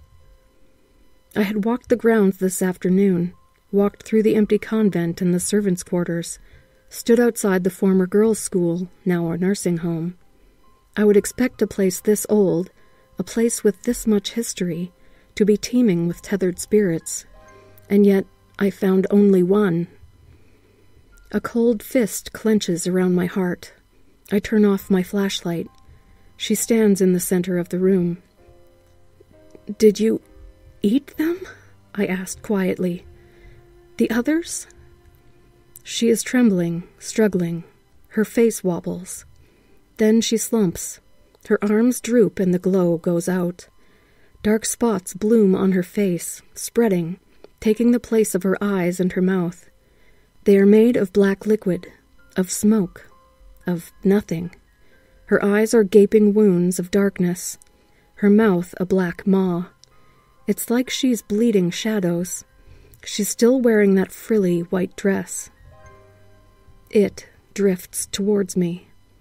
My heart batters against my ribs. It's a ghost. It floated through a door. It couldn't move the brick. It can't touch me. It tugs on my hand. I feel its fingers. Flesh. It can touch. My leg feels warm. I realize I have wet myself.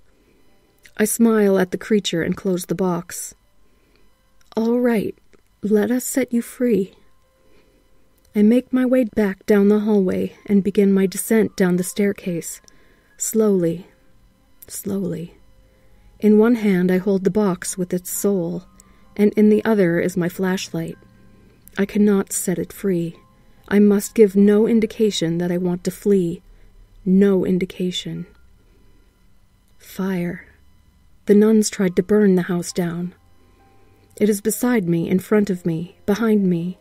It appears and vanishes, circling me, assessing me. Tears leak from my eyes. I cannot tell if my heart is racing or if it has stopped altogether. Maybe, maybe I can set the house on fire I can get outside, get outside without the moth. I can hear it fluttering inside the box. It wants to get out. I smile tenderly into the darkness. I know it is watching me, though it has no eyes. Let's set you free.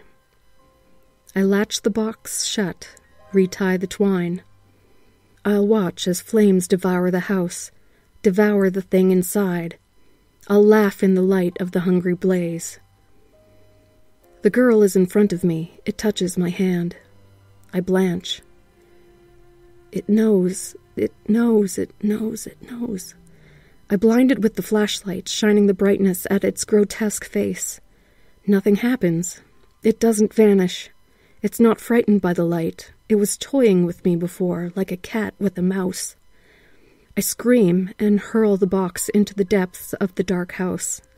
I race towards the gap in the doors, towards the tendrils of moonlight peeking through, towards safety, and my foot hits the edge of the hole in the floor.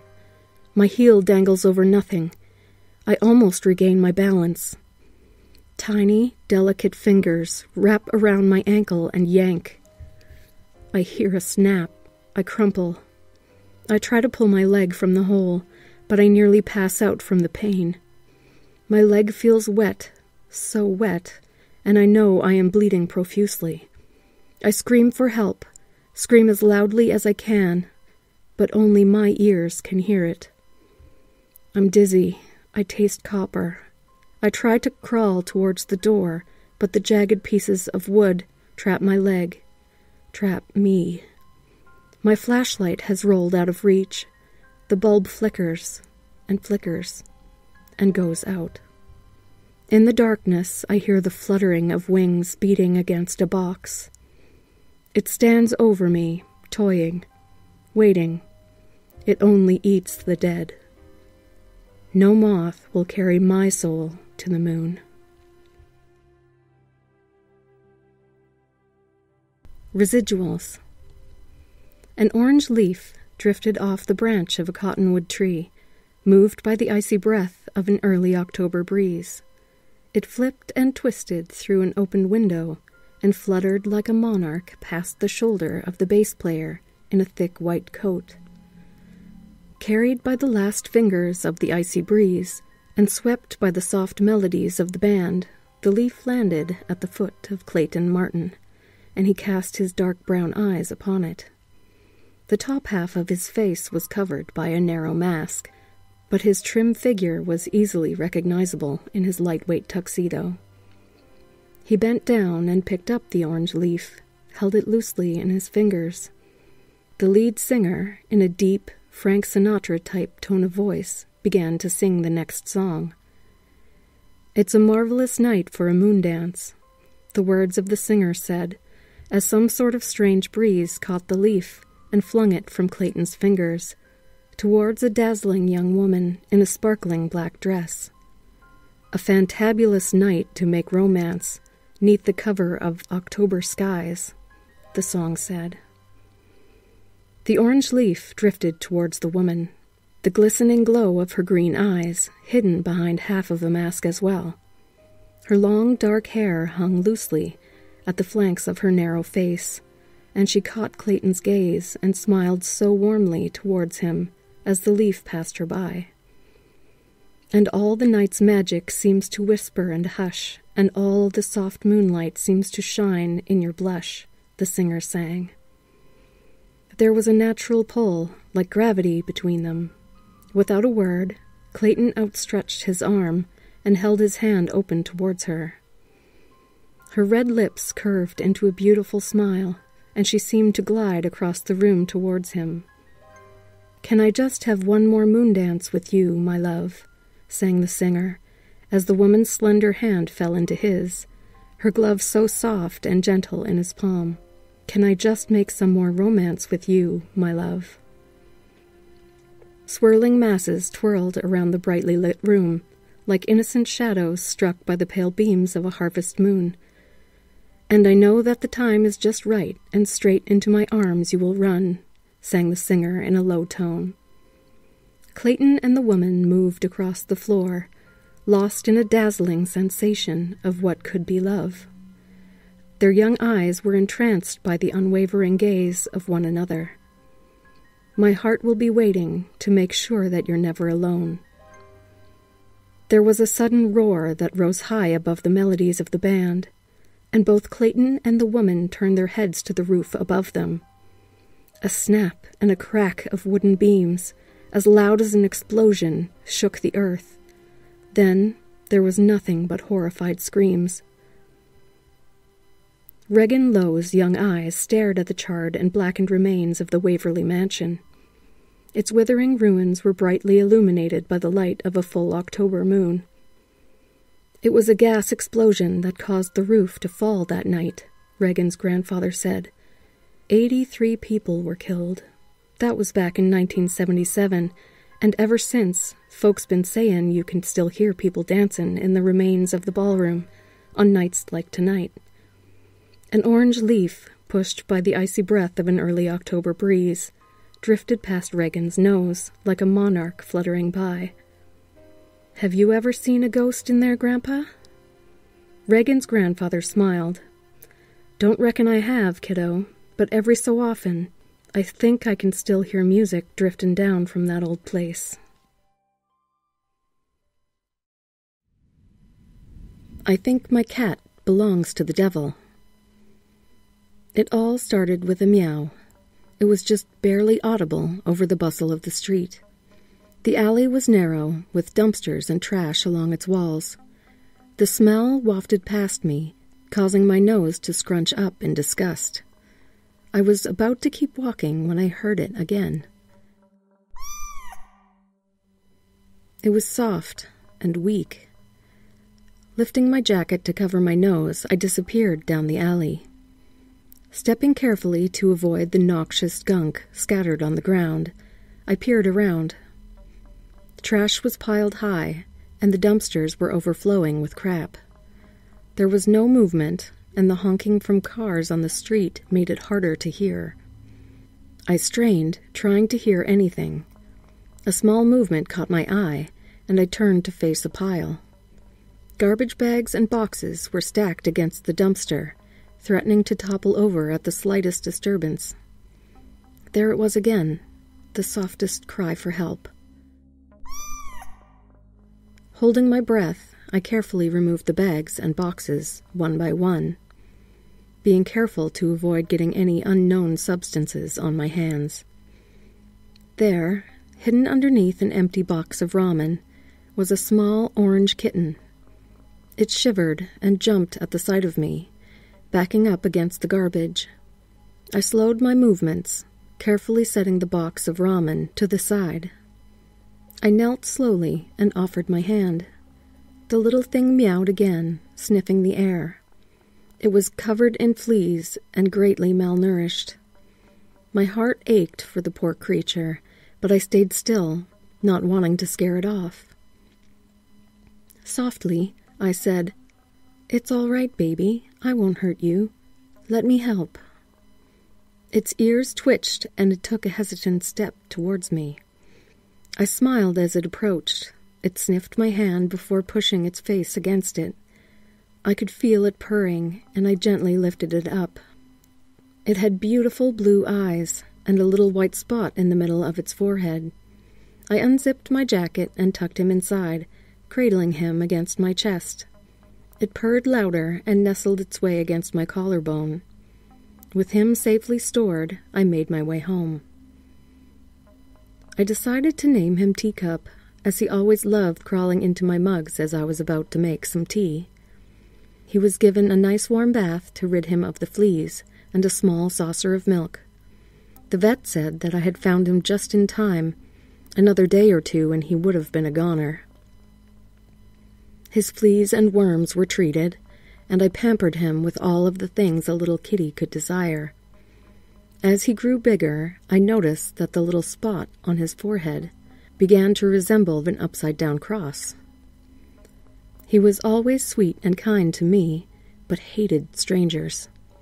Anyone, and I mean anyone, who went near him was met by hissing and bristling of fur. Other than that, he was a perfectly behaved cat. Then, well, something very, very strange happened. It was last week. I had just gotten home from work and was greeted by Teacup at the front door. He meowed happily and extended his head out for pats. Just as I was about to pet him, a shove hit me hard from behind. I was sent sprawling into my apartment, knocking over a potted plant on my descent. When my head made contact with the floor, everything went black. I awoke with a start, feeling a stinging pain across my cheek. I groaned and tried to rub the sore spot. My hands and feet were bound, and it was then that I remembered. My eyes shot open, and I looked panickedly around the room. I had been tied to the bed and was now only wearing my bra and underwear. I whimpered and pulled at my restraints. Easy there, missy. There's no way out of those, a voice said from the foot of my bed. I strained my eyes and could make out the silhouette of a man. He was dressed in all dark clothing and had some sort of mask on his face. But I could see the bright, piercing green eyes glaring down at me. They were full of hunger and anticipation. Please, please don't hurt me, I choked out, feeling tears starting to well up in my eyes. He laughed at this and ran a finger around my left ankle. Oh, doll, that will come later. He started to crawl over the bed, over me. I screamed and cried, pulling harder as I tried to get away. I felt his rough, wet tongue run across my stomach, and I screamed. Suddenly, the man was thrown off of me and against the bedroom wall. He landed in a pile and groaned. I stared wide eyed, barely able to keep my breathing calm. A hand gently touched my shoulder, and I let out a squeal of fright. Standing to the side of my bed was another man. This one was finely dressed in a white suit with a red undershirt. His hair was black and slick. His eyes were a sparkling gray, and stubble grew across his chiseled chin.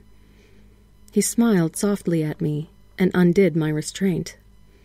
Quickly, I pulled and started undoing my bonds, eyes bouncing back and forth between the two strangers in my bedroom.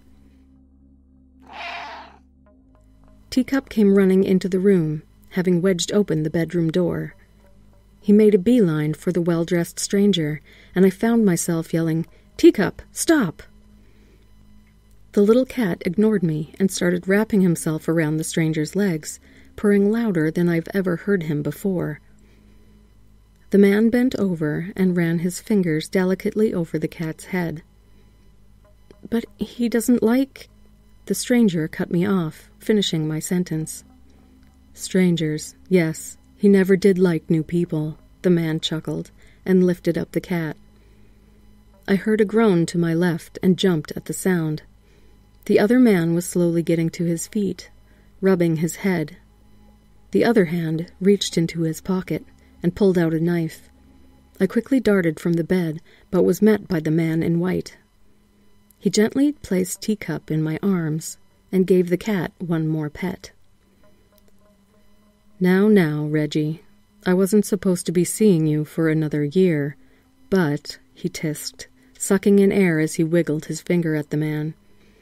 This fine lady is taking care of my little fluffykins, and I can't have you killing her. With inhuman speed, the man in white was across the room and lifting the attacker by the neck. He silenced a yelp as he squeezed harder. The knife clattered to the floor. I stood, wide eyed, watching the scene. Without realizing it, I was stroking underneath Teacup's neck, who purred in agreement. My savior lifted up the man and gazed up at him. The attacker squirmed and beat at his arms, his face turning red and purple. The man who saved me looked back over his shoulder at me and gave me a dazzling smile. I'll be seeing you here again soon, and please, I would be very grateful if you removed that cross from your wall before then, or at the very least, turn it upside down. With that, they vanished. A burst of hot air blew past me, and I stumbled a bit. The room was now silent and empty. My knees buckled, and I fell against the wall. Teacup looked up at me with his big blue eyes, and for a second, just one second, they seemed to glow red. A demon in disguise. Bill and Nancy had a painful history of trying for a baby. The devastation from the miscarriages was taking its toll, and after the fifth, Hope had all but died. A chance encounter at her job as a cleaner at the local hospital created a chance for the couple to foster a young girl named Cindy. The young girl came with a question mark. No one knew anything about her apart from her name. She turned up at the hospital alone, with burns on her hands and not saying a word. Bill was at home, waiting for Nancy to bring the mysterious girl home from the hospital. The struggling writer spent his days at home, trying to write the next great novel. Bill was still dreaming of success, a promise he had made to Nancy the night they fell in love. An awkward silence filled the car on the drive back from the hospital. The frightened girl seemed lost in her trauma. Her eyes darted back and forth as her fragile mind tried to make sense of her new surroundings. Nancy's eyes scanned every detail of the young girl's face as she watched from her rearview mirror. I hope you like your room, sweetie. Nancy waited for a response, but Cindy just stayed focused on her bandaged hands. Bill stood at the door as the car pulled into the driveway. The couple's dog, Prince, stood wagging its tail. Nancy couldn't wait to introduce the girl to her husband. You'll like Bill. He's just a big kid at heart. She jumped from the car and embraced her husband. How is she? Did you have a nice talk on the way here? asked Bill. She hasn't said much. She seems so fragile and lost, and I hate to think what could have happened to her. Cindy nervously climbed from the back seat of the car as the dog ran over to her. Prince yelped with excitement and began sniffing the girl. His excitement turned to nervous apprehension as his tail retreated between his legs. Bill and Nancy glanced at each other as the dog began growling and backing away from Cindy. That's strange, whispered Bill. The couple's modest three bedroom house was desperate to be filled with the sound of children. The quiet nights spent watching telly alone when Bill was out or in his study only intensified Nancy's loneliness. Nancy tried showing Cindy around the house but couldn't escape the feeling of disappointment towards her demeanor. It wasn't the fairy tale she had imagined for all those years, but she was determined to make it work. The aroma of garlic filled the house as Bill cooked his famous bolognese sauce. Cindy kept close to Nancy and would shadow her whenever Bill was in the room. Even though the frightened girl didn't talk, Nancy still felt a strange bond between them. Bill was busy setting the table when Nancy got a text on her phone. I need to head back to the hospital. Do you mind watching her? A look of contempt shot across Bill's face. Do I have to? I mean, is it a good idea to be leaving her alone with me? Don't be silly. It will give you two a chance to get to know each other. As Nancy grabbed her keys to leave, Cindy suddenly became terrified at the thought of being alone with Bill. She wrapped her arms around her waist, gripping it like a vice. A warm tingle crept up Nancy's back. She never felt needed like this before, not even by her husband. The tighter the girl squeezed, the harder she fell. She knelt and parted Cindy's long blonde hair from her face. I promise I'll be right back. You are perfectly safe with Bill, and he makes a mean spaghetti, she said with a motherly glint in her eye. Don't forget about my garlic bread, laughed Bill. Cindy sat with her gaze fixated on the table and her face buried behind a mound of blonde hair. The awkward silence was palpable. Bill tried his best to break the ice, but Cindy didn't even look up from the empty plate. The warm smell of food permeated through the air as he set the table. We have one rule here in this house you help yourself. Bill waited for a response, but Cindy didn't even flinch. You're a strange one, aren't you? Do you ever talk, or is this some edgy preteen stuff? Bill's gaze fixated on the girl as he continued to shovel food into his mouth. Do you want to know a secret? I never wanted kids. To be honest, I don't even like kids. Cindy just sat there as if the words went over her head. Bill finished the last of his dinner and put his plate in the sink. When you're ready to eat, you know what to do. I'm going to my study to get some work done. Do you understand what I'm saying? He said with a condescending tone. The tranquility of Bill's study was a source of pride for him. The thought of kids coming in and ruining his Zen palace was something that scared the life out of him. He went along with his wife's fantasy of having the American family for the sake of his own peace. He sat at his desk with the glow of the laptop screen lighting up the room. He typed monotonously, with the click clacking sound of his keyboard suddenly interrupted by the distressed yelping sound made by the dog. Bill bolted from his study and ran to the kitchen. Bill was struck with a sense of terror when he entered the kitchen to find blood smeared all over the floor. He frantically began searching the house for any signs of the dog. Cindy stood in the living room, silently staring at a picture of the happy couple. What did you do to my dog?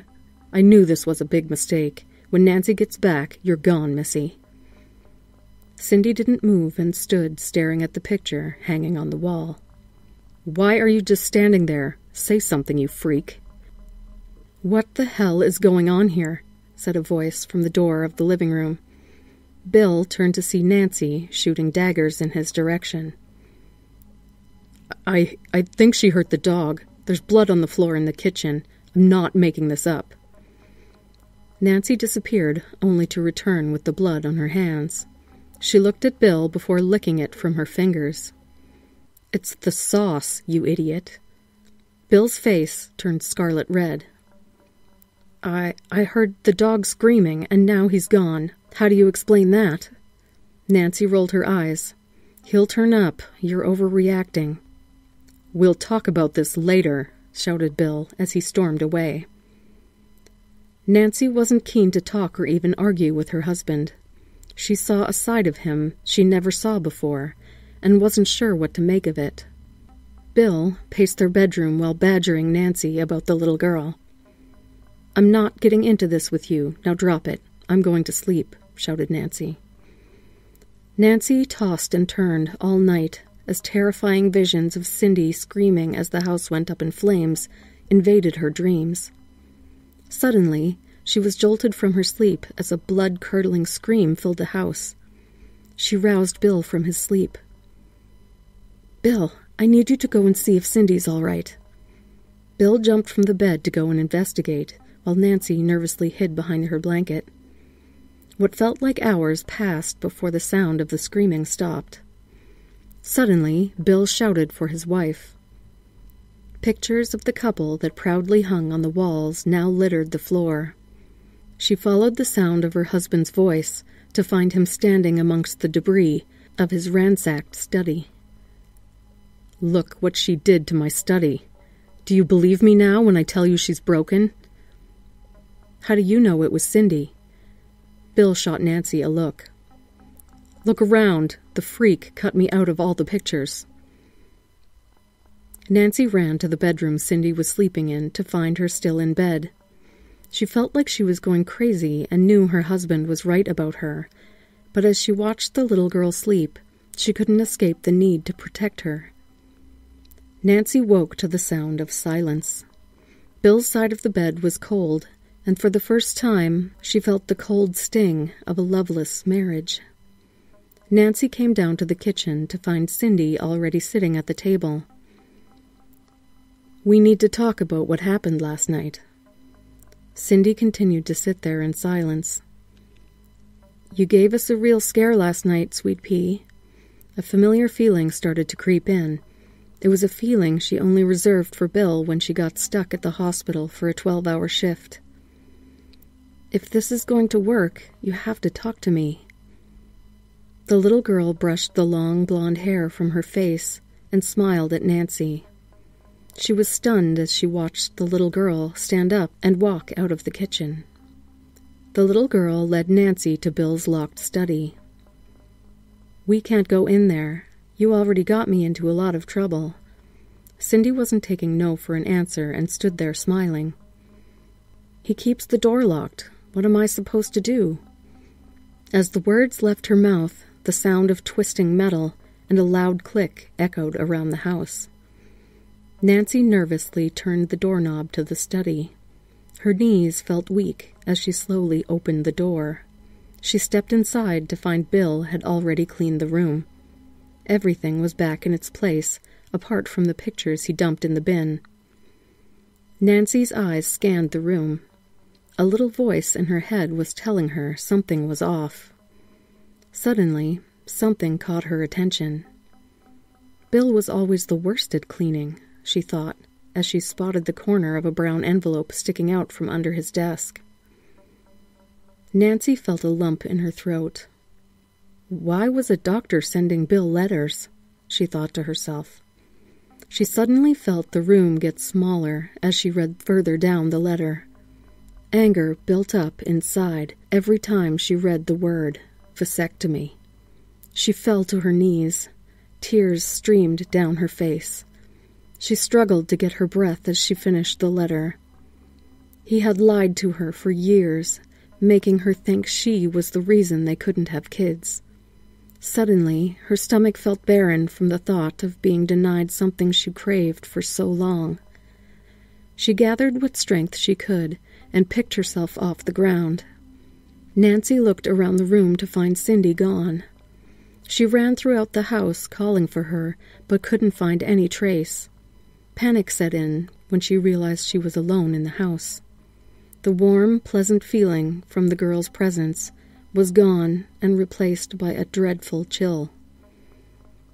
Nancy searched everywhere, and as the sun began to set, she started to fear the worst. Nancy heard the front door open, and for a moment she thought it was Cindy. Bill arrived back with flowers and chocolate, hoping to make it up with his wife. Are you all right? Where's the freak gone? Nancy couldn't hide her hatred for her husband. Don't you dare talk about her like that. A look of confusion shot across Bill's face. I'm not the one who trashed our house. Our house. This is my house. I pay for everything. You're nothing but a bad memory in this house. What the hell is that supposed to mean? Nancy took a deep breath as she pulled the brown envelope from her back pocket. Bill's face went blood red when he saw the letter. How is that even possible? I burnt that in a fire months ago. A feeling of betrayal washed over her, and tears began flowing down her cheeks. I want you gone this second. There's nothing here for you. Get your shit and get out. Bill laughed into his wife's face. I ain't going nowhere. If you think I'm going to let you ruin what I built up here, you got another thing coming. Bill's face twisted with rage. Spit spewed from his mouth as he raved and ranted at his wife. Nancy had never seen this side of him and was shockingly surprised at how fast his demeanor changed. He paced the room with his brain in overdrive as he planned his next move. You need to calm down. If you leave now, we can talk about this tomorrow. Bill looked at Nancy with a blank, soulless stare. I did love you, which will make what I do next all the bit harder. He grabbed Nancy by the hair and pulled her to the ground. He began to rain blows down on Nancy's head. She tried to fight back, but he was too strong for her. She screamed out for help as he dragged her around the living room. As Nancy struggled for her life, Cindy suddenly appeared in the doorway to the living room. I thought that freak left, Bill's attention focused on the little girl. Nancy saw a chance of escape and made a run for the kitchen. Nancy grabbed a kitchen knife that someone had conveniently left on the kitchen table. She tried to make a run for the front door, but found Bill blocking her way. She charged at him with the knife raised before plunging it into his shoulder, knocking him to the ground. Come up here, Nancy. You'll be safe with us. Nancy followed the sweet sound of the little girl's voice. Bill picked himself up from the ground and armed himself with the knife he pulled from his shoulder. He ran up the stairs after his wife, blinded with rage. Nancy ran towards Cindy, who had her arms outstretched, waiting to embrace her. Bill made it to the top of the stairs, his eyes filled with murderous intent. As he made a go for Nancy, their dog Prince came bounding out of one of the bedrooms. He made a jump for Bill's throat and knocked him back down the stairs. Bill laid at the end of the stairs, dead, while Nancy embraced Cindy. A sense of peace washed over Nancy as she squeezed her tight, but by the time she opened her eyes, the little girl was gone. Months went by, and Nancy was starting to rebuild her life. Nobody believed her about the little girl, but Nancy could still smell her. She exhausted all avenues in her search. She was about to give up hope of finding her until she received a phone call from one of the officers looking into her case. Nancy was surprised by the officer's friendly tone. Hi, Nancy. I have to inform you that we couldn't locate the girl by that name.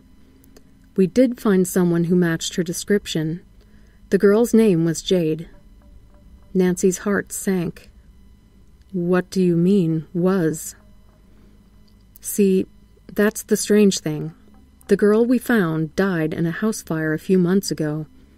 The investigators looking into it declared it a tragic accident, but there's one detail they couldn't get their heads around. When they found the girl's body, the only part of her that got burned was her hands. It would have made sense, only she was clutching a brown envelope that was in perfect condition. The Crushed Woman The falling of leaves, the crisp chill in the air, sweet apples, and carving pumpkins. Fall is by far the best season. Sweaters are out and hot chocolate is brewed. There is nothing I don't like about autumn, other than the crushed woman. There is a legend in my town. Started in the 70s or 80s, not really sure when. It all starts with a woman. She doesn't have a name, and I'm not sure she was ever given one. She's always gone by the crushed woman. She was in her twenties and was rumored to once be very beautiful. Her hair was like autumn leaves, changing from orange to brown to red in certain lighting. Her eyes were a honey brown and always held a sparkle. Her nose was perky and her lips were curved and delicate. She was stunning. Then she met a man, a stranger someone who had never been seen around town before. His appearance changes from story to story, but there is always one thing that stays the same his smile. His teeth were said to be such a glistening white that they would shine in the sun. And just that alone is enough to understand why the woman fell for him the way she did.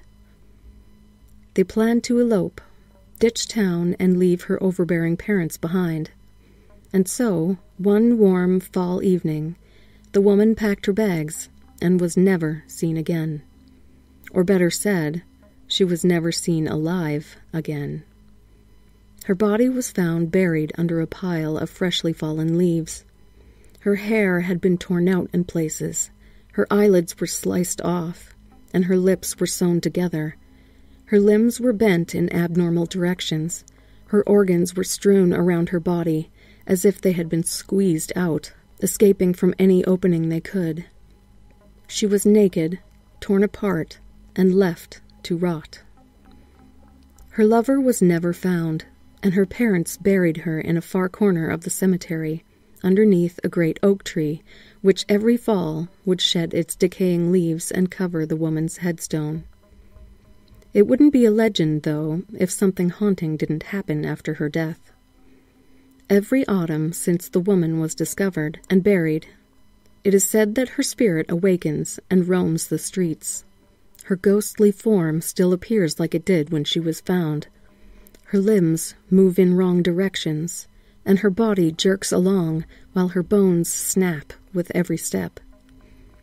Her hair is matted, with ripped leaves tangling throughout. Her lips are swollen and red, and they struggle against the wire that holds them shut. Her eyes, wide, bloody, and full of hate. She appears on chilly nights when the fallen leaves litter the ground underfoot. If you walk alone on nights like this, you can hear the clear crackling sound of the leaves crunching under your feet. But if you listen closely, you can hear the sounds of another set of feet. These steps hesitate and stomp upon the dead plant matter, crunching the leaves with every step. They jerk and get closer as you walk. No matter how fast you go, she will always catch up. And if she catches you, well, let's just say your corpse won't be a pretty sight. The only way to keep her from getting you is to stop and let her pass. She'll creep up slowly, and it'll feel like she is right behind you. She is. She'll stay behind you for what will feel like hours. Finally, she'll move around you and slowly make her way up the street. You cannot move until she is out of sight. If she hears you, she'll come back, and it's much harder to fool her twice. She follows the sound of crushed leaves, searching for the man who did this to her. If you stop, the only steps will now be hers. Silence is key, and you must wait for her to leave. She is forever walking, forever following, following the last sound she ever heard as she was left on that forest floor. She is broken, she is tattered, she is cursed. She is crushed just like the autumn leaves.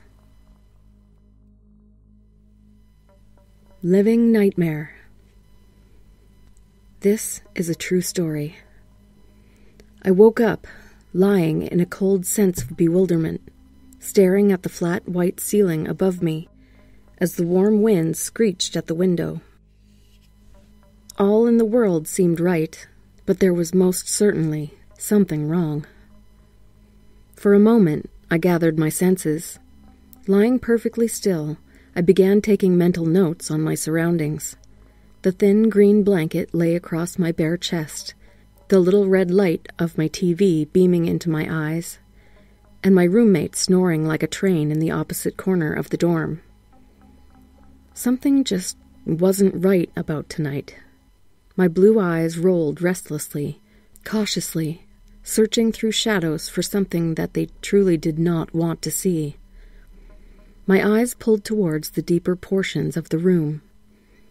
All the inner voices of my body begged and screamed for them to stop, but they did not. The deeper portions of the dorm room were always thickly shrouded in the blackest of shadows. My roommate never closed the bathroom door unless he was in there using it, a habit that was greatly annoying because of the constant dripping of our showerhead and a strange fear of seeing a shadow peek out at me. As I stared at the bathroom opening, it dawned on me that shadow people were always like that weird character on the early Mortal Kombat games. I've yet to see one, though, where the apparitions called out, Toasty! when they looked towards the camera. The thought made me laugh, a subtle calm before all my nerves would explode in absolute terror. My wandering eyes continued on their meandering search of the darkest portions of our dorm room. The heavy doorway sat about an inch or two above the floor. The main hallway sat right on the opposite side. There was always the pale white glow of the lights slipping its fingers into our room through the narrow slit beneath the door. And that's exactly where it stood. I didn't recognize the form of a person right away. Matter of fact, it took me a second to really realize that anything was there at all. The white glow of the hall lights shined through the crack between the bottom of the door and the floor, but two dark legs blocked out the center portion of the light. Somehow I knew that it too knew that I had seen it. I couldn't identify the shape of the body, but my voice crashed unwaveringly into the bottom of my throat. I couldn't utter a sound. In a flash, the dark mass dashed straight to the side of my bed. I hollered out for help, but my cries were only resounding in my own head. My roommate slept peacefully, about twenty feet from me, but I felt the heavy weight of a person climb on top of me. To this day, my lower throat still heaves in fear at remembering that night. I couldn't move. I couldn't breathe. The distinct feeling of two thumbs pressing down into my skin, but no one there at all still sends shudders through my body. This was it. Death had come. I fought it, but even though I'm as built as a gold miner, There was no escaping the paranormal murderer. Giving up and feeling my strength fading, I settled my nerves and did the only thing I could think of doing. I prayed. Our Father, who art in heaven, was all the words that needed to be said. In a moment that was as brief as a lightning strike, everything went away. Such calm, such peace that I immediately fell back to sleep. In the morning, I woke up and looked around. There was nothing amiss, nothing that even indicated that I had almost been killed by a ghost, or something, just five hours before. I asked my roommate if he had heard anything, but he said that he had been so knocked out that a cannon shot wouldn't even have awakened him. I was so distraught by what had happened that I even called a recently ex girlfriend just so that I could have someone to tell the story to. For years, I kept what happened to me that night stored away. I never understood it, and I can't rightly say that I believe my convictions of it today. Through faith, we are taught that there is good and evil. Through science, we are told there is only fear and the imagination. Sleep paralysis is what everyone says. It's more of a living nightmare to me. So, sleep sweet, my friends. I hope it doesn't happen to you. I drink to make the monster go away a day, an anniversary, for which its significance I have completely let slip from my memory, stalks me every year. I can feel it creeping up my body as my fingers tremble, and a relentless itch burns behind my eyes. I request time off from work when my hands start to shake so much that I can't even sign my own name. If I can't get those days off, I quit. I need time to prepare, I need time to recover. It's a day that I can't fight. I can only run as far as I can, for as long as I can. It's a day that, well, it's the day that I get completely hammered. I have to drink. I have to run. Drinking is the only thing that slows down the figure that follows me that entire day, that entire anniversary.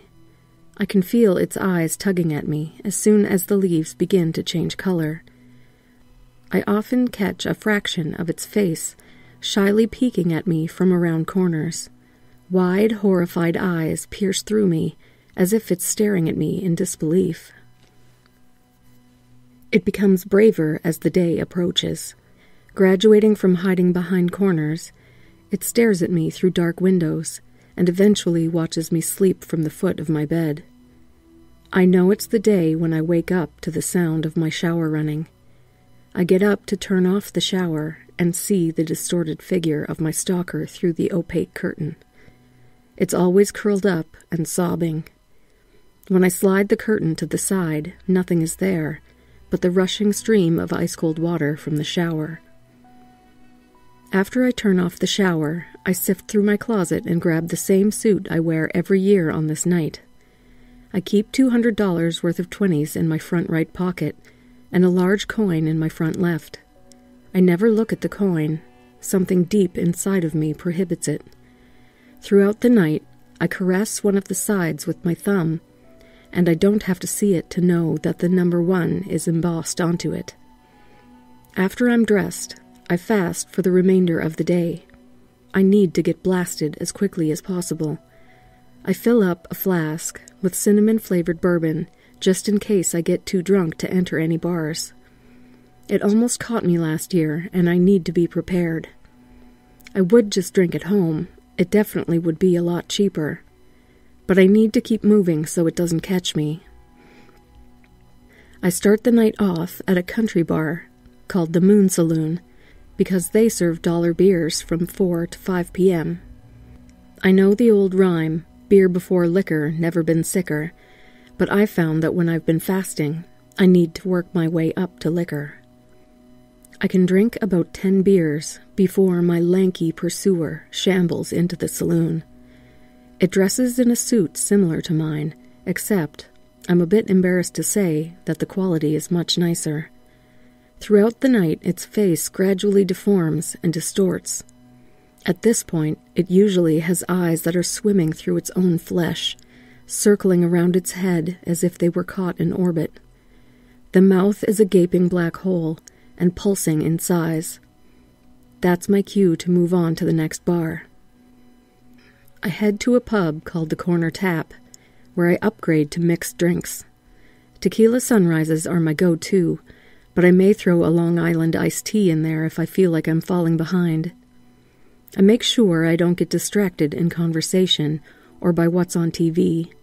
Instead, my eyes bounce between the entrance and the large window looking out to the patio. I can drink about five mixed drinks before I see it outside, skulking towards the front doors. This night in particular, however, I only made it to two.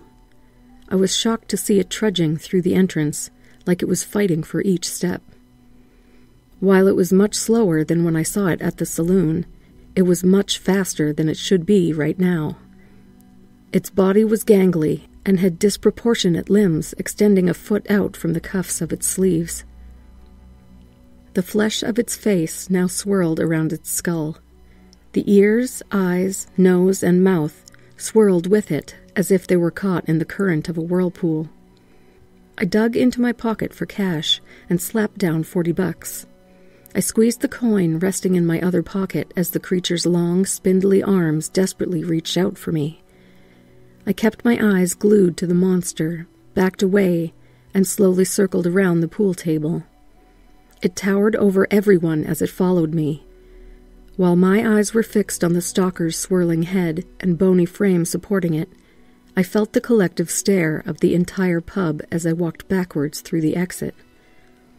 Once outside, I jogged to the next bar on my list, the Admiral's Choice. I wear running shoes with my suit now. I learned last year that dress shoes are a liability if I need to run from that thing. Once I stopped jogging and got into line for the bar, my head began to spin. The booze was beginning to take hold of me. I felt like I needed to throw up, but I wouldn't let my body reject the alcohol. As soon as I felt the burn of stomach acid in my throat, I forced myself to swallow it back down. Once I approached the bouncer, I tried to act as sober as possible. He almost let me in, but my body retaliated, and I threw up at his feet. Out of sheer embarrassment, I covered my mouth and ran away from the now furious bouncer. I had to change my plans. I didn't feel like I was too drunk, but the jogging definitely upset my stomach. The next bar on my list was a dive simply named Good Times. I usually save this bar for last, since they don't have a bouncer and never give me a hard time for being nearly blackout when I come in. The bartender knows me, and when I ask for a whiskey double, she usually pours me four fingers. By the time I was on my fifth whiskey double, all of my attention was directed at the bar's front entrance. I tightly held the coin in my pocket anxious for when the creature strolls in. As time passed, and as my paranoia ballooned, I decided it was time to get back on the move. I pulled $80 out of my pocket and left it on the bar. However, once I stood up, I could feel the floor shift beneath my feet as if I was walking on a waterbed. Fuck. I fell. The world was swirling around me, I was fighting against gravity itself when I felt a hand clutch my arm. A hot flash of terror shot through me.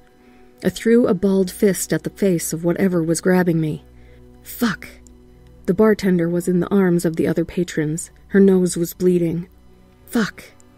I took off running before I was fully standing up, but somehow I managed to reclaim my balance and dash out of the bar. I could hear angry cries of fuck you and you're fucking dead echo behind me as I sprinted down the street.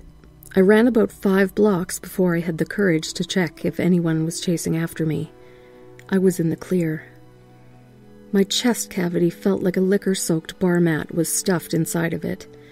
I could feel myself wanting to vomit again, but I closed my eyes, leaned against a brick building, and fought the urge. Cold, needle like rain began to lightly shower over me. I launched myself from the brick building with my forearms and stumbled backwards. A parked car caught me before I landed in the street and immediately erupted in an explosion of flashing lights and a steady honking alarm.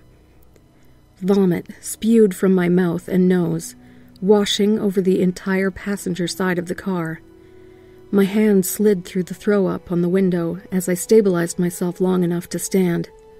The flashing headlights intermittently washed over a tall, wiry figure slowly walking towards me, as if it were underwater.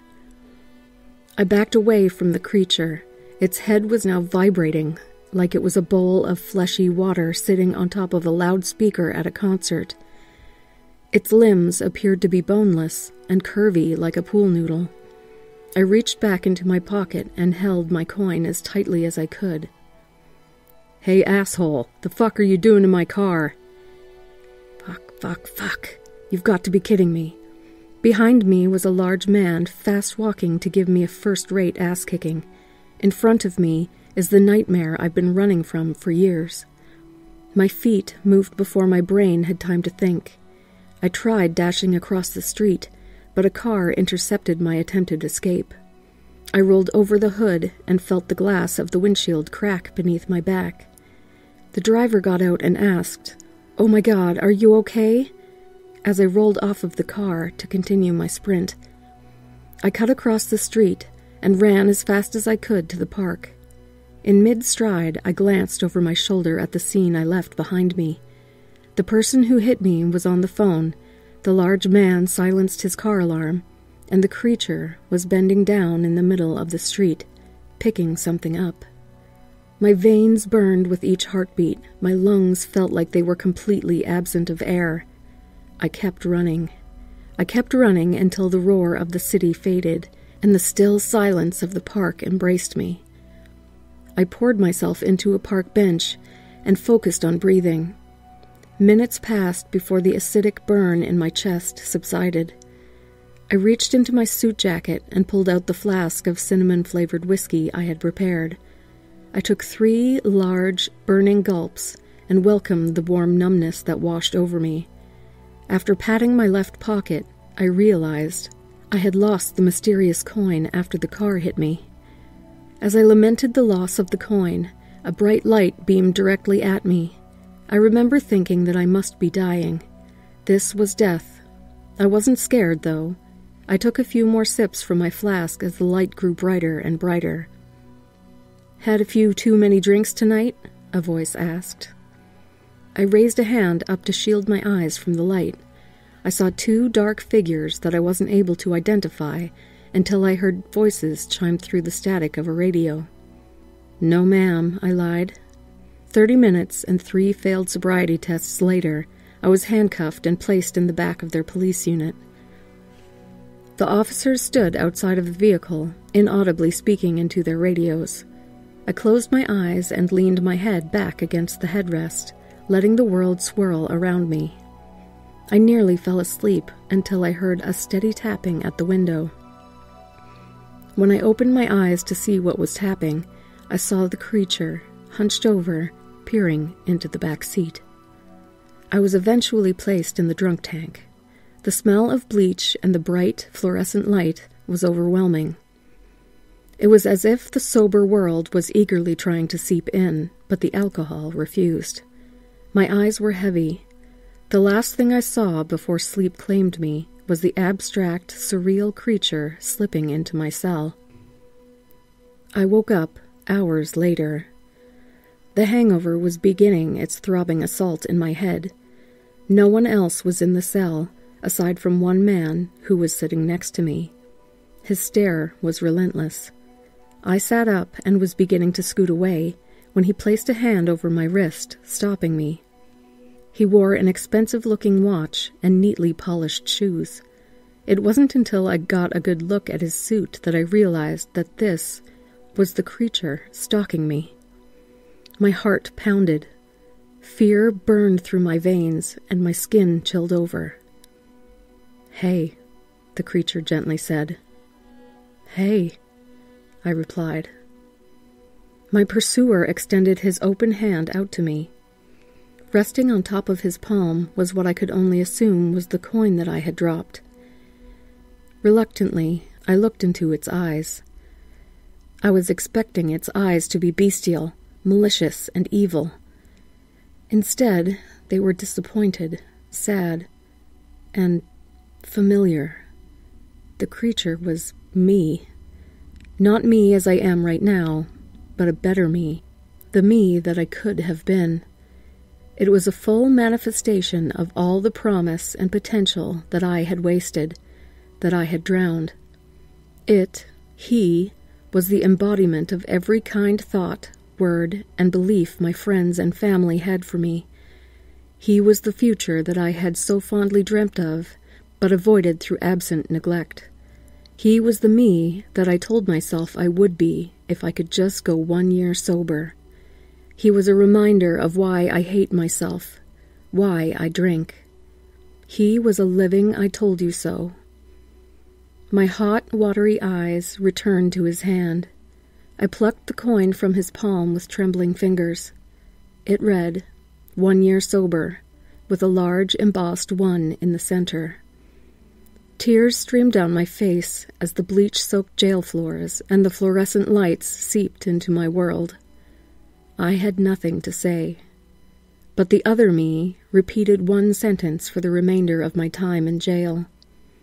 I don't forgive you. I don't forgive you. I don't forgive you.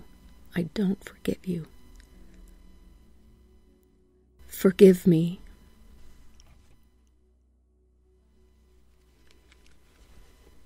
The cycle. What we do in life echoes in eternity. Maximus. I didn't expect that at all. The movies completely failed to even remotely depict what happens. I didn't feel at peace or like I was drifting between realms. There was definitely no bright white light or out of body experience. There was just the feeling of fear. Raw and intense fear. It was happening. There was no going back, and it was cold. I was alone, scared and cold. There were no angels leading the way, just darkness. Warmth finally washed over me when I lost control of my bodily functions and pissed myself, but I suppose that doesn't count. The coffee shop looked familiar, but it didn't at the same time. I felt I'd been here before, but couldn't remember coming. The old American style booths, with the red leather seats. The black and white checkered linoleum floor shone bright with wax. There was no one else in the shop. I was alone, but it felt crowded. It was warm, but there was also a lack of heat.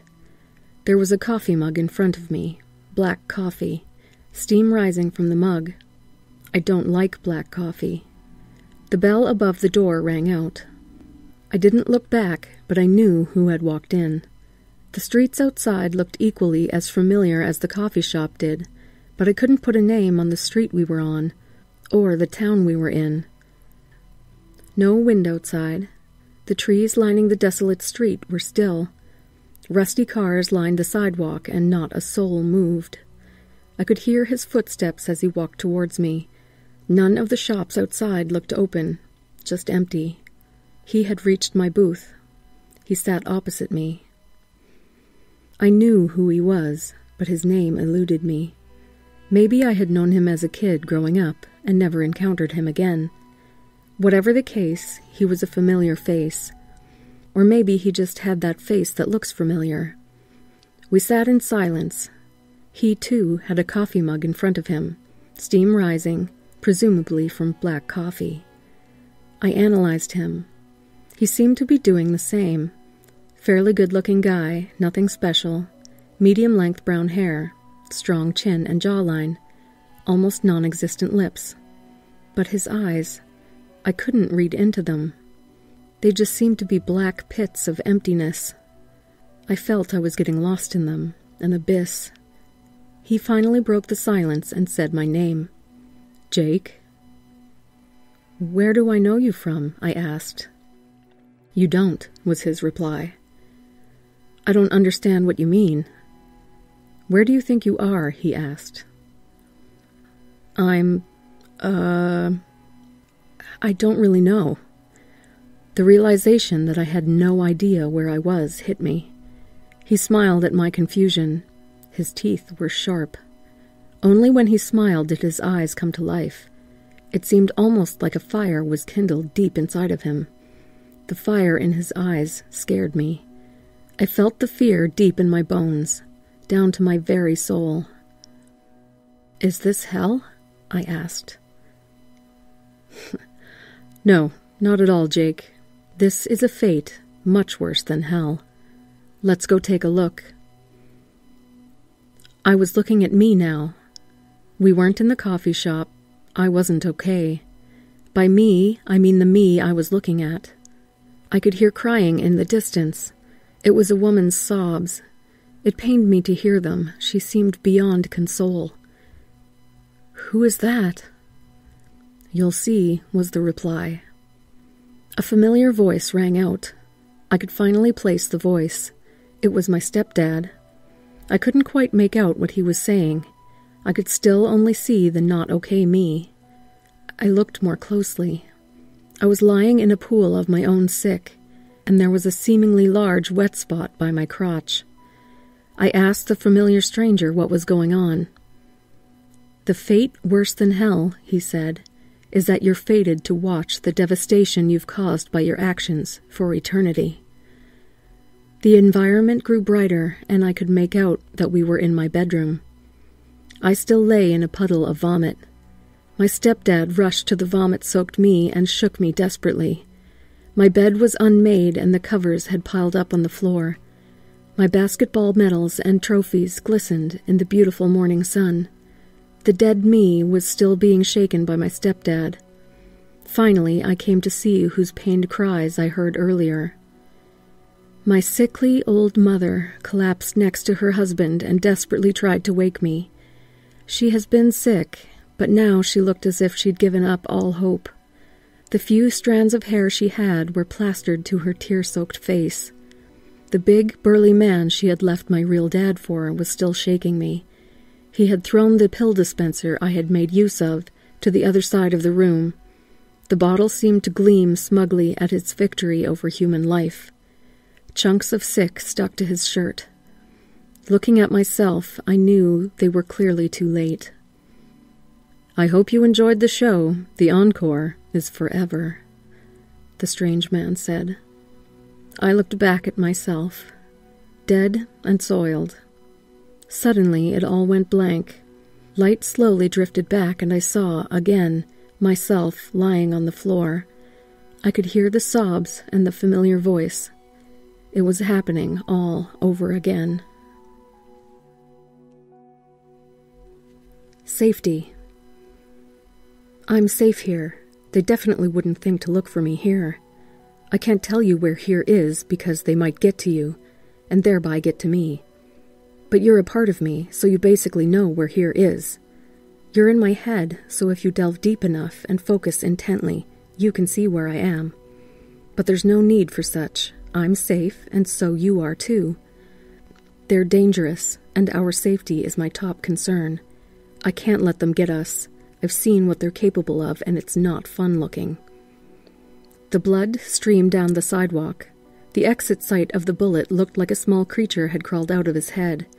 It was a gaping hole with bits of brain and hair hanging by threads. Instant lights out. His brown hair matted to what was left of his skull by the scarlet mess. His scrawny arms lay motionless at his side, covered in dirt accumulated on the walkway blood seeping into his t shirt. A stain like that definitely won't come out. A small crowd had gathered and looked on, in a mixture of awe and disgust. It was such a grotesque horror, committed on such a beautiful day. Rather warm for autumn, but nonetheless still an overall great day.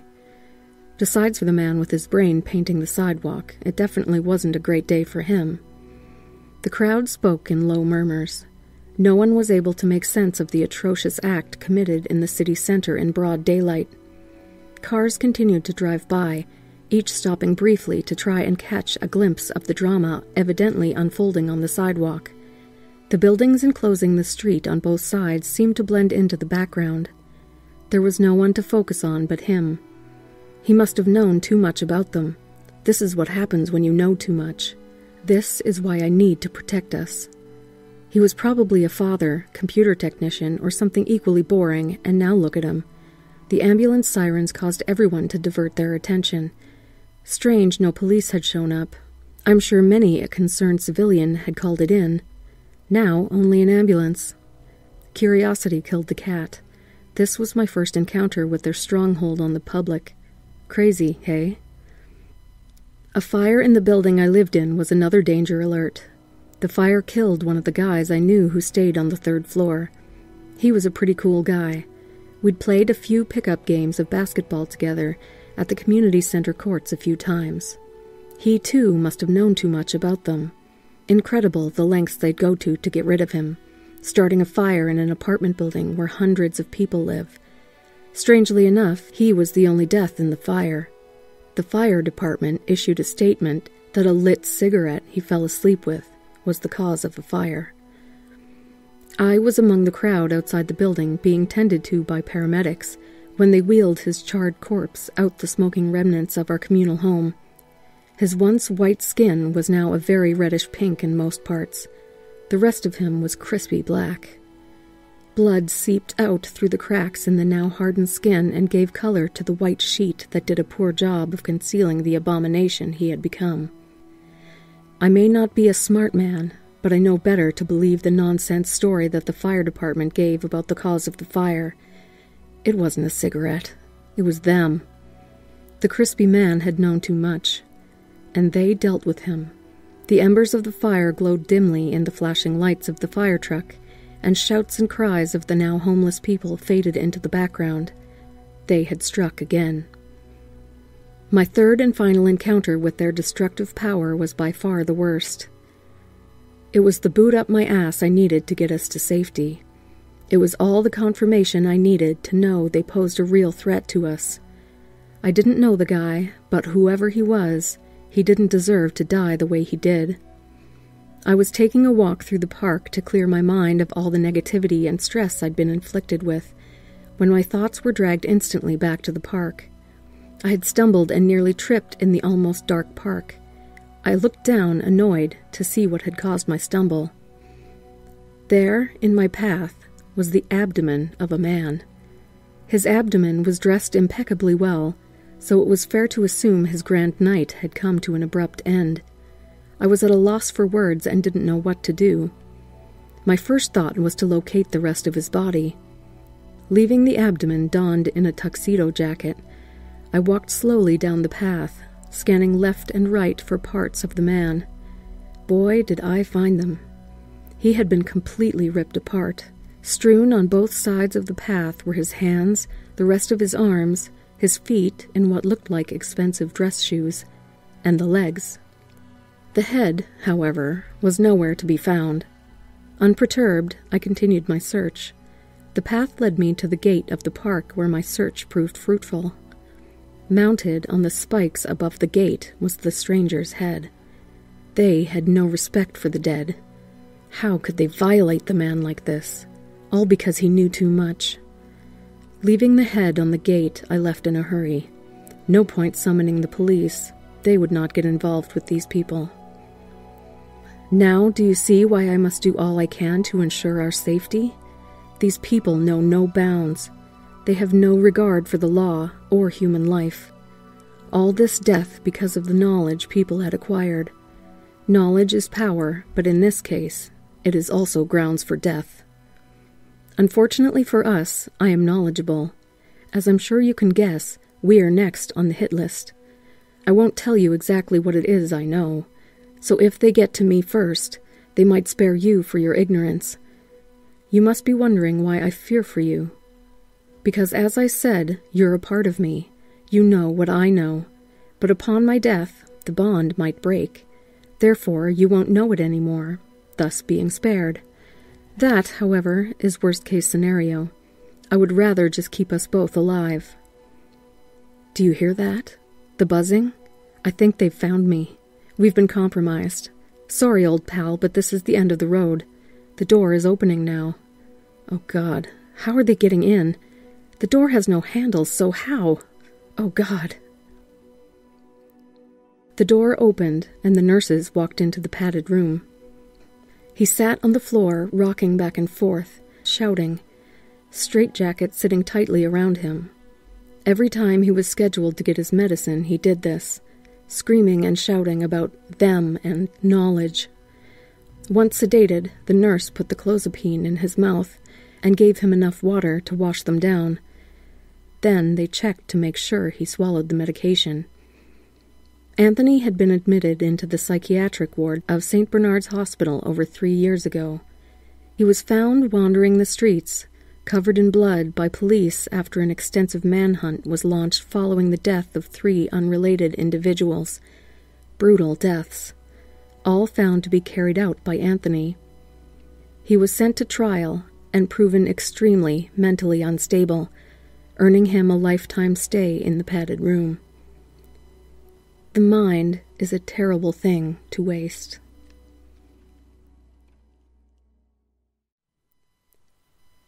Memoirs of a Would Be Killer. And now I am become death, destroyer of worlds. I can't say exactly what it is about death and murder that fascinates me, but it does. Everyone is worried about me, thinking I have an unhealthy obsession with taking another's life. I wouldn't call it unhealthy. Well, not for me at least. Life. We only have one. Most people don't live one worth living. So why not end their misery early and spare them the trouble of living? One often questions what it would be like to be God. He is viewed as the supreme being with the role of giving and taking life. So it's fair to say that it's almost like bestowing yourself as a form of God by taking it upon yourself to take lives or not taking a life. You see, the decision you make to take the life or spare it is almost that of a higher being. There is also the thought of how it would feel to take a life, watching as the life before you slowly ebbs.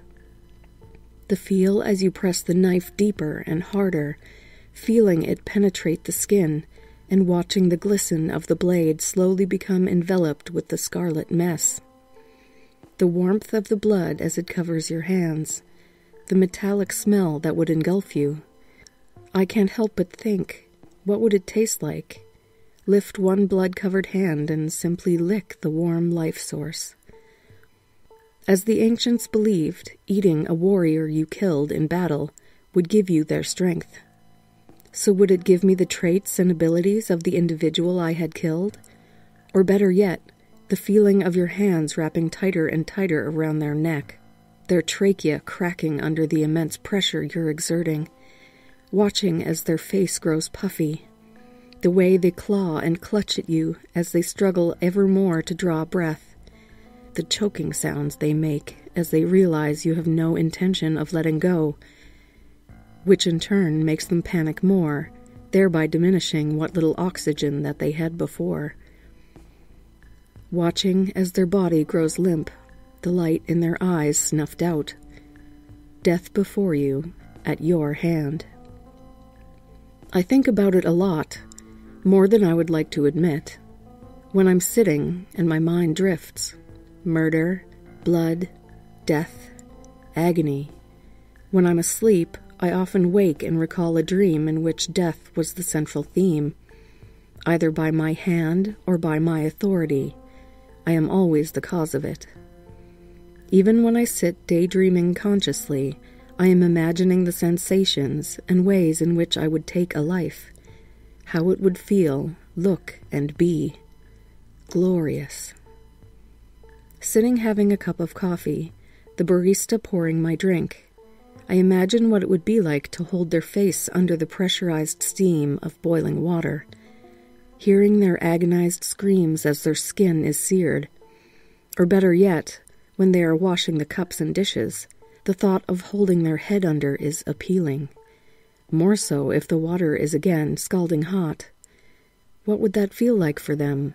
The sensation of burning as well as drowning. Fascinating. Sitting down to eat, I've ordered a steak the waiter removes the blunt butter knife set beside my fork.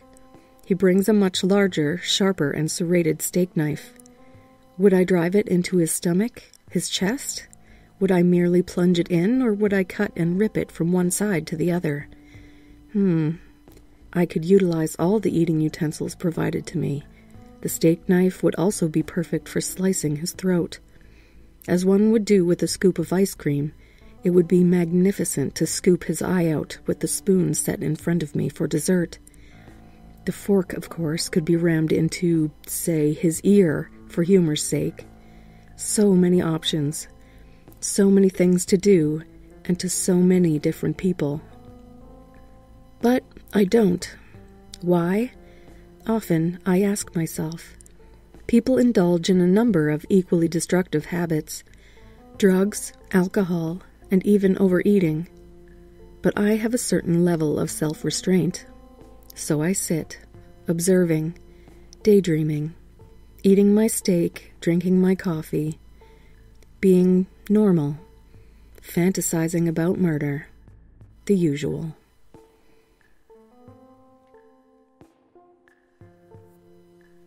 Saving Mother.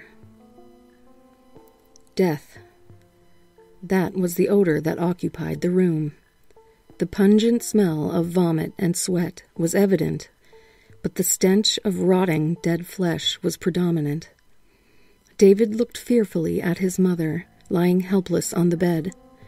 He knew she was sick, but the sight of her disease eaten flesh made him feel an array of emotions, with fear being the front runner. He was scared for his mother. He did not want her to die but the fear was also for his own well being. The imminent fear that it could be contagious made him keep his distance. His father sat holding his mother's hand. The bits of the hand that remained, that is. The disease had stripped his caregiver of most of the muscle and flesh she had once used to nurture and care for him. All the money and power his father had was of no use against a disease such as this. World renowned doctors and specialists had been called as soon as his mother had exhibited signs of the sickness. All to no avail. Disease does not discriminate. Janice was suffering just as the poor do, dying with no means of recovery. Necrotizing fasciitis was the name for what ailed his mother. He had heard it on the news a while before he saw it plague his mother.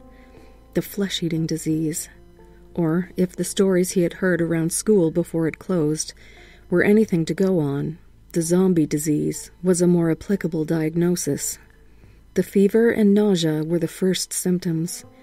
Janice was unable to take her son to school, lying weak in her bed with her temperature climbing steadily. David's father, Jonathan, put it down to a bug of sorts and simply picked up the slack by doing the duties around the house his wife was unable to do. By the second week of sickness, Janice was completely unable to move, with her fingers and toes taking on a darkish hue. David had continued to go to school and had heard many of the kids talk about other people suffering from a similar sounding sickness. But in all the stories he had heard, none of them ended well. Fearing for his mother's health, David repeated these stories to his father only to be met with reassurance and comfort. That reassurance and comfort proved to be meaningless as he now sat looking at the disease riddled body of his mother. Flesh eaten beyond comprehension, holes gaping in places unimaginable. Jonathan had tried his best by all means. As soon as he saw his wife's condition deteriorate, a number of doctors were called for consultation. They all came to the same prognosis necrotizing fasciitis, the flesh eating disease. According to the doctors looking after her, she was one of the first to be stricken by the disease, and just as the others had, her condition had progressed. Their only suggestion was to move her to the hospital wing they had designated to those afflicted with the disease. Before moving her, Jonathan thought to take David to see the hospital where they would care for his mother. They discussed the matter with her and decided to make the trip the next day. You've been avoiding me, baby, Janice said once alone with David. I'm I'm just scared, Mum. I don't want you to die, came David's reply. Laughing, Janice told David, That's not something you need to worry about, my son. What you do need to worry about is how comfy my room there is going to be. Joining in with his mother's laughter, David finally dropped his inhibitions and sat close to his mother. Resting his head on her bed, she stroked his head as he fell asleep. He had not slept long at the bedside of his mother, but his dreams were those of zombies and those they hunted. His father woke him to go to bed, and the disturbance of the dreams was a thorough welcome by David. Walking, half asleep, towards the door, he couldn't help glancing back at his mother. He could feel the tears well up as the woman lying in the bed closely resembled those creatures that haunted his dream. The drive to the hospital the next day was excruciating. The silence seemed to drill deep into David's core as he sat next to his father. He could feel the sadness and pain emanating from the man he had always viewed as an absolute pillar of strength and wisdom. When the journey had finally ended and they sat in the car park of the hospital, David suddenly burst into tears. The stark reality of the possibility of losing his mother had hit him like a freightliner moving at remarkable speeds. His father hesitated for a second, unsure of what the appropriate response would be, given that he too felt so unable to do anything he wanted, to cry too. He held his son. The two embraced tightly and said nothing. No words could have helped either feel better.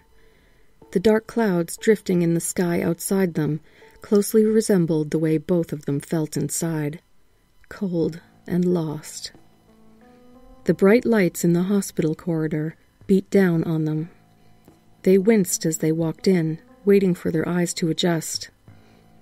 Good morning. We're here to view and book a room in the CDC wing, please, Jonathan asked. Um, we're sorry to inform you there has been an incident in the CDC room, sir. We're not accepting any new patients at the moment. What? That's preposterous. What kind of incident? Jonathan shouted at the nurse. Before she could answer, the doors to the CDC wing burst open, and what looked like the remnants of a man ran through the doors, leaving footprints of blood behind him. He lunged at a woman seated on the chairs outside the Center for Disease Control, and people were too shocked to respond. Pinning her down, Jonathan and David could see the sick man biting and clawing at the woman's face. Blood and flesh flew everywhere. He had more holes in him than flesh. Bits of bone could be seen through the loose hanging hospital gown that covered the eaten man. The disease had all but devoured his body, and it was a miracle he was able to move. Does that answer your question, sir? The nurse screeched as she made a beeline for the exit. Dragging David, Jonathan followed the panicked crowds through the door and towards the car park. The only people left in the hospital were zombie looking individual and his victim. Well, what was left of her after he had eaten his fill and pulled all of her intestines out through the hole he had chewed in her stomach. Rushing to get in the car, David and Jonathan said nothing as they ran and pushed through the crowds to get where they were going. Locking themselves in their car, they merely sat where they were, not moving and not saying anything. Bursting into tears once again, David was the one to finally break the silence. We have to get home to Mum, Dad. As they pulled into the driveway, Jonathan had already begun giving David instructions. As soon as we get in, you need to go up to your room and pack a bag. We're going to go straight to the airport and get on a plane to India. Your Uncle Kieran mentioned something about doctors working on stuff like this there. We'll take your mother, and this will be all sorted out. Come straight to the room when you've packed. As soon as the car was stationary, David leapt out of the car and ran up the driveway and into the house. Jonathan was close behind. As Jonathan made his way into his bedroom, he could hear his son cursing and banging his cupboard doors. He, too, would pack a bag for him and his wife, and they would leave to a safer place. Having finished packing some clothes into a bag, David closed it and ran out of his room. The tears had begun to dry, and a smile crept over his face at the thought of the three of them flying to India to make Mum better. Who knows, maybe Uncle Kieran will be waiting for them at the airport. Bursting through the door of his parents' room, the smile that had recently formed once again dissolved to tears. There would be no trip to the airport, let alone India. Straddling her husband on their bed, David could see his mother. Her head was buried in her husband's chest as she feasted. Jonathan's hand dangled off the bed, drenched in his own blood. The only thing David could hear over his loud breaths was the grotesque sound of his mother chewing and slurping the bits of flesh and blood she was stuffing her face with. Standing there frozen, David saw his mother turn to face him. What now looked him in the eye was not his mother blood dripping from its chin, dead eyes staring, it stood up, leaving Jonathan lying on the bed, with holes chewed in his body. David felt his legs give out. Mum, he said weakly, tears streaming down his cheeks, hoping something inside of the creature would hear and recognize her son, and perhaps grant him mercy. The ground seemed to shake as it took a step towards him.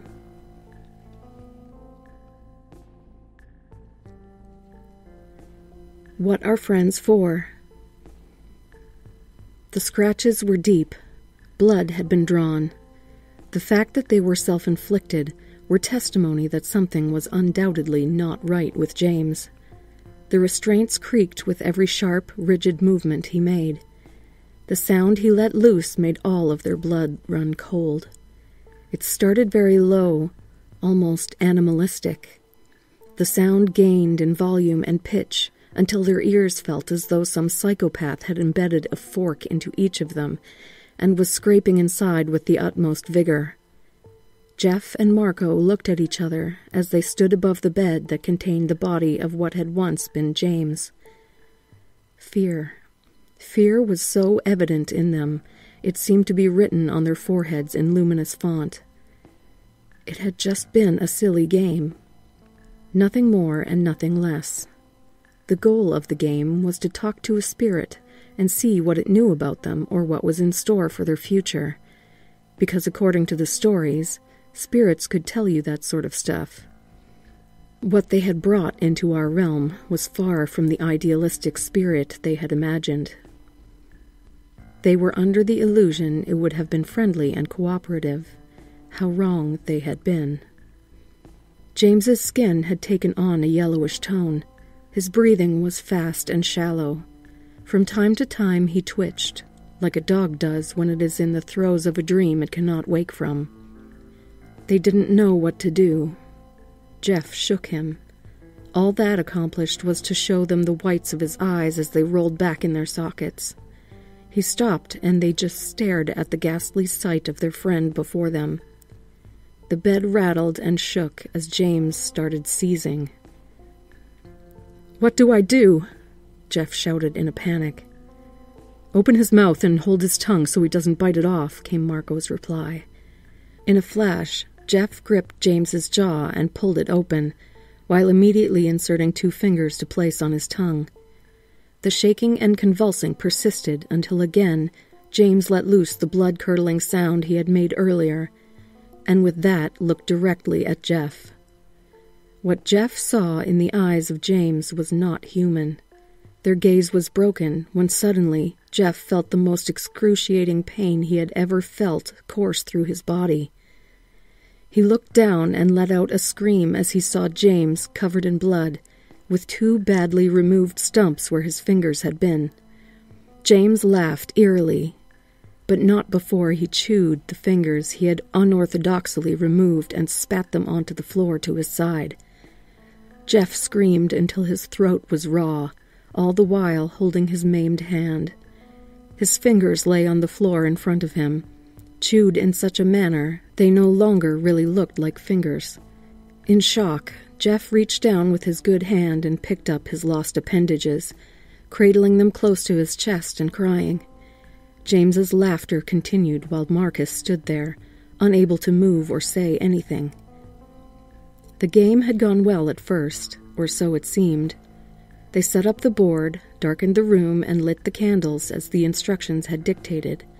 They joined hands, said the incantation, and proceeded to all lay hands on the small bit of glass that would guide them to the letters and phrases that were spread out on the board and that the spirit would use to communicate with them. They asked the room if anyone was present from the spirit world, and it was not until a good few minutes later that they all felt a gentle tug on the glass that led them to the block on the board marked Yes. They looked at each other in excited disbelief and went on to ask their spirit friend a number of other questions. Little did they know they had invited something that was interested in more than playing a game with a few young adults. What do we do now? Marco screamed at Jeff, who now sat on the floor cradling his disfigured fingers. Jeff was no help, and James continued laughing, although the pitch and tone of it changed drastically. It sounded as though he was laughing in a cave, and it was echoing all around him. Marco looked around the cabin room for some sort of guidance. It was a very minimalistic room, a single table in the center of the room, board game still atop. Their sleeping bags littered the corner of the room. The section that contained the kitchen, messy as a toddler's room, littered with empty beer cans and alcohol bottles. The wind blew gently outside, gently rocking the door on its hinges. Marco, being the only one of sane mind, entered the kitchen. He tried his cell phone again, but due to their location being in the woods, he could not make any calls. He considered getting James and Jeff into the car, but instantly thought of when the drama had started and James had been spitting and babbling like a crazy person, while all the while clawing at his own skin. He thought of how he felt when the spirit they had been talking to informed them they would all perish together, and that it would make one of them its own. James had apparently been the chosen one. Getting him to the car was now out of the question. They had to deal with the situation here. His thoughts were interrupted by the desperate shouts of Jeff, and upon turning back to them, saw James had broken the restraints of one hand and had wrapped his hand around the neck of the fragile looking Jeff. He thought quickly, opened the kitchen drawer, and drew a knife. He knew not what he was doing, but ran to the bed and began stabbing.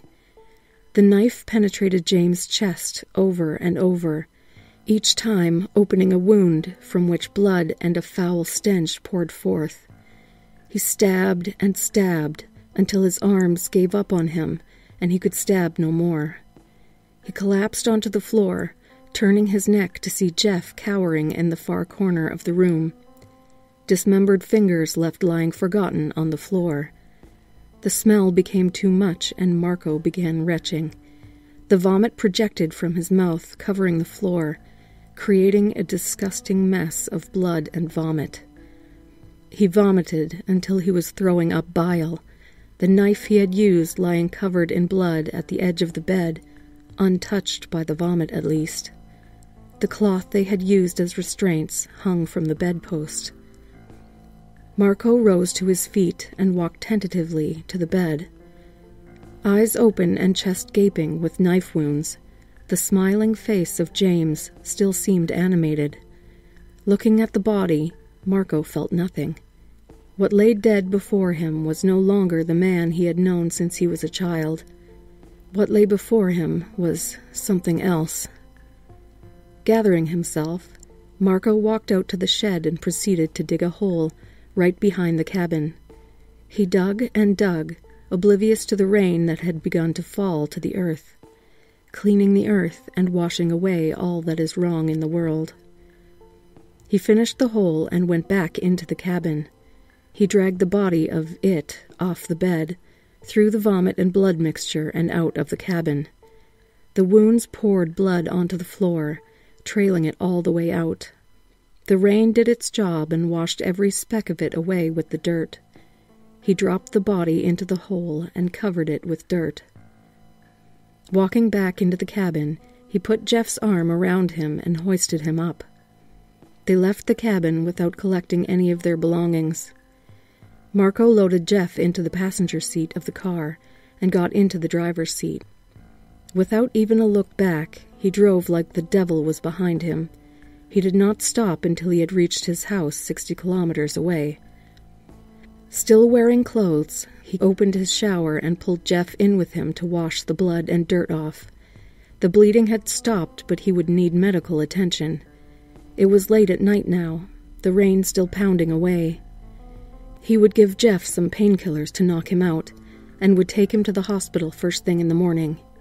He put Jeff in the guest bedroom after having sedated and dressed his friend in some of his bedclothes. He, Marco, was still in shock. His mind had not yet comprehended all that had happened, let alone that he had killed his friend. He got into his bed and pulled the covers up to his chin. God, it felt good to be in a comfortable bed. He was exhausted. He had survived an ordeal. His eyes fluttered and he drifted off to sleep. Not long after he fell asleep, he was woken by the same pungent smell that had been let loose when he killed James. He opened his eyes and immediately felt his heart in his throat. James sat on the edge of his bed, blood and mud still covering him. The stab wounds evident in the weak glow of light coming from the conjoined bathroom.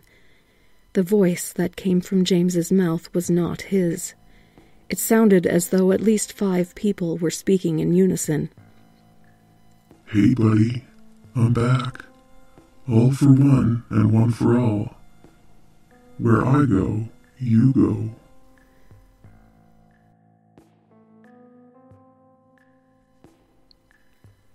Them. The pills were supposed to make them go away. Seeing them had driven him to the point of thinking of suicide. They repulsed and scared him. So far, none of them had touched him. As far as he could tell, they were incapable of physical contact with him, but for all he knew, that could soon change. And once they could touch him, what would they do to him? They varied in the way they looked. Mainly two types stalked him throughout his daily life and made each day a living hell. The pills helped at first, but now they were back, and they appeared to have grown in numbers. He had tried prayer, but God seemed unable to help him in this particular predicament he was in. He was alone with the devil's advocates, no God to help him. Rosaries and the holy water he had stolen from the church had no effect on them. Just as they could not touch him, his religious paraphernalia had no impact on them either. He had given up on God a good while ago, and clearly that had come back to bite him in the ass. He was alone with them, he and the others. He had no name for them, they were simply them, or the others. One group of them had wings, looking almost as gargoyles look, and stalked him from the skies as he would walk the streets. He could not see them clearly, but God, they scared him the shadow they cast as they flew in a swarm covering that of his. He was forever in their shadow. The second bunch of Hell's minions were much more willing to be seen. They stalked him around his house and in the shops and offices he went to. He had quit his job because of them. He was an accountant but could not focus on the numbers when they constantly lurked on all sides of him, distracting, taunting. What did they want? Did they want to take him to their kingdom? Were they sent to just torment him for the wrong he had committed throughout his life? Punishment for his lack of faith? Now he sat in his house, curtains drawn so the flying ones were unable to be seen. He could see the other ones skulking around the room he had decided was the safest, the library. Full of literary works, he did his best to distract himself from the creatures that shared his sanctuary with him he took the pills often, increasing the dosage ever so steadily to get rid of the sight of them. When he took the little blue pills, they almost evaporated into the air. But once the pills wore out, They miraculously appeared in all corners of the room. At first it scared him. Now he had reached the end of the tether. It had just become part of life. Take the pills, enjoy normality for a while, and then succumb to the guests that very soon reappeared. The funny thing is, it was the pills that had started all of this, and now pills seemed the only way to subdue those demons. He had met the guy in an alley. Cliche as it may sound, that's where he met his dealer. He would walk to the shops and on the way back pass through the alley behind his house and pass a wad of cash to the guy and get a bag in return. There was always a cocktail in the bag he received Oxycontin, Xanax, Vicodin, all painkillers and antidepressants. He liked to feel numb. They distanced him from the cold reality of the world. He hated the world, and the drugs seemed to help. Everywhere he looked, there was nothing worth living for. Turn on the television, and nothing but rape, murder, and robbery. What kind of world are we living in? But on his last exchange with this guy, there was a few pills in it he had never seen. He saw them at home, so could not very well call his dealer to ask exactly what new drug he had been given. It should be good, so what the hell? Handful of pills and a bottle of scotch, new pill included down the hatchet. The bottle of scotch was empty when he awoke, the bottle empty and the room full. Full of them. Boils on face, some type of goo dripping from the lacerations on their twisted and deformed human looking bodies. Long nails, talon like almost. Teeth like he had never seen before. Not only were they sharp, but they were jagged and varied in length. The smell they gave off was putrid, and some of them were missing appendages and flesh. He closed his eyes, thinking it was a dream, but upon opening them, they still milled around his room, looking with hungry intent at him. In a drug and alcohol induced haze, he stumbled up and barreled through the door towards the alley in hope of seeing the dealer for answers. He was there. Black hoodie pulled up, covering his eyes. He had never actually seen his face. Their transaction was always quick and without much interaction. What the hell is going on? he asked, terrified. Here, this will make it better. Those weren't meant for you, the dealer said as he walked away into the darkness after handing over yet another bag, this one transparent and containing blue pills. He took one immediately, and they disappeared. But that was then. Now the pills weren't helping at all, and he was down to his last few. The encounter with the dealer was months ago, and after quitting his job, he had not left his home since. For some reason, the flying creatures scared him more, as he had a grueling fear they would fly down and snatch him from the ground. The biggest problem was only he could see them. The pills were running out, and he was growing desperate. He had to go back to the dealer. Donning a baggy sweatshirt and shades, though at night, he left his house in a run and headed to the alley. No one there but them. He accepted his fate. He returned home to find his sacred place in shambles. They had destroyed his possessions and clawed and damaged everything in sight. They were now tangible Upon this realization, he took the last few pills he had and swallowed them dry. The effects would wear off soon. They wouldn't buy him much time. Swallowing them was painful, but sure enough, they disappeared. How much time would the last pills grant him of peace and sanity? His death was in the news. Evidently, they were able to inflict damage on more than just his mere possessions. When the neighbors complained of the smell wafting from his home and the police were summoned, veteran officers could not hold their lunch. The library was covered in blood. Body parts lay spread out in the room, bitten into and partly devoured. His heart had been nibbled on, and an eyeball sat atop a book on the mantelpiece. His arm lay bent in the chair. All his organs lay strewn out on the floor and coat rack. They had a sense of humor. The police ruled it as a ritualistic cult killing. However, we know different.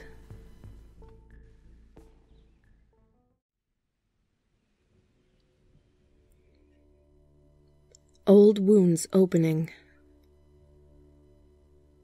This is something that happened to me ten years ago. Now, take this as you will, but what you're about to hear is something I can barely explain myself. Nonetheless, it's something I wish to be told, so bear with me. Just some backstory my name is Ray, and I was, and still am, a freelance photographer. I was in my 30s and I was living in New York around that time when I got a call from a Mr. Peters who said that he was the executor of my father's will. I wanted to hang up right then and there, but this man was just doing his job despite the fact that it was for my father.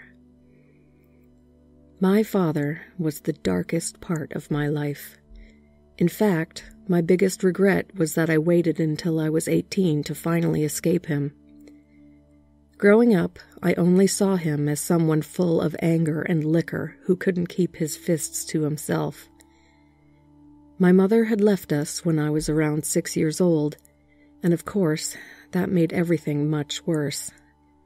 I would go to school, trying my best to hide the cuts and bruises from the night before, and I'd go home for it to happen again. He was as meticulous as he was terrifying. No one would ever know what he did to me, and I was too afraid to do anything about it. As I got older, I became more resilient as he got weaker. Years of cigarettes and alcohol had caught up with him, so he switched to more emotional abuse, saying that it was my fault that my mom had left. I tried my best not to let his words faze me, but it did. It hurt to hear something like that from my own father, and the doubt and depression he had planted into me. I'd rather have him hit me. Despite his abuse, I tried my hardest in my studies, and when I was finally old enough, I went off to college. I took care of everything myself, and I never looked back. My father had passed away, and as previously stated, Mr. Peters was distributing his assets. He didn't have much, but he had left me a cabin that had been in our family for decades. I was quite taken aback I hadn't talked to him in over 12 years. I absolutely refused to go to his funeral, but hearing that he actually put me in his will, I was surprised he thought of me despite everything that had happened. I thought about it for a moment, but eventually agreed to take it. Worst case scenario, I could sell it, and that would be the last part of him I could get rid of. The cabin was deep in the forests of Pennsylvania I had packed enough for a week and went about it as a mission. I would go to the cabin to check the state that it was in and decide what to do with it, maybe get a few nature shots while I was at it. If I decided to sell it, great. If by some chance I wanted to keep it, I guess it wouldn't be that bad. It was a few hours' drive from where I was at, and on the way over, my arms and legs began to ache as I thought about my father. He hadn't been on my mind for so long, but as I drove in silence on that long stretch of empty road, memories of him began to flood in. I wish I could say I was happy when I heard the news of his passing. I wish I could say that I felt absolutely nothing at all. But when I heard that he had finally passed, well, I'd be lying if I said my heart didn't ache a bit. He wasn't always horrible, there were blue moon moments when he was sober and kind, but that doesn't excuse what he had done.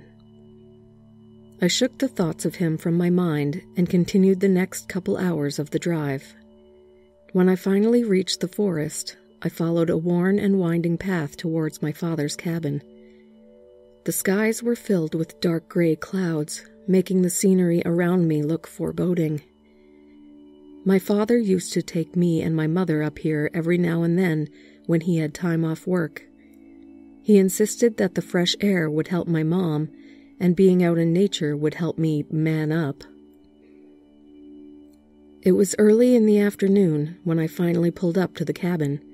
It was almost exactly as I remembered it, though a bit more weathered and aged.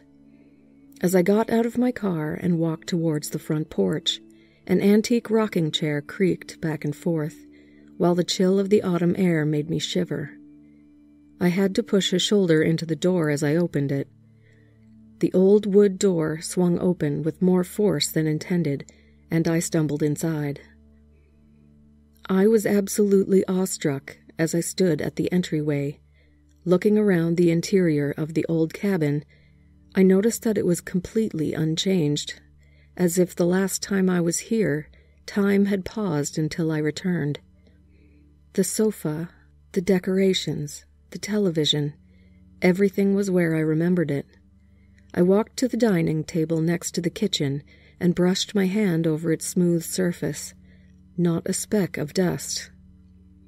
Did my father come up here recently? He was never the type of person who would clean up after himself.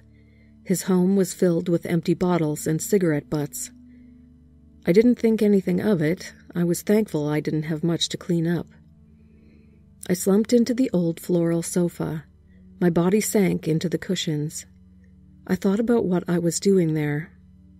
I'm not sure why, but I felt a want, no, a need to come back to this place. This cabin held a lot of memories. It contained history that long surpassed me. My father was so proud to tell us that his great great grandfather had built this place with his own two hands. Every head of the house would come and fix it up and what not throughout the years. I scoffed as I thought about his damn smirk, the same that's placed on my own face. I closed my eyes. The drive must have taken more out of me than I thought. I tilted my head back and began to drift into short rest. I tried to relax as I took a deep breath of cold, fresh air. I exhaled, or rather, I tried to exhale. I couldn't let the air out no matter how hard I tried. I felt my throat begin to constrict as if someone was pressing their hands onto them. I tried to move and thrash to try to get up, but my body wouldn't budge. My heart raced as I suffocated, and as suddenly as it came, I shot up from the couch and gasped in oxygen. I placed a hand onto my throat and felt nothing out of the ordinary. Did I just have a nightmare mixed with some kind of sleep paralysis? I glanced at my watch. A few hours had passed since I got here. I sat back onto the couch and wiped some sweat from my brow. That nightmare really shook me to my core. I looked down and saw my hands were trembling. I gripped them tightly to stop the shaking. I rushed towards the bathroom in the hallway and turned on the hot water at the sink. I watched the steam rise from the water and splashed a handful onto my face. I caught my reflection in the mirror and saw that my eyes were pink, and I looked at my neck to see deep purple bruises. Five small oval bruises were on my neck, one on my right side and four on my left. I lifted my neck to further inspect them, and sure enough, it looked like fingertips were gripped onto my throat. I turned the faucet off and rushed out of the bathroom. I leaned onto the nearest wall to steady myself as a wave of anxiety fell upon me.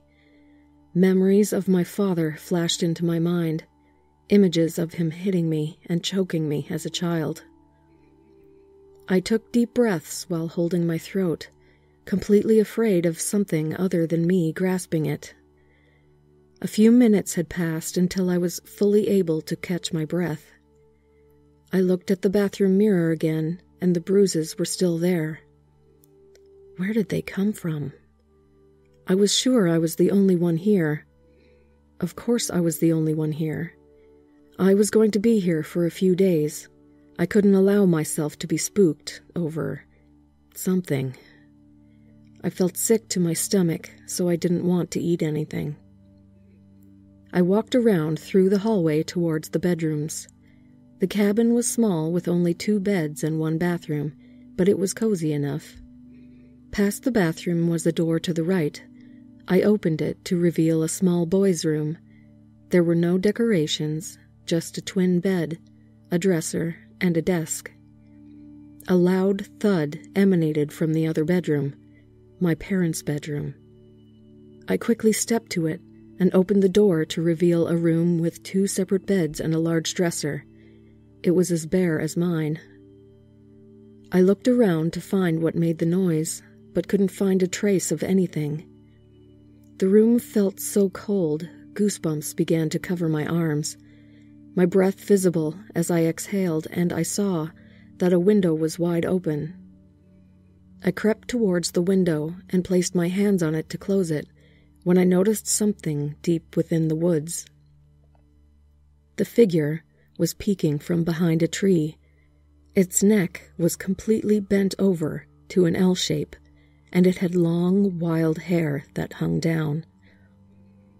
I kept my eyes focused on it and held a scream. It wasn't moving.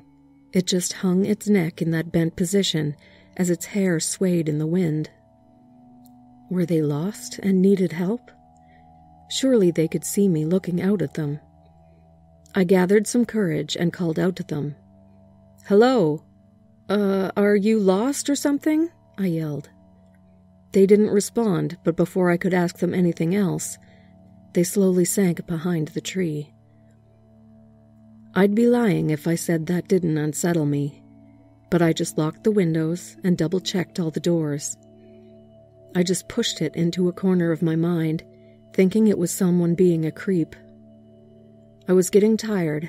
The time had flown by, and night fell upon me and the cabin. I slipped into my old childhood bedroom. The sofa and my parents' bedroom were out of the question. I lied on the lumpy twin bed and looked out the window. There was no light whatsoever, and it was quiet. I closed my eyes tightly trying to drift to sleep, but I felt so uncomfortable. That's when I heard something making a clicking sound.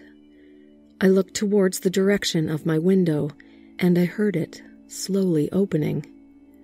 The sound of wood scraping pierced the silence of the night, and I jolted up. Who's there?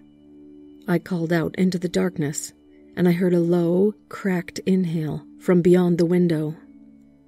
Whatever was outside exhaled, and as it did, I could hear something breaking like someone cracking a bundle of twigs. I didn't know what else to do. The only options I had were to run or to fight. So I jumped off the bed and ran towards the front door. I had left the keys on the dining room table so I could do everything in one swift motion. I had ran right out of the room and made a direct shot towards the keys but they were gone. I got onto my heels for a sudden stop and looked frantically for my keys. I heard something thudding from behind me, and I saw the figure again. I turned to see the figure peering at me, with its bent head from behind the entryway of my bedroom, its hair slumped down. It was close enough that despite being consumed by shadow, I could make out its thin, womanly figure. Its hand slowly came around from the doorway, and it clutched onto the wooden walls of the cabin. Its arms were long and had multiple joints in them that popped as it reached towards me. Its hands had long fingertips that ended with broken pieces of fingernails. I fell backwards onto my ass as the figure's hand swiped at me. I shuffled backwards while keeping my eyes fixed on it.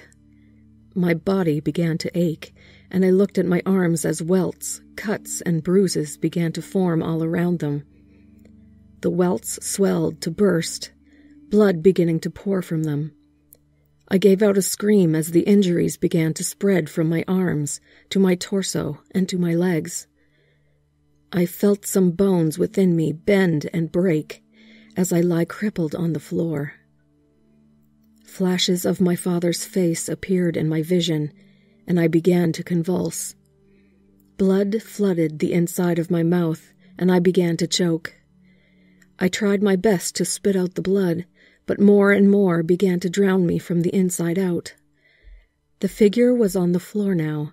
It used its long arms and fingernails to scratch the wooden floor and creep its way towards me. That was when I finally noticed her face. I could finally see her hair part from her bent neck as it dragged onto the floor. Her face was swollen, bruised, and bloodied. I could see imprints of a hand on her neck, and I could finally see the face of my mother that I hadn't seen in so long. She had one eye that was visible. It was completely bloodshot, but it wasn't staring at me. I slowly tilted my head upwards to see a large and shadowy figure that loomed over me. It had its grip on my neck, and it felt angry and malicious. I pushed through the pain on my body, the pain within me as well, as I thrashed about. I looked towards my mother, and she reached a broken hand towards me. I picked myself up, but slumped onto my knees.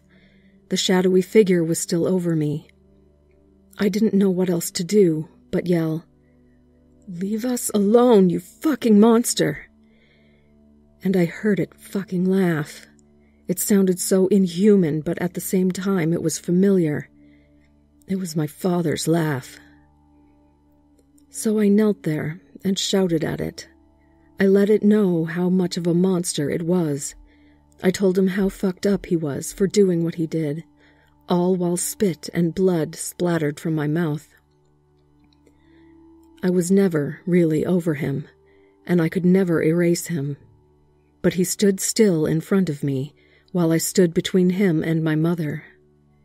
I shouted and cried until morning finally came, and when the sunlight crept through the windows, I realized that they were both gone. I finally let everything go, and I crashed into the floor again. I fell unconscious into a deep sleep, and when I awoke, there was still a bit of light creeping through. I picked up the pieces of myself that were left. I was beaten and bloodied, but I had another urge. Something was calling me. I decided to grab my camera and step outside to take some pictures of the scenery. Whenever I take pictures, it always puts me in the present.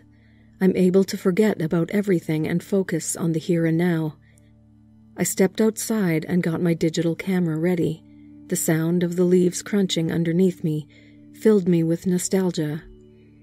As a kid, I would rush into the woods and pretend I was an explorer. That's when I remembered something from when I was a kid. I looked around the trees to find a specific one. It was close to the cabin, and I'm sure it was still there. It took a minute to remember where it was from my memory, but I eventually found a tree with Ray sloppily carved into it. I lifted my camera to focus a shot and snapped a photo. I looked at the small screen and almost dropped my camera. Thankfully, it was around my neck. The photo showed the small, thin tree with the carving, and on the sides were gray blue fingertips gripped onto the wood. I shot my attention to the tree. I even walked around it, but nothing. I went to the base of the tree, and with my bare and bloodied hands, I began to dig. It took hours, and night came again, but I was in a trance. I didn't want to stop digging. I was sure I'd broken some fingers, but I finally felt something smooth deep within the dirt. I took my phone and flashed the light upon a skull. I uncovered the rest and sobbed deeply. I sobbed because I was right and my mother didn't leave me. I called the police and they came with an ambulance. They were shocked to see the state I was in, but I just wanted some medical attention. I didn't return to that cabin for a month, and when I did, I came back with a priest who said he would bless the old place. The cabin had a lot of history, and a dark history but afterwards it felt a bit lighter. Now to the present day, it's been years later and I have a son of my own. One day I'll take him up to the family cabin and fill it with happiness, giving that dark history a bright future.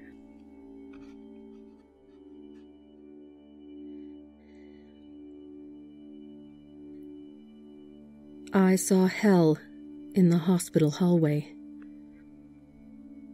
Sorry in advance for the long story. I'll be calling myself Sarah, and I work at a hospital in upstate New York as a nurse. I was originally from Pennsylvania, but just recently moved to the Big Apple for a change of pace and scenery.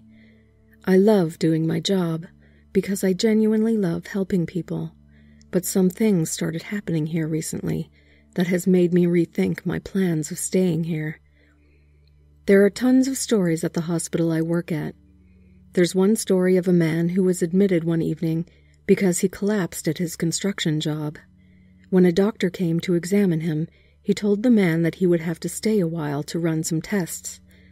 Well, time passed, and he had gotten much worse. He could barely breathe, and he was in immense pain. When the results finally came back, they told the man that he had asbestosis, a condition that scars the lungs from breathing in asbestos fibers from his work. Unfortunately, that was not uncommon back then. Well, the man didn't take the news very well.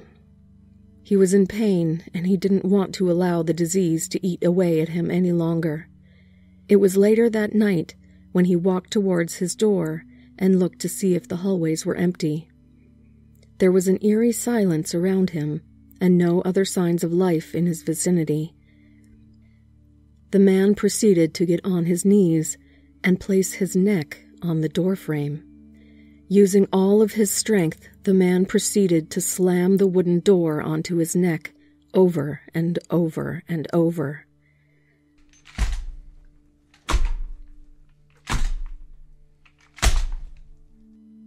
It wasn't instant, and the man was in a crazed stupor as he continuously slammed the door onto his neck. Blood splattered everywhere as the sound of flesh tearing and bones breaking filled the hallways. His labored breaths began to gurgle as his throat began to fill with crimson. A short time later, some nurses had found his mess of a body, and their screams carried into the night. Apparently, that floor isn't used anymore, and you can still hear the door slam. I've been there and done that. I get it. It's fun to scare the newbies when they arrive, especially the ones on night shift. I'm sure this place has some history, but I doubted the existence of the supernatural wandering the hospital. At first, when they told me about the ghosts, I chuckled and brushed it off. But when my CNO, Chief Nursing Officer, insisted for me to be careful my first night, I thought I'd pretend to take it a bit more seriously. I ended up going weeks without experiencing a single thing aside from the normal crazy of just working in a hospital, especially during COVID. With the massive influx of patients following the pandemic, we had to clean up and open every room that we had, even the previously mentioned unused floor. It was one night I was going through the halls and I had to investigate a noise. It was a weekend during the absolute craziness of the pandemic, and we were all being spread thin. We all had to go to areas where we usually wouldn't go, but it was okay. We were all focused on getting these patients situated. I was taking care of an area that didn't have any COVID patients. This was the floor we recently opened up. We had a patient who I'll call Jack, an older gentleman who was brought in because he had some chest pains. I came into Jack's room one night, and he asked me if I could give him anything to help him sleep. When he first came in a few days ago, he was extremely bright and chipper despite his condition, but tonight he was pale and shaking. That concerned me, and I asked him if his chest pains were keeping him up at night, and he just looked at me with small tears forming in the corners of his eyes. He shuddered as he told me that someone keeps coming into his room at night. This was my first time hearing about anything like this, so I asked if he could tell me more. Jack downcast his eyes, as he began to rub his shaking hands together. He told me that late at night he would hear his door open and slam shut. He would wake up and see a dark figure crawling towards him. Now, I asked if it was another nurse that we had, but Jack was sure it wasn't them. Jack described the figure as a large man with short white hair. His mouth was open, and he said that blood was slowly trickling out of it. He began to shiver a bit as he continued to describe what he saw. Jack continued by telling me that the man was in an old hospital gown, but it was worn, with splatters of blood on it. He began to close his eyes as he told me the man's neck was crooked and broken. The flesh on the neck was torn open to reveal shattered bone. I felt sorry for the man. I assumed that he had more issues than just chest pains, so I assured him that I would get something that would help him. I had to make my rounds to check on other patients, but I told him I would check on him again soon. As I closed the door to his room, I could hear him quickly shuffle back onto his bed. I made my way around the hall towards the other patients. They all complained about losing sleep, not from a man visiting them at night, but the sound of a door slamming in the hallway.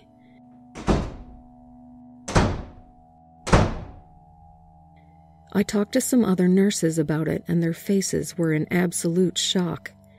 They didn't want to listen to any more and told me I shouldn't be trying to scare them.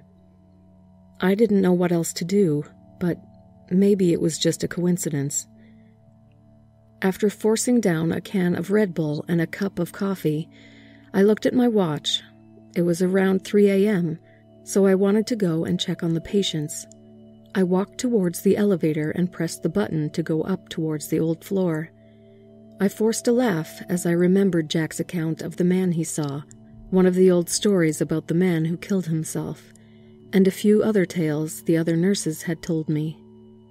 I didn't want to scare myself, but the description of the figure and the fear I saw in Jack's eyes, that very fear began to slowly sink into me. The elevator doors slowly creaked open, and I was met with a dimly lit hallway. We had to save on power, so late at night we wouldn't have all the lights on. As I walked towards the hall, the lights began to flicker. The fluorescent lamps began to buzz as my footsteps slowly echoed through the hallway. I saw something at the end of the hall from one of the rooms. Jack's room. Someone Something was peering at me from the bottom of the doorway. Only the top of their head was visible, but I was able to make out a thin tuft of white hair atop a man's head.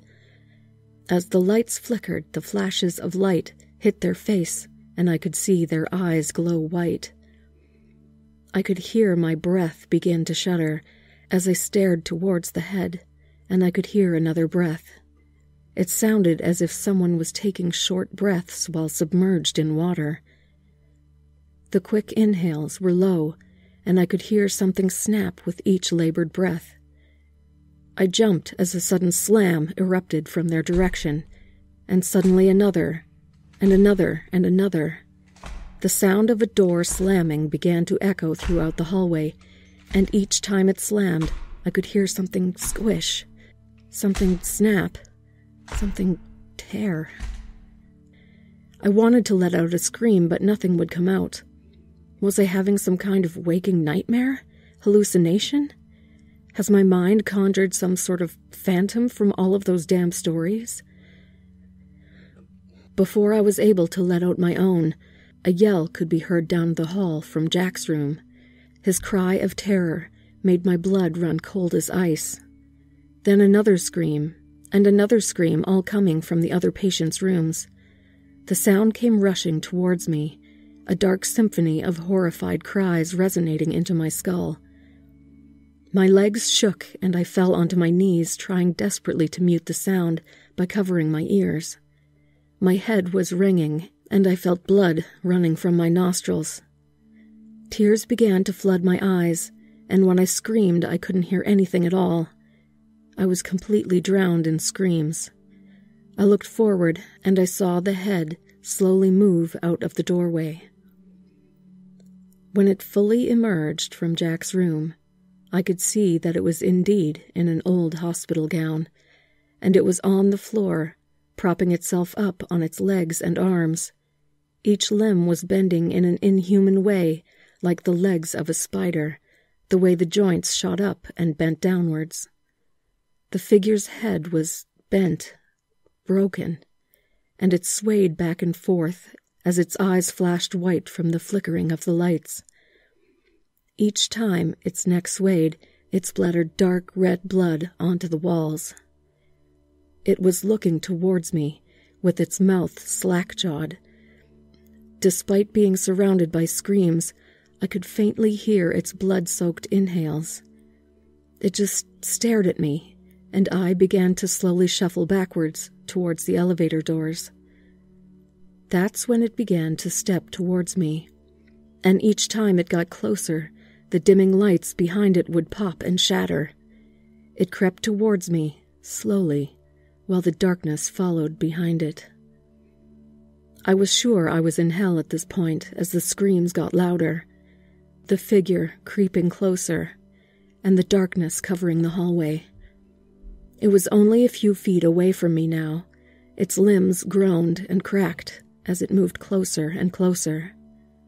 I'll never forget how its white eyes stayed fixed on me as its broken neck swayed back and forth, back and forth, with its jaw hanging down to reveal a small flow of blood. My back was completely on the elevator door, and it was so close to me.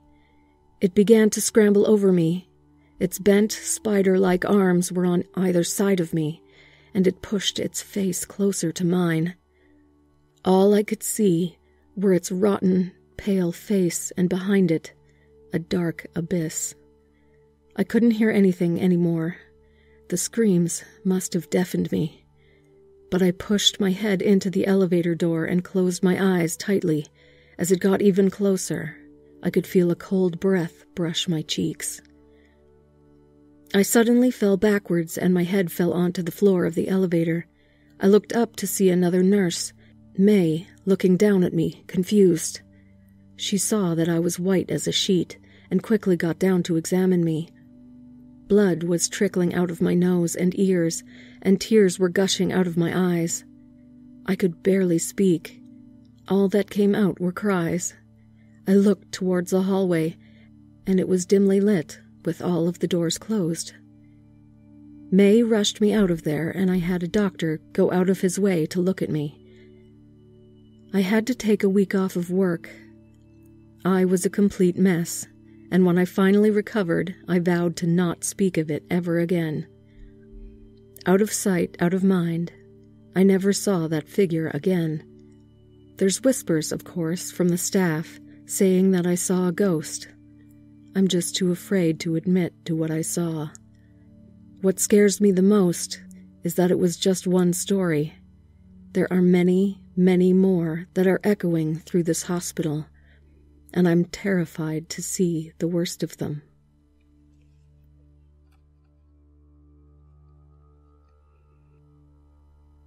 Do you love Dolly? I will be changing the names of the people involved with this story to avoid any further scrutiny. My family has already been through enough. I'm posting here to seek advice, help, anyone who would listen to my story to at least make me feel that I'm not going crazy. My wife and I live in an average single family home, both bringing in an average salary, living our average lives while raising our beautiful little girl, Alice. We had lived so peacefully up until a few months ago on the day of my daughter's fifth birthday party. That day, Alice was so excited to be turning five that she woke us up at 5 a.m. She jumped into our bed and screamed, Happy birthday, at the top of her lungs. I groggily looked at her. Her long curly brown hair, her cute button nose, and her beautiful brown eyes. She was the spitting image of her mother, Rose, who was pretending to snore beside me. Rose cracked an eye open and whispered, Please, five more minutes. I rolled my eyes at her but cracked a smile as I lifted Alice up and carried her to the kitchen. So, birthday girl, what do you want for breakfast? I asked. She scrunched her face like she was thinking extremely hard. Hmm, pancakes, she exclaimed. Blueberries? She gave me the biggest smile and eagerly nodded her head yes. So you're excited for today? Yeah, she said gleefully.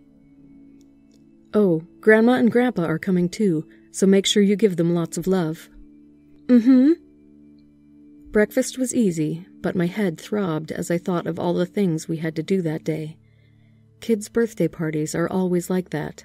Something so simple, like just having people over and opening presents, turns into the most stressful day of a parent's life. Alice insisted that her fifth birthday party should be at five, so until that evening we had to prepare the food, drinks, and decorations. When Rose eventually woke up, we had breakfast and began our day. I spent the majority of the day picking up the balloons, grabbing the birthday cake, getting last minute decorations, and calling in delivery for pizza. When all was said and done, we finished right before the party started. The last thing I had to do was tie some balloons to the mailbox to make sure people knew which house. Once 5 p.m. crept around, family and friends made their way over. So far, so good. The only thing we needed was the pizza, which came by a little after the party started. As I opened the door to get the food, I noticed a box at my doorstep. It was a pretty decent sized box, a little bit bigger than a shoebox wrapped in black paper with a pink bow on top. I grabbed it along with the pizza and put it with the pile of other presents. A few hours later, and the party was going pretty smoothly. No one got hurt, so that was a plus. After passing out the cake, Alice was eager to open her presents. The living room was completely covered with different colored wrapping paper. My mother walked up to Alice and handed her that black and pink box. Don't forget this, she said with a smile. Alice gave her grandmother a tight hug and gratefully took the box from her. Her eyes gleamed with excitement as she thoroughly looked at every corner of the present. She carefully removed the pink bow and slowly unwrapped the black paper, putting on a show for the elderly woman. Inside was a small brown box. Alice shrieked with excitement as she revealed a doll.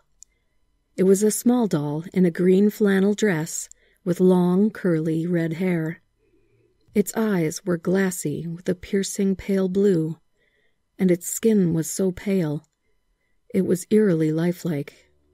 She hugged it with all of her might and thanked my mother over and over. Thank you, thank you, thank you, she screamed gleefully. What are you going to call her? my mother asked. Alice pressed the doll's face to her ear and closed her eyes tight. She says her name is Dolly. The rest of the night went by in a blur. Kids ran around, we cleaned up. Alice didn't let go of that doll. It was around 9 p.m. when all of the guests had left. Rose took Alice and her new friend to her bedroom to settle down for the night. I was washing up some dishes when my mother offered to help. Hey, don't worry about it, Mom. I got this, I insisted. Go relax. I know you and Dad have a long drive home. It's nothing. Your father has had plenty of coffee, and we only live an hour away, my mother assured me. right. Oh, and thanks for getting Alice the doll. It hasn't left her side all night, I laughed.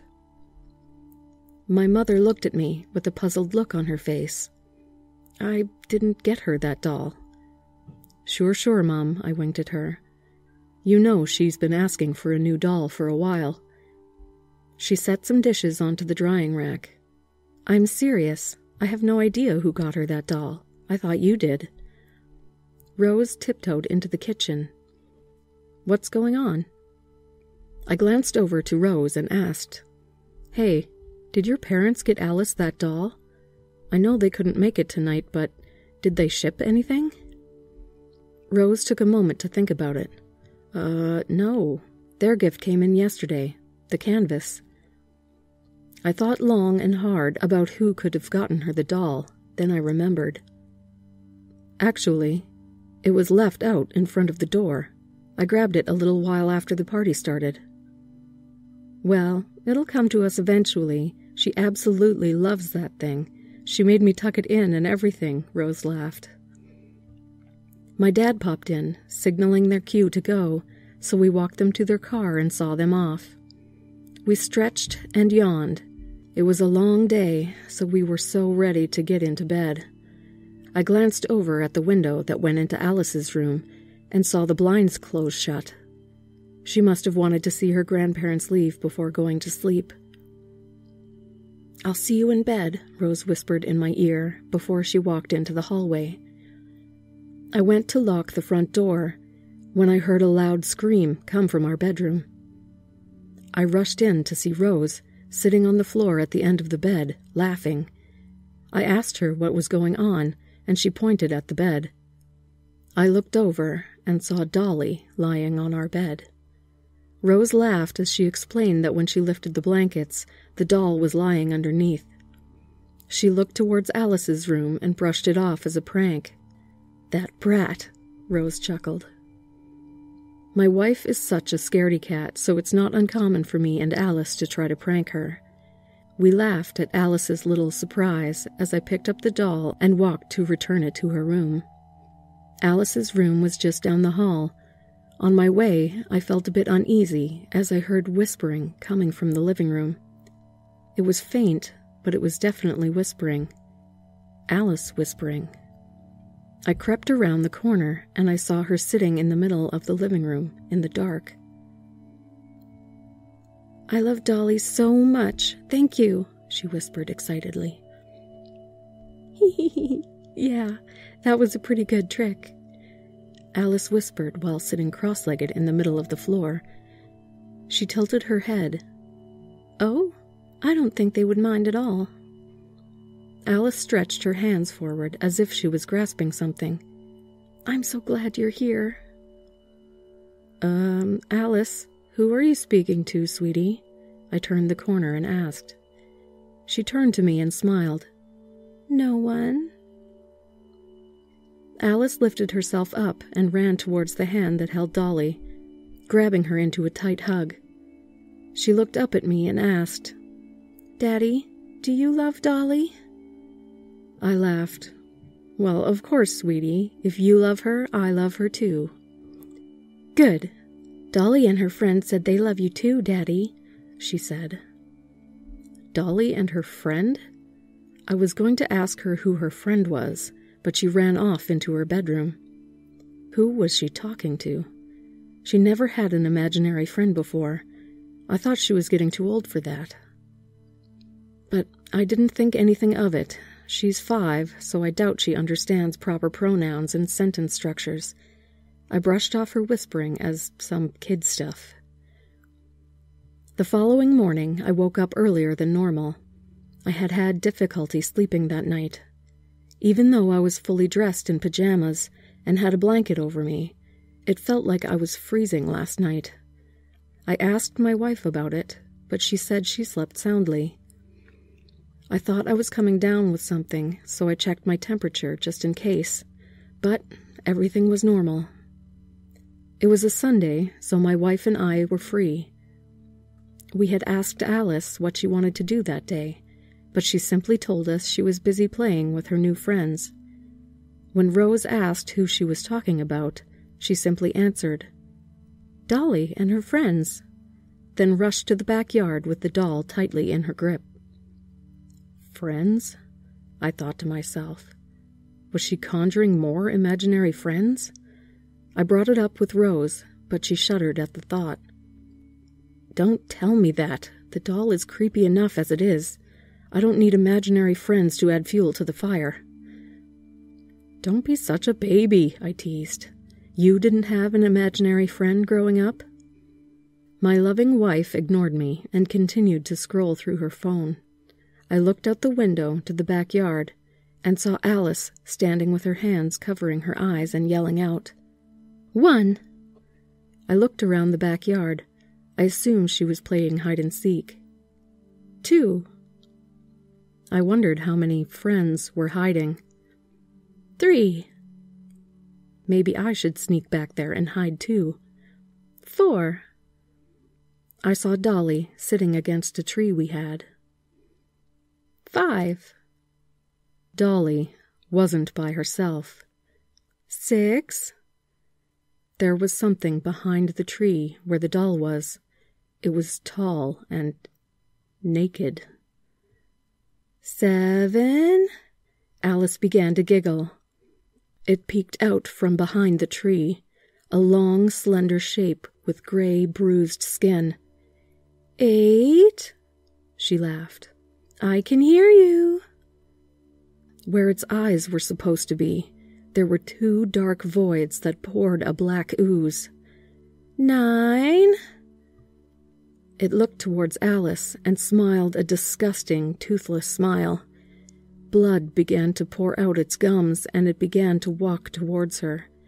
It didn't move right. It moved like something imitating a person walking. It was exaggerated and clumsy. Ten. Alice! I shouted as I rushed into the backyard. She jumped in shock and removed her hands from her eyes. She began to tear up as if she was in trouble, and I scooped her into my arms. I looked towards the tree where that thing was, and just saw that doll sitting there. Rose rushed out and asked what was going on, but I didn't know either. Alice sobbed in my arms, and her mother quickly grabbed her away from me and brought her into the house. Daddy didn't mean to scare you, I heard her say as she walked away. I looked over at the tree, and there was really nothing there. I picked up Dolly and I stared at her. I brushed some grass that got onto her face, and I felt sick. The skin felt so real. The next few days went, and we kept having these small incidents. It started off with small things being misplaced. Sure, I'd lose my keys, but one day they ended up in the coffee pot. I yelled at Alice, but she said it wasn't her. Rose began to feel really uncomfortable around the house, too. She insisted that we all leave the house together. When I asked her what was wrong, she told me that the other day she had heard something whispering from Alice's closet. I can't help it, but I was always skeptical about paranormal things. I even brushed off the hide and seek thing as seeing things from lack of sleep. But when my wife told me she started hearing things, I didn't think she was crazy, so I looked around her closet.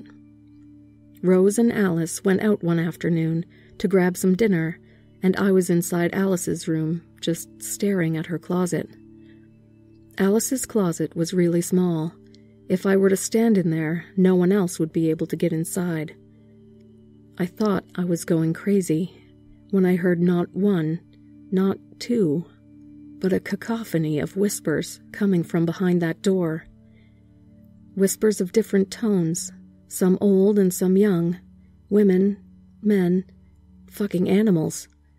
So many different vocal tones were just whispering away. That moment was when I realized that, yeah, there was something wrong.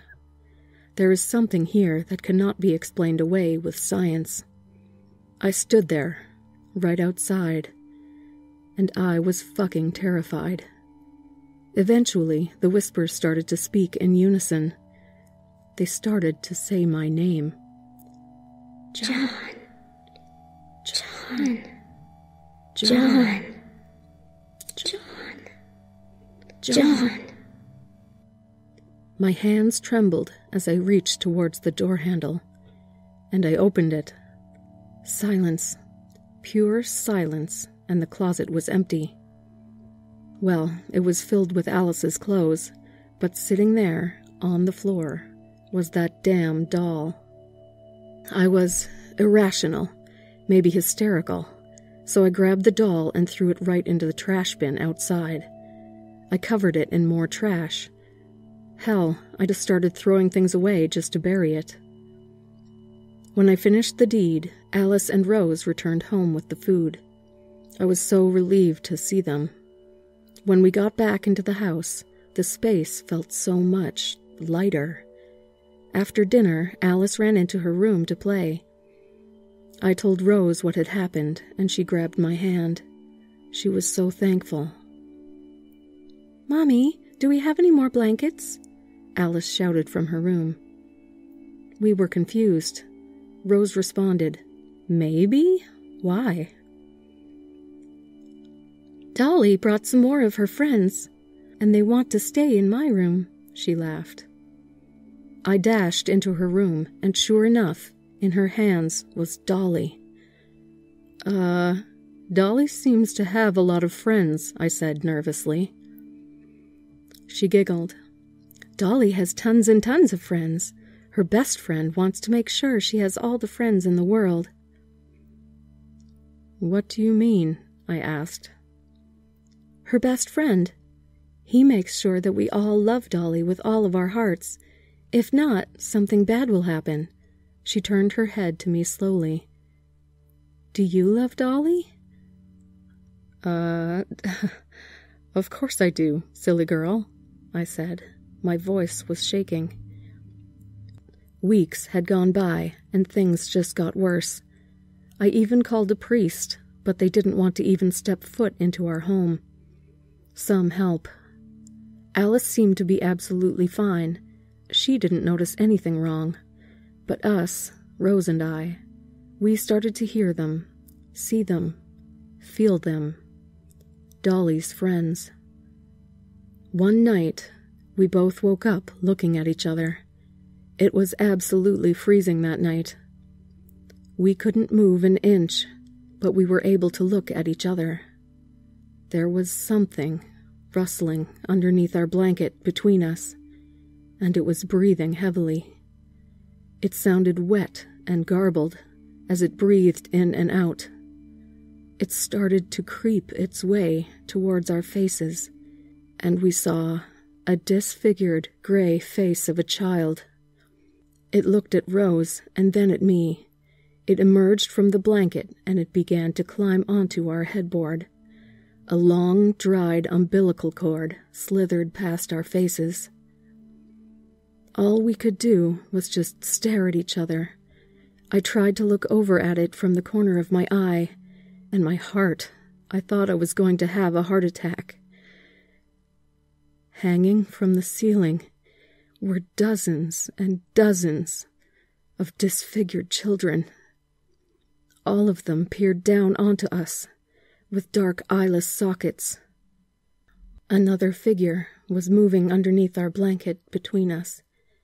It felt cold as its body brushed against me and its head peeked out of the blanket. Dolly.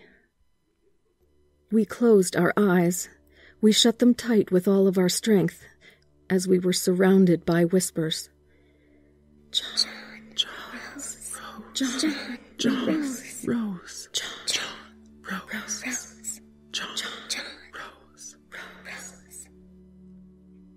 They whispered to us all night until we heard Alice ask, Do you love Dolly?